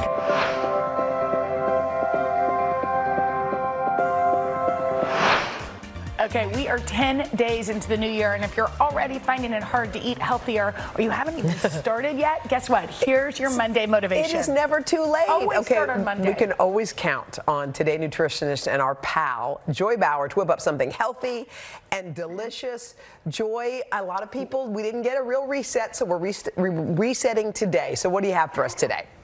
I am so crazy excited to show you how to make this meal. I think it's going to be on repeat in both of your homes, and it's super, kid friendly. Okay. So this is a turkey bolognese. It's Mm. obviously it's healthified. It's packed with protein, vitamins, minerals, antioxidants. But I'm telling you, the best part, it is a one pot wonder, and I think you're going to be amazed how easy this thing comes together. Okay, and you've So- decided to swap beef for turkey. Is that because it's a little you're leaner? That's what you're supposed to do? That's right. Yeah. So here, what this is a pound of lean ground turkey, and when you shop for it at the store, look for a turkey that is between 90 and 94 percent lean, because it's still going to be flavorful and juicy. If you get up to the 99 percent lean, it's too dry. So between hmm. 90 and 94 percent. After this was already cooked, what I've done is I threw in, you can see here all the vegetables. I have diced celery, red bell pepper, onion, and carrots. And I saute it with the meat. Ah. But because I want to save a little bit of time, because I'm going to nail this thing before we close the spot. Okay. I pre-sauteed all of the yummy vegetables, and now we basically have a nutrition party in this pot. Okay. We now take, this is a 28 ounce can of crushed tomatoes. Oh, wow. One cup of broth, whatever you have in the fridge. Mhm. And I'm going to take another easy way out. And instead of dealing with separate seasonings, I have here just five teaspoons of Italian seasoning. So this adds oregano in. and basil and thyme. Yeah. And then stir this whole thing up. I'm going to put it on the stove, let it cook for about 25 minutes covered. Can I ask- uncover it? Can I ask one question, Joy, just to be clear? Yeah. So the turkey was already cooked, and you, add, if you were just starting from scratch, you'd put in the raw turkey and all the veggies At together same at the same times and saute. No, I'm, I- I'm so glad you asked that. No, so first what I do is I, in stages, I cook the ground turkey first, By and it takes about six minutes, right? And I'm just sort of chopping it up. When the ground turkey is cooked and there's no more pink, then I throw in the veggies. Oh. We're building, and it's another six to eight minutes. Okay. And then you you throw in everything look at else, and look at this. That looks like a sloppy And- Joe. Mm. So, you know, Love it's it. interesting that you say that, Hoda, because I actually like to put it on toasted English muffins or in soft, like Portuguese buns. Oh my goodness. So now I'm going to take this pasta. Now, yes, what is you this can eat pasta? whole. Yeah. This is a whole grain pasta. And for people that are sensitive to cutting back on carbs, you can use zoodles, which are zucchini noodles, or you can also do spaghetti squash. Um, Mhm. Wait, I have over here some parm because you guys know everything's better with a little Oh, bit of yes. parm. Oh, oh yeah. Look at that. Mhm. By Is the way, this amazing? I've seen some chickpea, like some other kind of flour pasta. Are those better for you?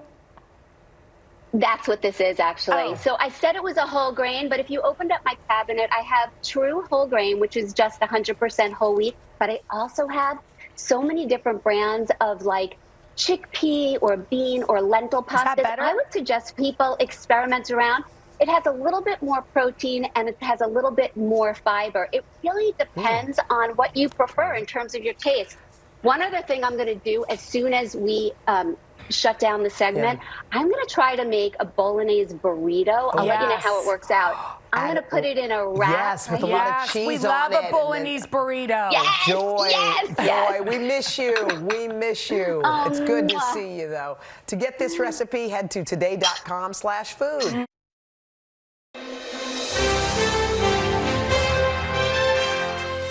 It is one of the longest running food shows on the Food Network. Folks love watching the up and coming chefs beat Bobby Flay, or at least they tried to.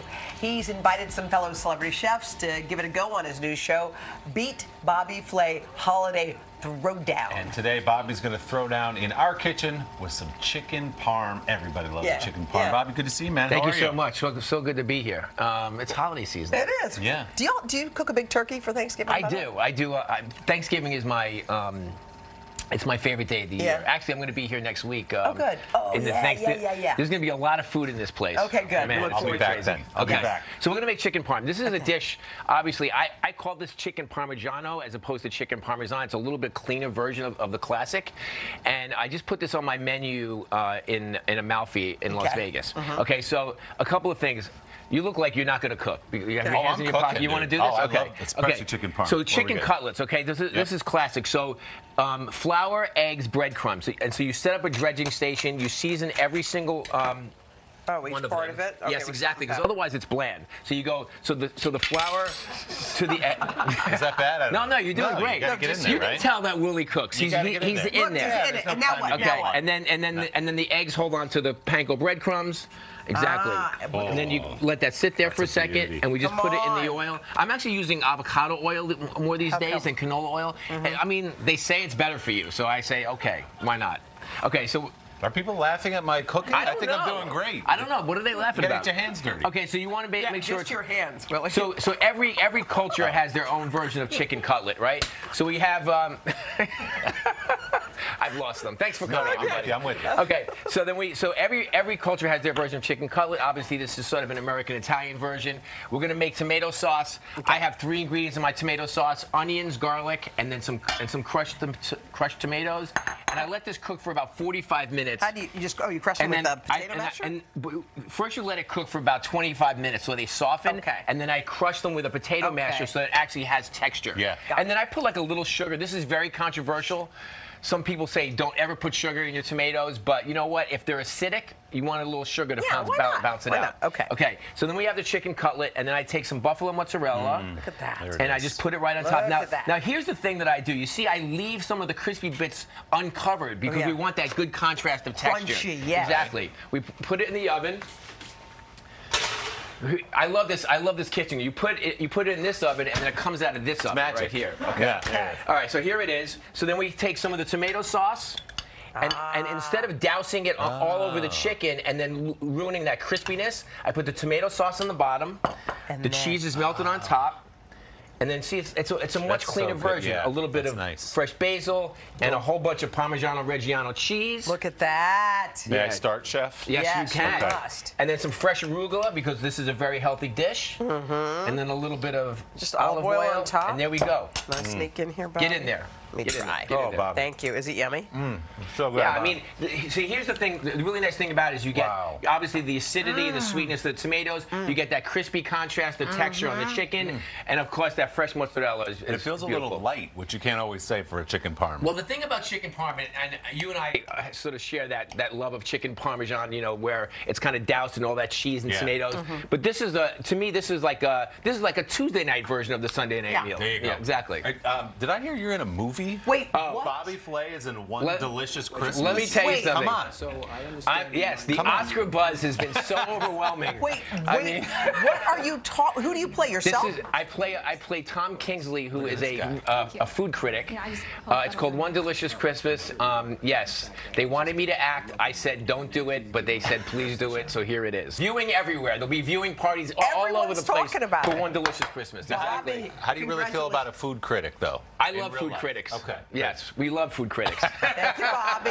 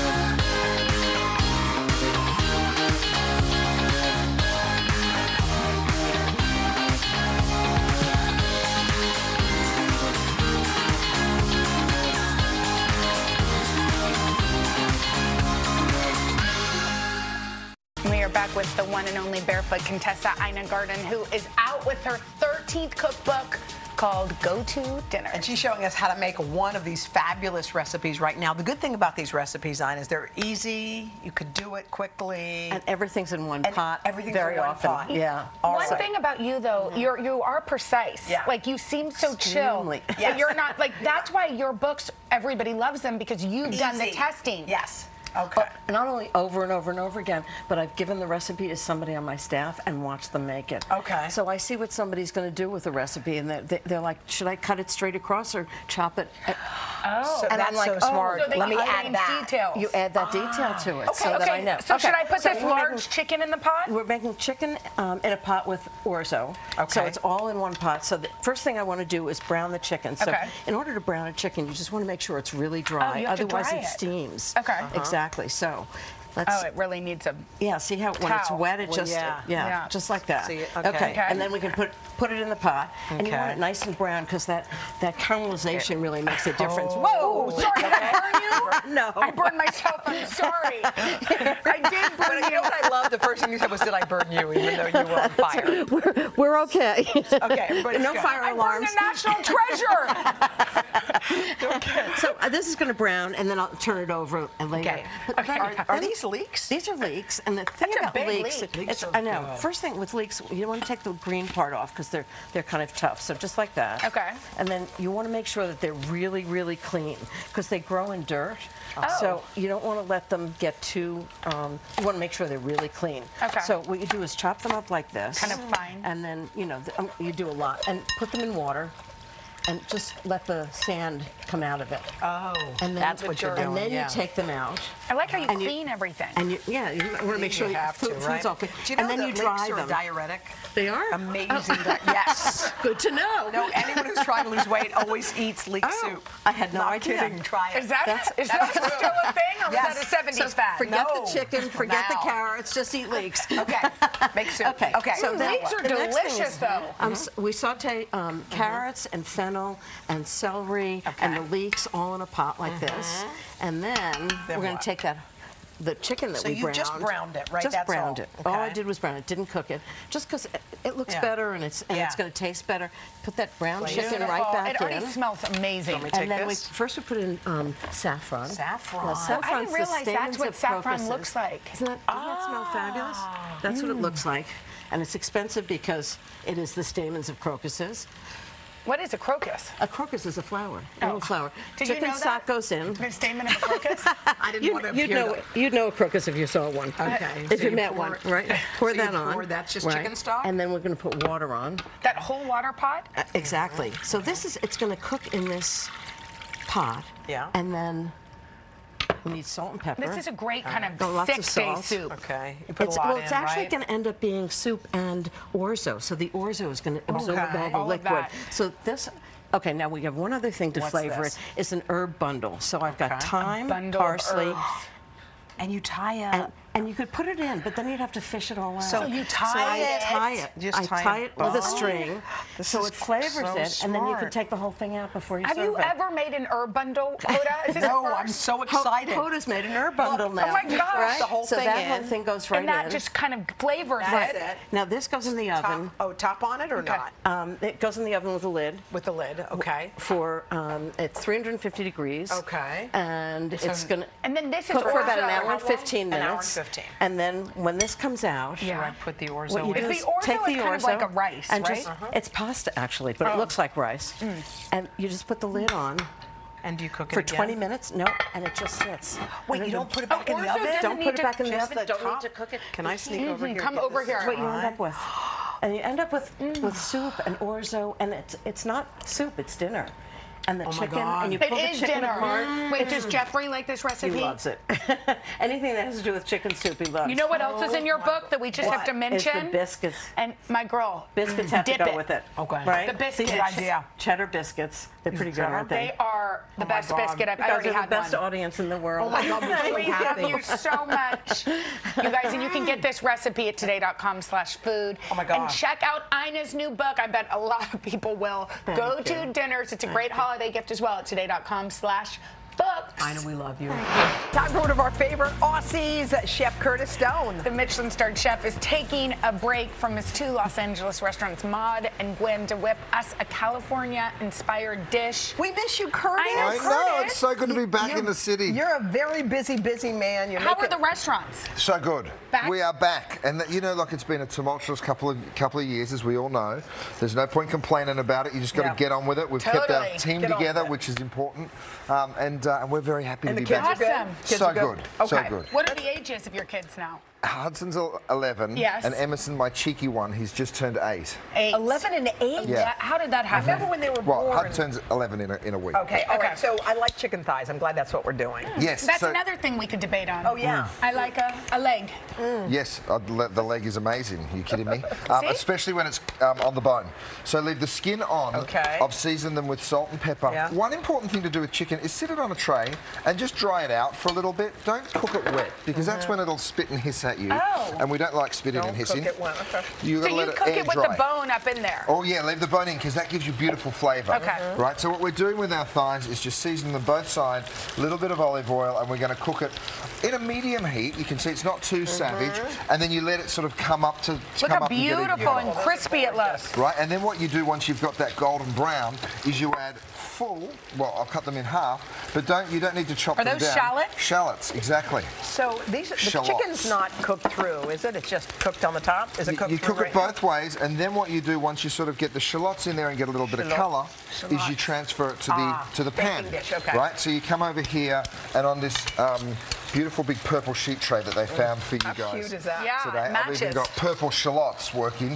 Do we, are they shallots or are they shallots? well, it depends what part of the world you're Oh, from. okay. So in Australia, they're shallots. We call them shallots, but I'll Okay. say and shallots. do you call for these a grapes? They're grapes. so throw the grapes in too. And what you do, you, you cook them on the vine. So this is a very simple Oh, This recipe. is gorgeous. And throw the herbs over the top. I like this. I'll just stand back here, Now, can Jen, I and ask let you you a do all the question? work. Do you like apple picking? I love it. Oh, Yeah, why? Thank you. Now, her, her, just her argument is dead. She does not like it. She's against it.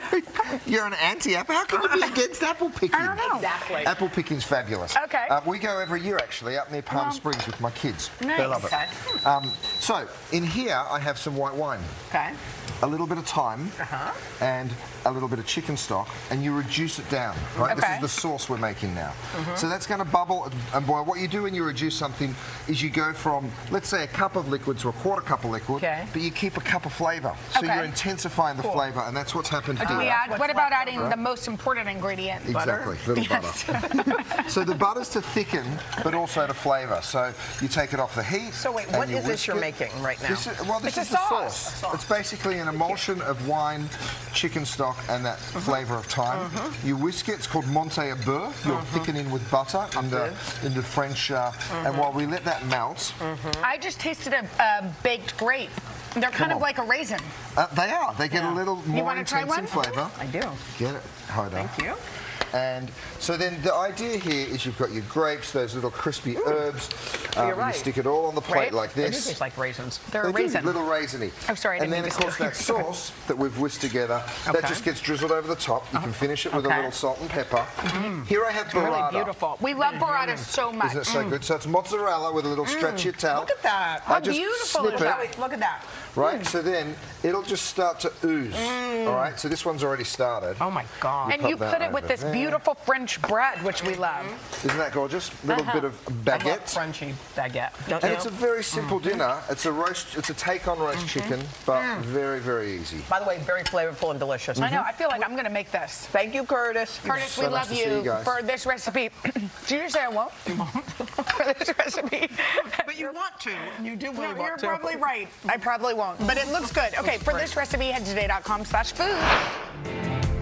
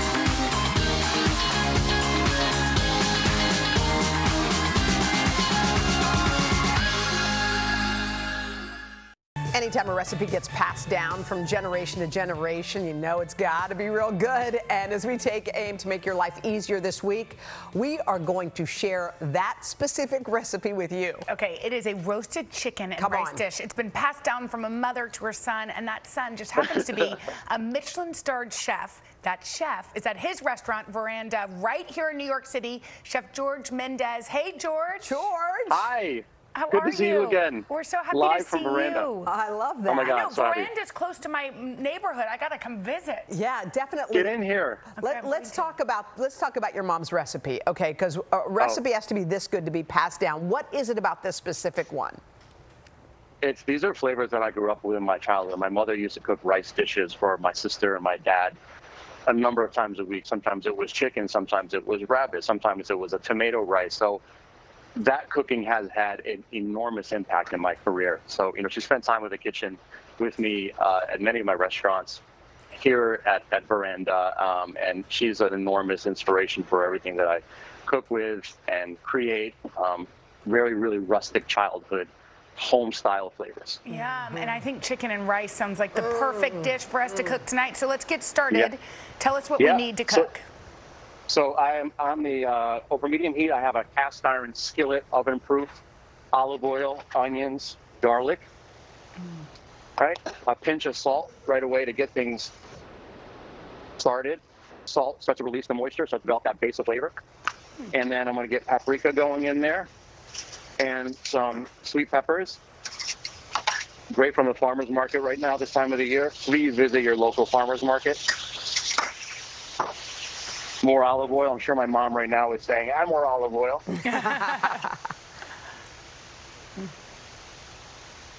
there we go. You can also add like a pinch of chili flakes as well. No rules here. Mm-hmm. Hey George, are you a, are get you that a, nice are you a- Are you you a can smell dark meat at home. guy, or are you a dark meat guy, or a light meat guy? I like both. I like the combination of both. When it comes to Thanksgiving, though, dark meat for sure. Okay. How about you guys? Oh, I like. Well, we we differ on this. I like oh, Hoda likes dark. I like light. Okay, so once you do all that, do we add the chicken? What's the next step? Next step is we're going to add the rice Oh. here. So that's and it's a uncooked. bomba or a calasparra rice. It's a very short grain rice. Really important because it absorbs a lot of the flavors of the chicken broth. Yum. Is that And the uncooked flavors. rice, or is that cooked rice you dumped This in? this is uncooked. This is uncooked. And it doesn't need that long to cook. It's going to need about 20 minutes in the oven, but of course I have one ready for you to show you. Okay. Okay. And then at this point, I'm going to add the chicken meat. So the chicken meat I have right here that's previously done. This was confit in olive oil, really slowly for about 40 minutes. It's skinless, bone-in uh, thigh, uh, and then we take the meat off of the bone and pull it, just like if you're doing pulled pork, you're doing pulled chicken, and that's in here right now. If we buy, you know, if, if we maybe don't have as much time, do you just buy a rotisserie chicken and, and Cut it up. shed it, shred it? Only, only if you don't have enough time, but Okay. with some He prefers us to organization and a little bit of patience, you can you can do this at home. I Okay. promise you. Okay. okay. Promise you. Promise right. you. What's the next step? Chorizo Mm-hmm. goes in there. All right. And then I'm going to add, so it's about one cup of rice, and I'm adding about one and a half cups of broth. I'm using a roasted chicken broth. You can also use a vegetable stock. If you don't have that, you can use water. Okay. Just make sure it's nicely seasoned, Yeah. and that, goes in carefully like so. Okay. So this is this is a one pot dish. It's almost a like a paella. Yeah. That's right. The only difference is this, this goes in the oven. Paellas cook on the stove top for the most part, and traditionally over a live fire. Okay. So do we But- pop that baby in the oven now? That's right. So at this point, I got a 400 degree oven, Mhm. and I'm going to go right off behind me. Good job Okay, staying centered. Nice. And there you go. How long does that cook? That's going to cook about eight, plus or 20 minutes. I'm sorry. 20 Um, minutes. there are we are have options there at the restaurant where we pre-cook it just for speed. Um, at home, you can do the same thing. You can have par-cooked rice um, so that you can speed up the process as long as you have the chicken. The beauty behind this is it's a chicken confit. It's it's uh, traditionally um, done with duck as well, Uh-huh. and you can hold this in your fridge up to a week. So this whole step with your your chicken thigh, it's a do ahead, right? You can you can preserve it in your fridge. George, would and you then sh- you, if you really want to, Sorry, I didn't Go mean ahead. to interrupt you, but will you show us that final That's okay. delicious rice Yeah. dish? How do you serve it up? What else do you, you add anything else to it? Yeah, so I have sliced chicken breast that's also Yeah. cooked very similar to the chicken thigh. That's poached in olive oil with thyme and bay leaf. Uh-huh. And then once the oven comes, the uh, oven is the time is done. The rice comes out of the oven. I slice the chicken breast over the top. All right. And here you go. That looks, looks delicious. gorgeous. George, thank you Thank you, so much for this recipe. Head You to bet. today.com slash food.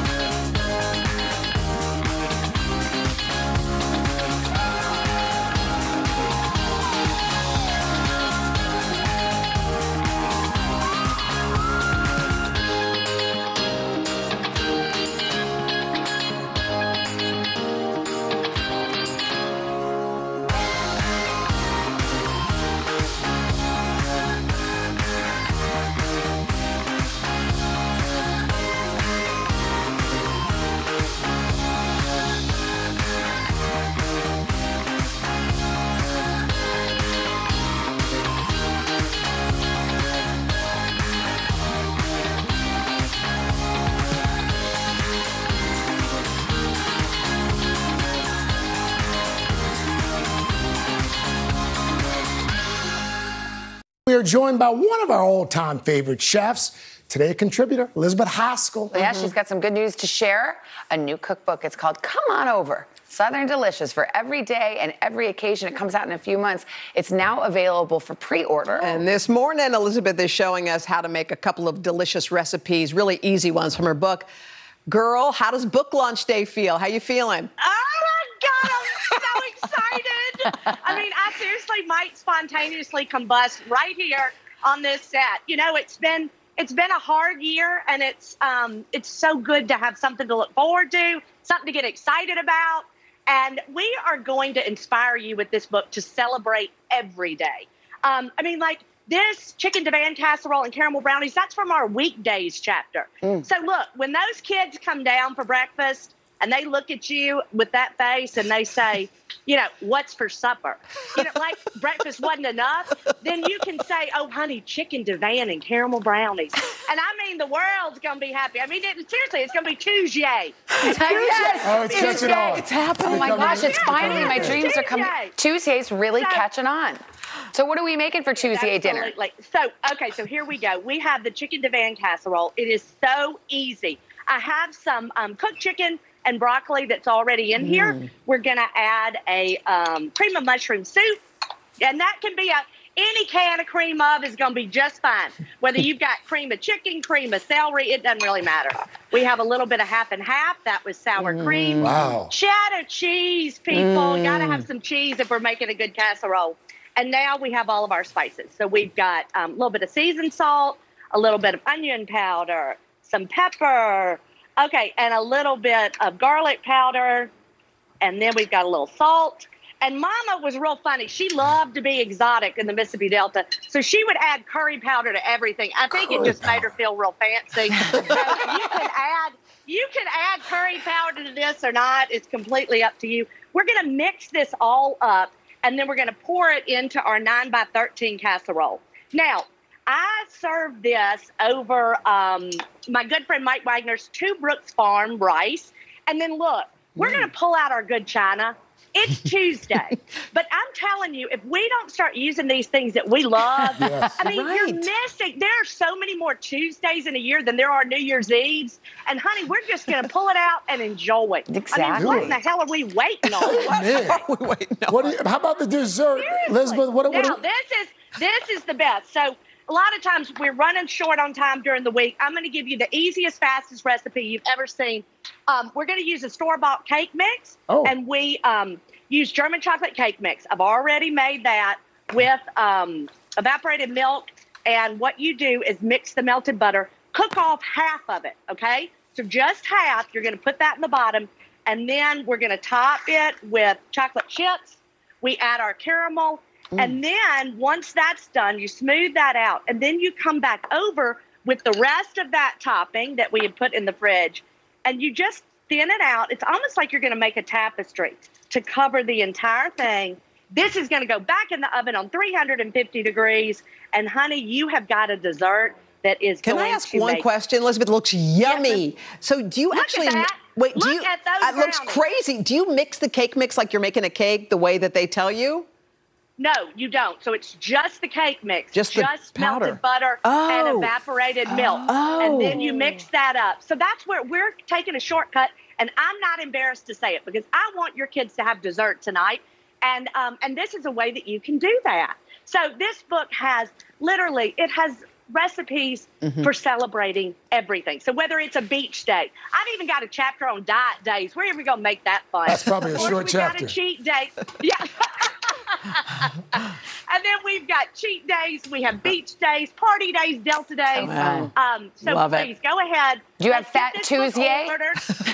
yes, Fat Tuesday. Absolutely. That's going to be in the next book. All right. But you know, with um, I've got three kids. Uh-huh. Two of them are in college, and I've got one going on the way. And they really like expensive shoes, and we got to sell this book. so, um, so look, it comes Elizabeth. out. It comes out May fourth. So look, Mama Melvin, I know she wants a copy, and this will be right before Mama's Day. So Craig, get on that. Get on that phone I- as soon as this yes, segment's over, and let's get that. He's on ordered. it. All right, you can pre-order that copy of Come On Over. Just go to today.com slash shop. And to get your hands on those recipes, those two at least, check out today.com slash food. Elizabeth, we love you. Good luck with the book. Well, honey, I, I cannot thank you all enough. Cheers. Cheers. Come on over.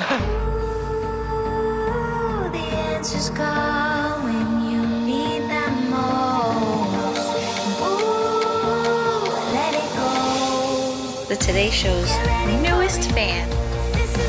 Little Al Roker. What am I doing here? This is your moment.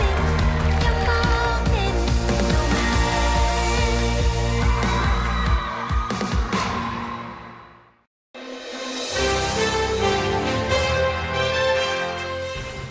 This morning in Today Food, we got this pasta dish. It is simple yet so sophisticated. Your your family is going to be amazed. Alfred Portale is a James Beard award-winning chef, restaurateur, and cookbook author. Also the culinary director of Sartiano's, a modern Italian restaurant right here in New York City, and the executive chef of Portale. Chef, good to see you. Nice to see you, Good morning. Good morning. I love Yes. you. This is about as simple as it gets, but I, I've been so looking forward to tasting this. Yeah, it's a very, very simple dish, but very versatile. Okay.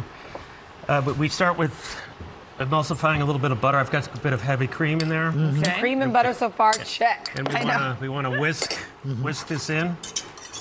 Is there a temperature that's too high for You know, cream? the, the, it should be medium high heat. Okay. Um, you want to just keep keep it moving.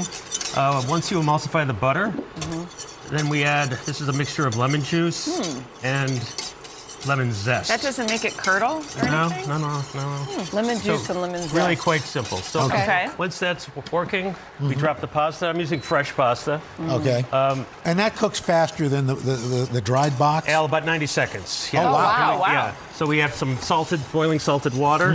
We cook that. Okay. Um, I have some over here that's looks about done. Okay. So this is, it's a very simple dish. I think a simple but rather But yummy. rel- Yeah. elegant, simple, Yeah. and easy and versatile. Yeah. Um, at Sartiano's, we, we serve this dish with Osetra caviar. Oh. So- okay, so Shake it up a So, little bit. could, so you could do like seafood with that, like shrimp or something Uh, like yeah, that? Yeah, I like to do it with smoked fish It's great. Smoked Uh-huh. salmon, Did you, like, shrimp, sprinkle bacon on lobster, top? or, or even vegetables. Or like Dylan said, some bacon? Some bacon in there? Bacon. All right. Then we're, we're talking Guanciale, My if we language, want to my be language. fancy. So now you're just adding a little uh, Parmesan, Parmesan? cheese, chives, I'm trying it. And if it gets too thick, do we, would you add a little pasta water to that, or? Exactly, exactly. Oh my gosh. Look at that. That's it. Oh, Amazing. and You know that's what? it. That's That's literally it. a five-minute dinner. You guys have on to try this. That fresh pasta, first Like- of all, priceless. Wait, I missed this. you, what did we put in there? Uh, chives. Oh, chives. Oh my gosh. All right. Are you And kidding there we me? have it. All right, now I have to try. It. And it. it's so simple. Wow. Oh, Cinnamon, really flavor. bright oh flavors. my gosh. Mm. Amazing. Oh, Yummy. Is there a secret? Why is this so yummy? that is so good. That is Thank delicious. so delicious. Chef Alfred And the Portale. fastest thank you. dinner I think Thank we've you. I ever know. I want people to try it so they can see why we're like. You go to today.com oh slash food. Get oh this my recipe. Oh my Make gosh. this tonight. Yeah. Third hour of today. Just We'll be right back. And you're good to go. Yum. People will kiss you full on the lips for this. Okay. Mm. Mm. Look who's in our kitchen this morning home chef and cookbook author, Patel. Pat- Pala. Hold on. Hold on. Palak Patel. Palak Patel. You got it. Yeah, Palak is whipping Thank up a delicious recipe from her debut cookbook, The Chutney Life 100 Easy to Make Indian Inspired Recipes. Palak, welcome. Thank you. We're Thank you so for having happy me. that you're I'm here. so excited and to be we're here. Very excited We to feel try like this, this out. is a great weeknight kit. Yes. Such a great weeknight meal, and it's really fall forward. You know, Okay. spaghetti squash is super great for fall, so I'm excited. Okay. Okay, awesome. Talk so to tell us. us what we should do. All right, so we've got our spaghetti squash here. I've Mm-hmm. already sliced this in half, and we're just gonna drizzle this with a little bit of oil Okay. and salt and pepper, and then this gets So roasted. you just scraped it out? No, Yeah. no big deal. That was it. all the seeds and all the Mhm. kind Okay. of middle flesh. So super quick, and then Salt and olive oil, okay. salt really well. 'cause Mhm. That's going to add a lot of that flavor in there. Mm-hmm. And then we've got our pepper, and you can be as generous as you like with this. Cool. And then we're going to roast this cut side down. That's going to help Ah. the inside of this flesh Cut side cook. down. Plus, Okay. you're going to get these golden caramel edges, and that's where you get a lot of flavor. How long do you So roast that that for? goes in the oven, 375 for about 45 to 50 minutes Okay. until it's really nice and golden. Okay. Now. While that cooks, we're gonna make our sauce. So I've got some oil here, and this Mm-hmm. is where we add a lot of great flavor. Awesome. Um, so we've got cumin seeds. These are gonna start to kind of sizzle and crackle Mm-hmm. in the hot oil. And then adding your spices to the oil is just a great way to add that What depth and that? flavor. These are mustard seeds. Oh, It's mustard very, seeds. it's very it's just, they're, they're crunchy. They have this kind of Mm-hmm. little bit of zing to them. And so we're gonna cook these, Okay. and they're gonna get really nice and mm-hmm. toasty. How long? You cook them for about 10 minutes? I'd say about 10 minutes, and you want to kind of hear them crackle and pop, and that's when you know, all right, it's gonna, Okay. it's We're ready, ready. to go. Mm-hmm. And then we've got our aromatics. So we've got mm. garlic, ginger, green chilies. Yum. If you mm-hmm. don't like spice, you could always leave these out. And we've got some diced red onion. So all of this, we Okay. can. Goes in there. Yeah, you can do that, and um, I'll do um, these. I will. Okay. Yeah. So I'll if, you're with this. making it for kids, you leave out the green chilies. You probably? can leave out the green chilies, but the garlic and ginger is not going to add kick. It's just going to add flavor. Yeah. So I make this for my kids all the time. Right. I'll add a little extra butter and cheese for my Yeah. children. So, and then you can add whatever veggies you like as well. So this is really versatile. Okay. If you want to add meat, you could add Mm, meat smell to that, it. we smell add that these already. spices? Smell Yes, already. and the, so I've got tandoori masala, garam masala, and cumin. So it's just really warm and Yummy. crunchy Mm-hmm. And some tomato paste? Tomato paste. This is going to add a beautiful color along with just like a really great buttery tomato Mm-hmm. sauce. We're going to cook this down until it's really nice and looks like what golden. we have Which down is over here. So then we get here, and the flavors are going to develop. Those spices have a Mm-hmm. chance to kind of blend together. To this, we're going to add some butter, Yum. um, because that's just going to add that richness Mm-hmm. and creaminess to this sauce.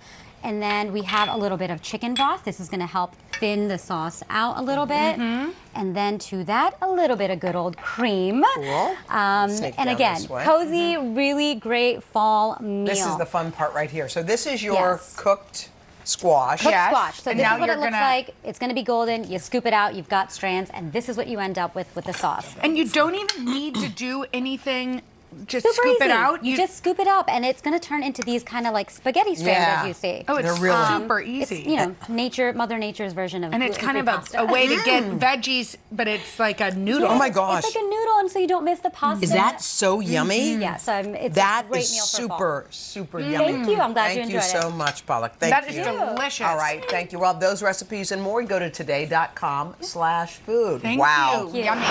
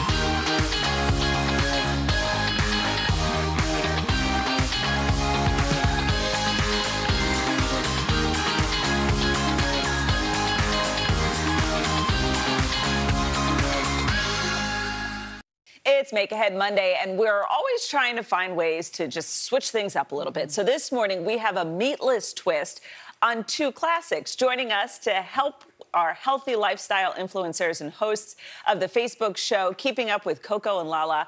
And it is Coco and Lala with us this All right. morning. Good morning, ladies. Hi. Hey there. So before we get started, I just have to ask, how'd you decide to make vegan and vegetarian meals together? Well, I'm vegan and I'm vegetarian. And so we just came together and created a dynamic duo. well, pro- tell me this is good. So we're gonna do this. Let's jump in. You're starting with a cauliflower bolognese sauce. Lala, why is cauliflower a good substitute for meat with this? Because it, it honestly it tastes just like meat when you have it with the the spaghetti sauce And the taco and the seasoning. taco seasoning. Mm. Which we thought of this for you guys because we know you guys are busy moms. Al's doing this healthy eating type Mm-hmm. thing, so this is a great substitute, and the kids love it. Coco has five kids; her kids love this, Okay. and it's simple. So let's get do it in- cooking. Yeah. Let's get cooking. Wh- wh- Let's What do we? You cook it, start off, and you mentioned taco seasoning, which I'm a big fan of the taco seasoning. Yes. Good. So you want to start by ricing some cauliflower, and you can always buy this pre-riced as well. So once it's riced, all you need to do is get your saucepan, add in some garlic and some fresh onion, and saute this for about uh, five minutes. You add in your cauliflower, and you let that simmer and saute for about 10 minutes, and that's it.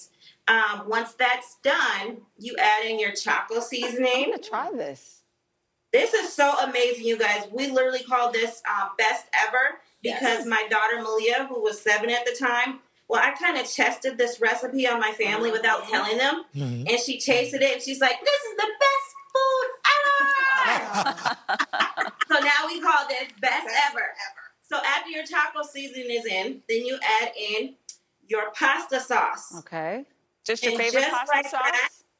Yes, your favorite pasta sauce. How do you not make it too Just like soggy? Sometimes with the cauliflower rice, it gets mushy. Look at you knowing. Well, that because I like cauliflower rice, but it, so you want to make sure that your pan is hot and you have a little bit of oil, and you Oh, you definitely got- want it okay. so that it's not too mushy. That's why you only want to leave it on for about 10 minutes, you guys, because yeah, you're right. You don't want it mushy. No, we don't. Yeah. Nobody wants it mushy.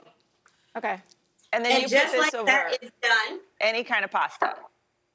Any kind of pasta. Any kind of pasta. And if you really want to healthen it up, you can use um, zucchini noodles Oh, or the zoodles. Okay. And and then so you would take it out the fridge the next day. You have some extra, Huh? and then what you want to do is add your vegan barbecue sauce to your cauliflower. Already have it pre-seasoned from yesterday, and you want to heat it up. You're gonna add it to a a bun, a toasted bun. You can Yeah, add a little bun. bit of green peppers if you like. Mm. And on top, we're gonna now I don't know how to say this right, so I think it's gardeniera, but I say Italian relish. Sure. Ooh, a little bit give of it a little Italian kick. relish. And Yes, a nice give it a little kick. Yeah. And TV magic, it's done. Oh, Very good. Throw a little vegan cheese And there's on no there. meat in anything. And you can have vegan cheese too if you want. Yep, absolutely. Wow. That's really no terrific. meat.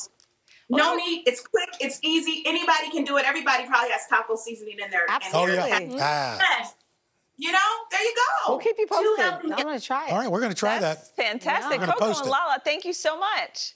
Thanks for having us. Thank you. All right. For these recipes, head to today.com slash If you're looking for a way to get everybody together this weekend for dinner, tell them you're making the ultimate Italian family meal. Of course, we're talking about spaghetti Ugh, meatballs. And you can't get any more classic than that. Our friend Scott Conant is going to show us how to fix it ahead so you don't have to spend your Sunday in the kitchen. His recipe is straight out of his new cookbook. We love this title Peace, love, and pasta. By the way, brilliant title, Scott. How are you?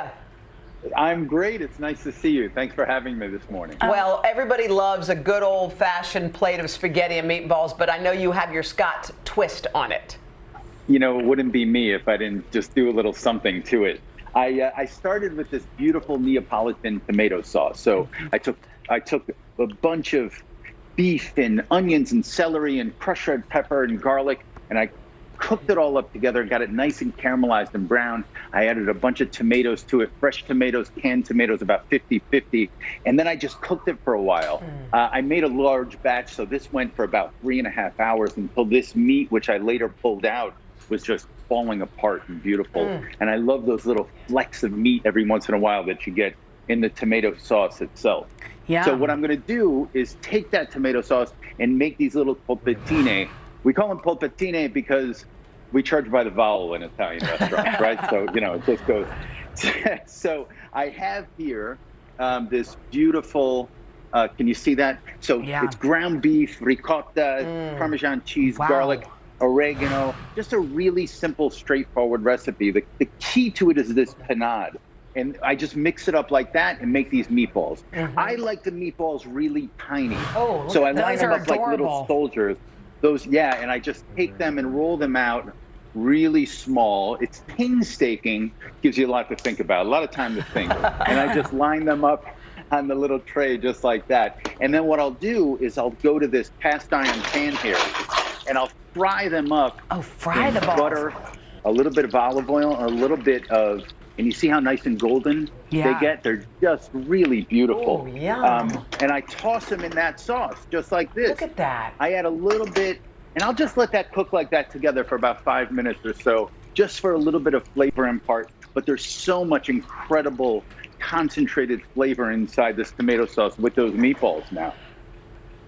I take this pasta, this macaroni. This is a store bought one. You could easily do the one that I have in the book as well. It's a beautiful macaroni. And toss it together. And I add a little bit of this pasta cooking liquid as well. Did I lose you there? Mm-hmm. Yes. I think I lost you. No, oh, no, there no. we go. Right Perfect. here. We're just, Good. we're just taking notes. Right there with you. Okay. so toss it all together. Add a little bit of butter, a little bit of torn basil inside of it, mm. and this is special stuff. You know, you could freeze the sauce ahead. You could Yes. freeze the meatballs as well. I mean, those are really important things to do. And then it's just really easy assembly for you. I mean, that, by the way, uh, Scott, we want that. It looks so good. You said you you throw some butter cubes in the Yes. finished product. So I put a little bit of butter inside there. Ah. It, you know what it does? It rounds out the edges of the acidity of the Yeah. tomato sauce. Okay. You know- so I feel like it just kind of softens it on the Hoda and I both like to eat Yeah. our our spaghetti with our kids, Lady and the Tramp Yeah. style. Yeah. You know what? Yeah. And we're gonna try it with your recipe this weekend. Thank you, Scott. To get, Please do. thank you, Scott. To get this recipe, head to today.com/food. And for Scott's cookbook, we love this. It's called Peace, Love, and Pasta. Head to today.com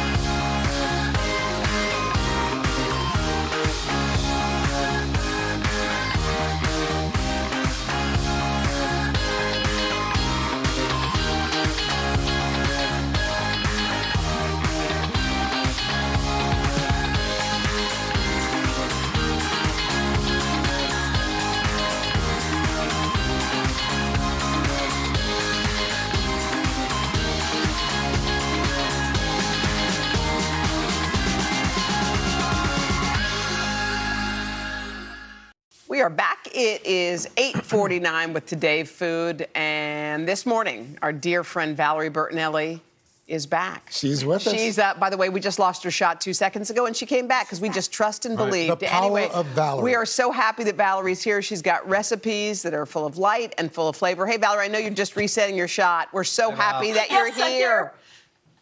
I don't know. Oh, I gotta fix the um. That's the all right. Sound. Take your Oh time. no, you're good. Take your You're time. good. Don't worry. You got Can time. you hear Don't us? worry.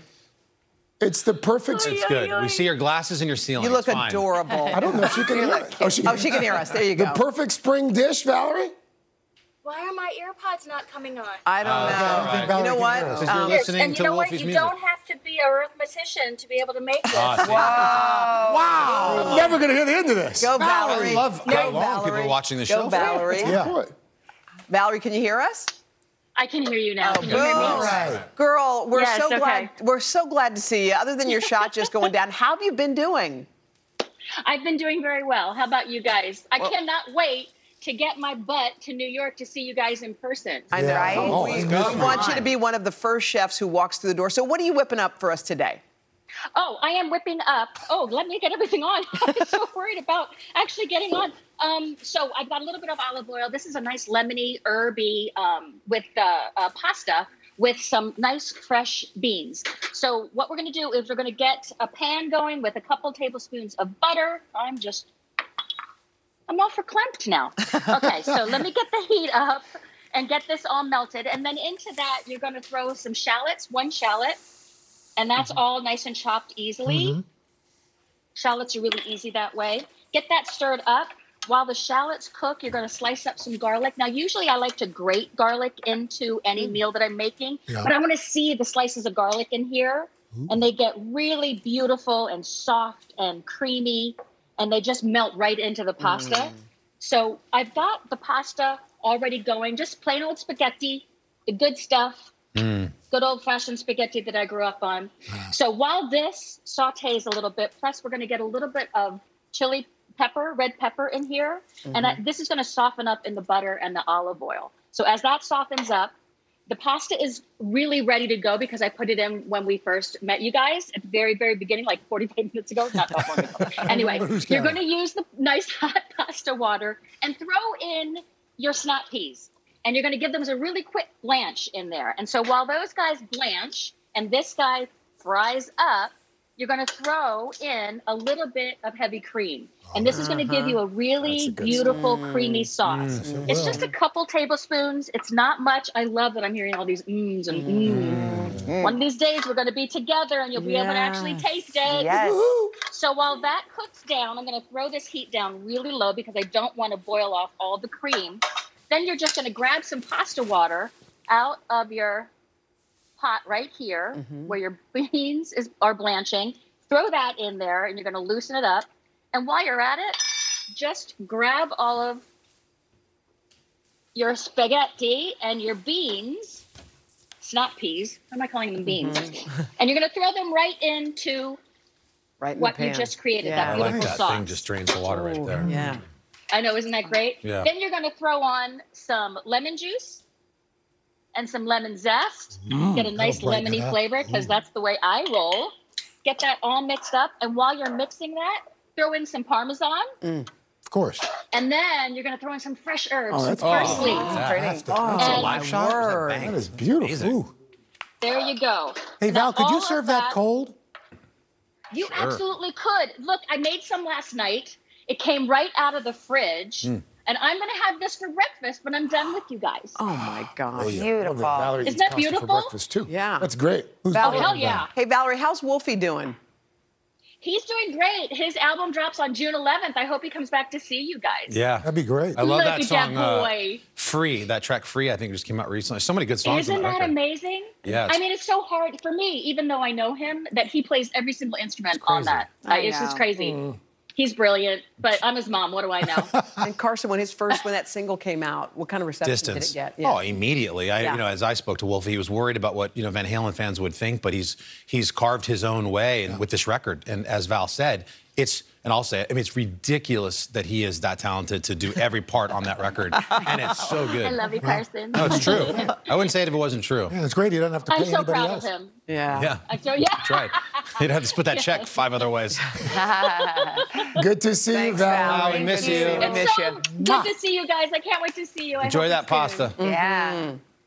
If you want to get your hands on Valerie's recipes, you can go to today. Got, it's been a long 24 hours. Today. Today.com slash Slash food. And don't forget to catch episodes of Valerie's Home Cooking on the Food Network. Bye, Val. We love Bye, you. Bye, Val.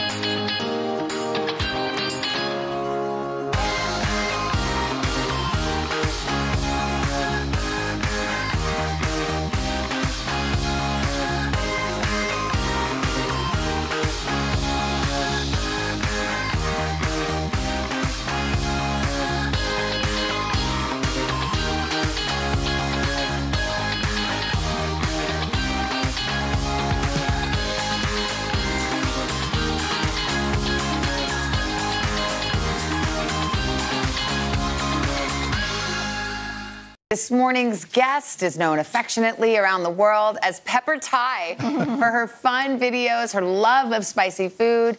And Chrissy Teigen knows her quite well. She calls her mom. I love it. For years, Pepper has been showing off her culinary skills on YouTube in Pepper's Corner, a series featured on Chrissy's channel. And now you can cook along with her because the Pepper Thai Cookbook is out today. That's right. We're so excited that she's here with us to tell us that and so much more to share one of her favorite family recipes. Good morning, Pepper. How are you? Good morning. Hi, good morning, New York. I love Thai food. too. Pepper, I just, before we get to your recipe, I, I guess Pepper is not your given name. You weren't born with that name. How did you get that nickname? Uh, when I first came to America in 1983, uh, her father and I bought a tavern up in Seattle, Washington, and uh, and we run the tavern for a while. And uh, I've been cooking there, and uh, and I always make my own food, and I eat so spicy, so hot that. Uh, and then my names, my Thai name is kind of hard to pronounce, so I. Uh, so they give me the papers. We'll uh, take it. As, uh, We'll take my name since since then. Yes. Sounds good. All right, let's talk about what you're cooking here. Stir fried spaghetti. Yes, spaghetti and like a sweet chili jam. Mm. Um, with uh, sun-dried tomatoes. Hmm. Uh, the, I think it was a very easy, pretty much kind of like a pad thai a little bit. It, I think it's a lot easier to this one. Wow. Uh, Wow. Good morning. Hi, John. Hi, Chris. They are waiting. so excited for mom. We can't hear anything. Oh, okay. Well, it's not rehearsal. Nice up person. I just want to say hi to everybody. John is stressed. Chrissy is not. We miss New York. I know. It's so fun to be all together like that. Pepper, so how do you make this? Give us your, your, your recipe here. So I just fry garlic, uh, chicken, uh, slide up, and then uh, chili jams. I add in a sun-dried tomatoes, and wait till the chicken is cooked. This is the chili jam. I had it in my book. Uh, you can make your own, or you can buy it uh, at the supermarket. And you can make it Uh, spicy or uh, sweet, right? Or maybe if your kids don't like Right. spicy. Yes, right, yes. I mean, even this uh, chili jam is come with uh, no spice, mediums and high. And for me, I add more. Yes, you do. Pepper, Pepper, you use a lot of fish sauce uh, throughout the Yes. cookbook. Uh, what is fish sauce for Mhm. folks who aren't familiar with that? Uh, fish sauce is like a fermented fish. Uh, and uh, I cannot live without it. Um, I, you know, um, we use a lot. Uh, try to get people to learn how to use it. Uh, even a household is like a regular thing at the house. People uh, really uh, tend to uh, using using it uh, now more than 20, 30 years ago. Uh, our house is like every day, uh, you know, more than the soy sauce. Right. Oh, wow. So, Pepper, Thai food, I think anybody would say, is one of the most delicious cuisines on earth. Mm. The flavor is just so elevated, it's so good, mm-hmm. but people are probably a little intimidated to try and recreate a Thai dish in their own homes. Mm-hmm. Why should they not be nervous to do that? Uh, people always order Thai food, but I know they're intimidated. I mean, even Chrissy, she have me now. She's rather have me doing it. uh, uh, it's so easy. Uh, we have to do our own hair today. Does she always do that when you're cooking? Come in and do your Such your a hair? stage mom You look she is. beautiful, She, though. she loves to teasing me and playing around with me. Uh, I would cook And, uh, day if Chrissy Teigen came in and did my hair. And tussled your hair. Exactly. I did that. had hair. yes, I did that. Pepper, Yes. thank you so much. Congratulations on the cookbook. Thank you so much. Thanks, Miss New York, love your guy. I watch your guy every day. thank, you, so Thank much. you. It's called the Pepper Thai And, uh, Cookbook. You can find it at today.com slash Mm. food. Love Thai food, now. right? Yeah. Oh, gotta, gotta do it tonight. Thank now that's a picture. Bye, guys. Bye, Chrissy. Bye, Chrissy. I wish John was in the towel. Guys, thank you. It's a family affair today. Oh, I love her.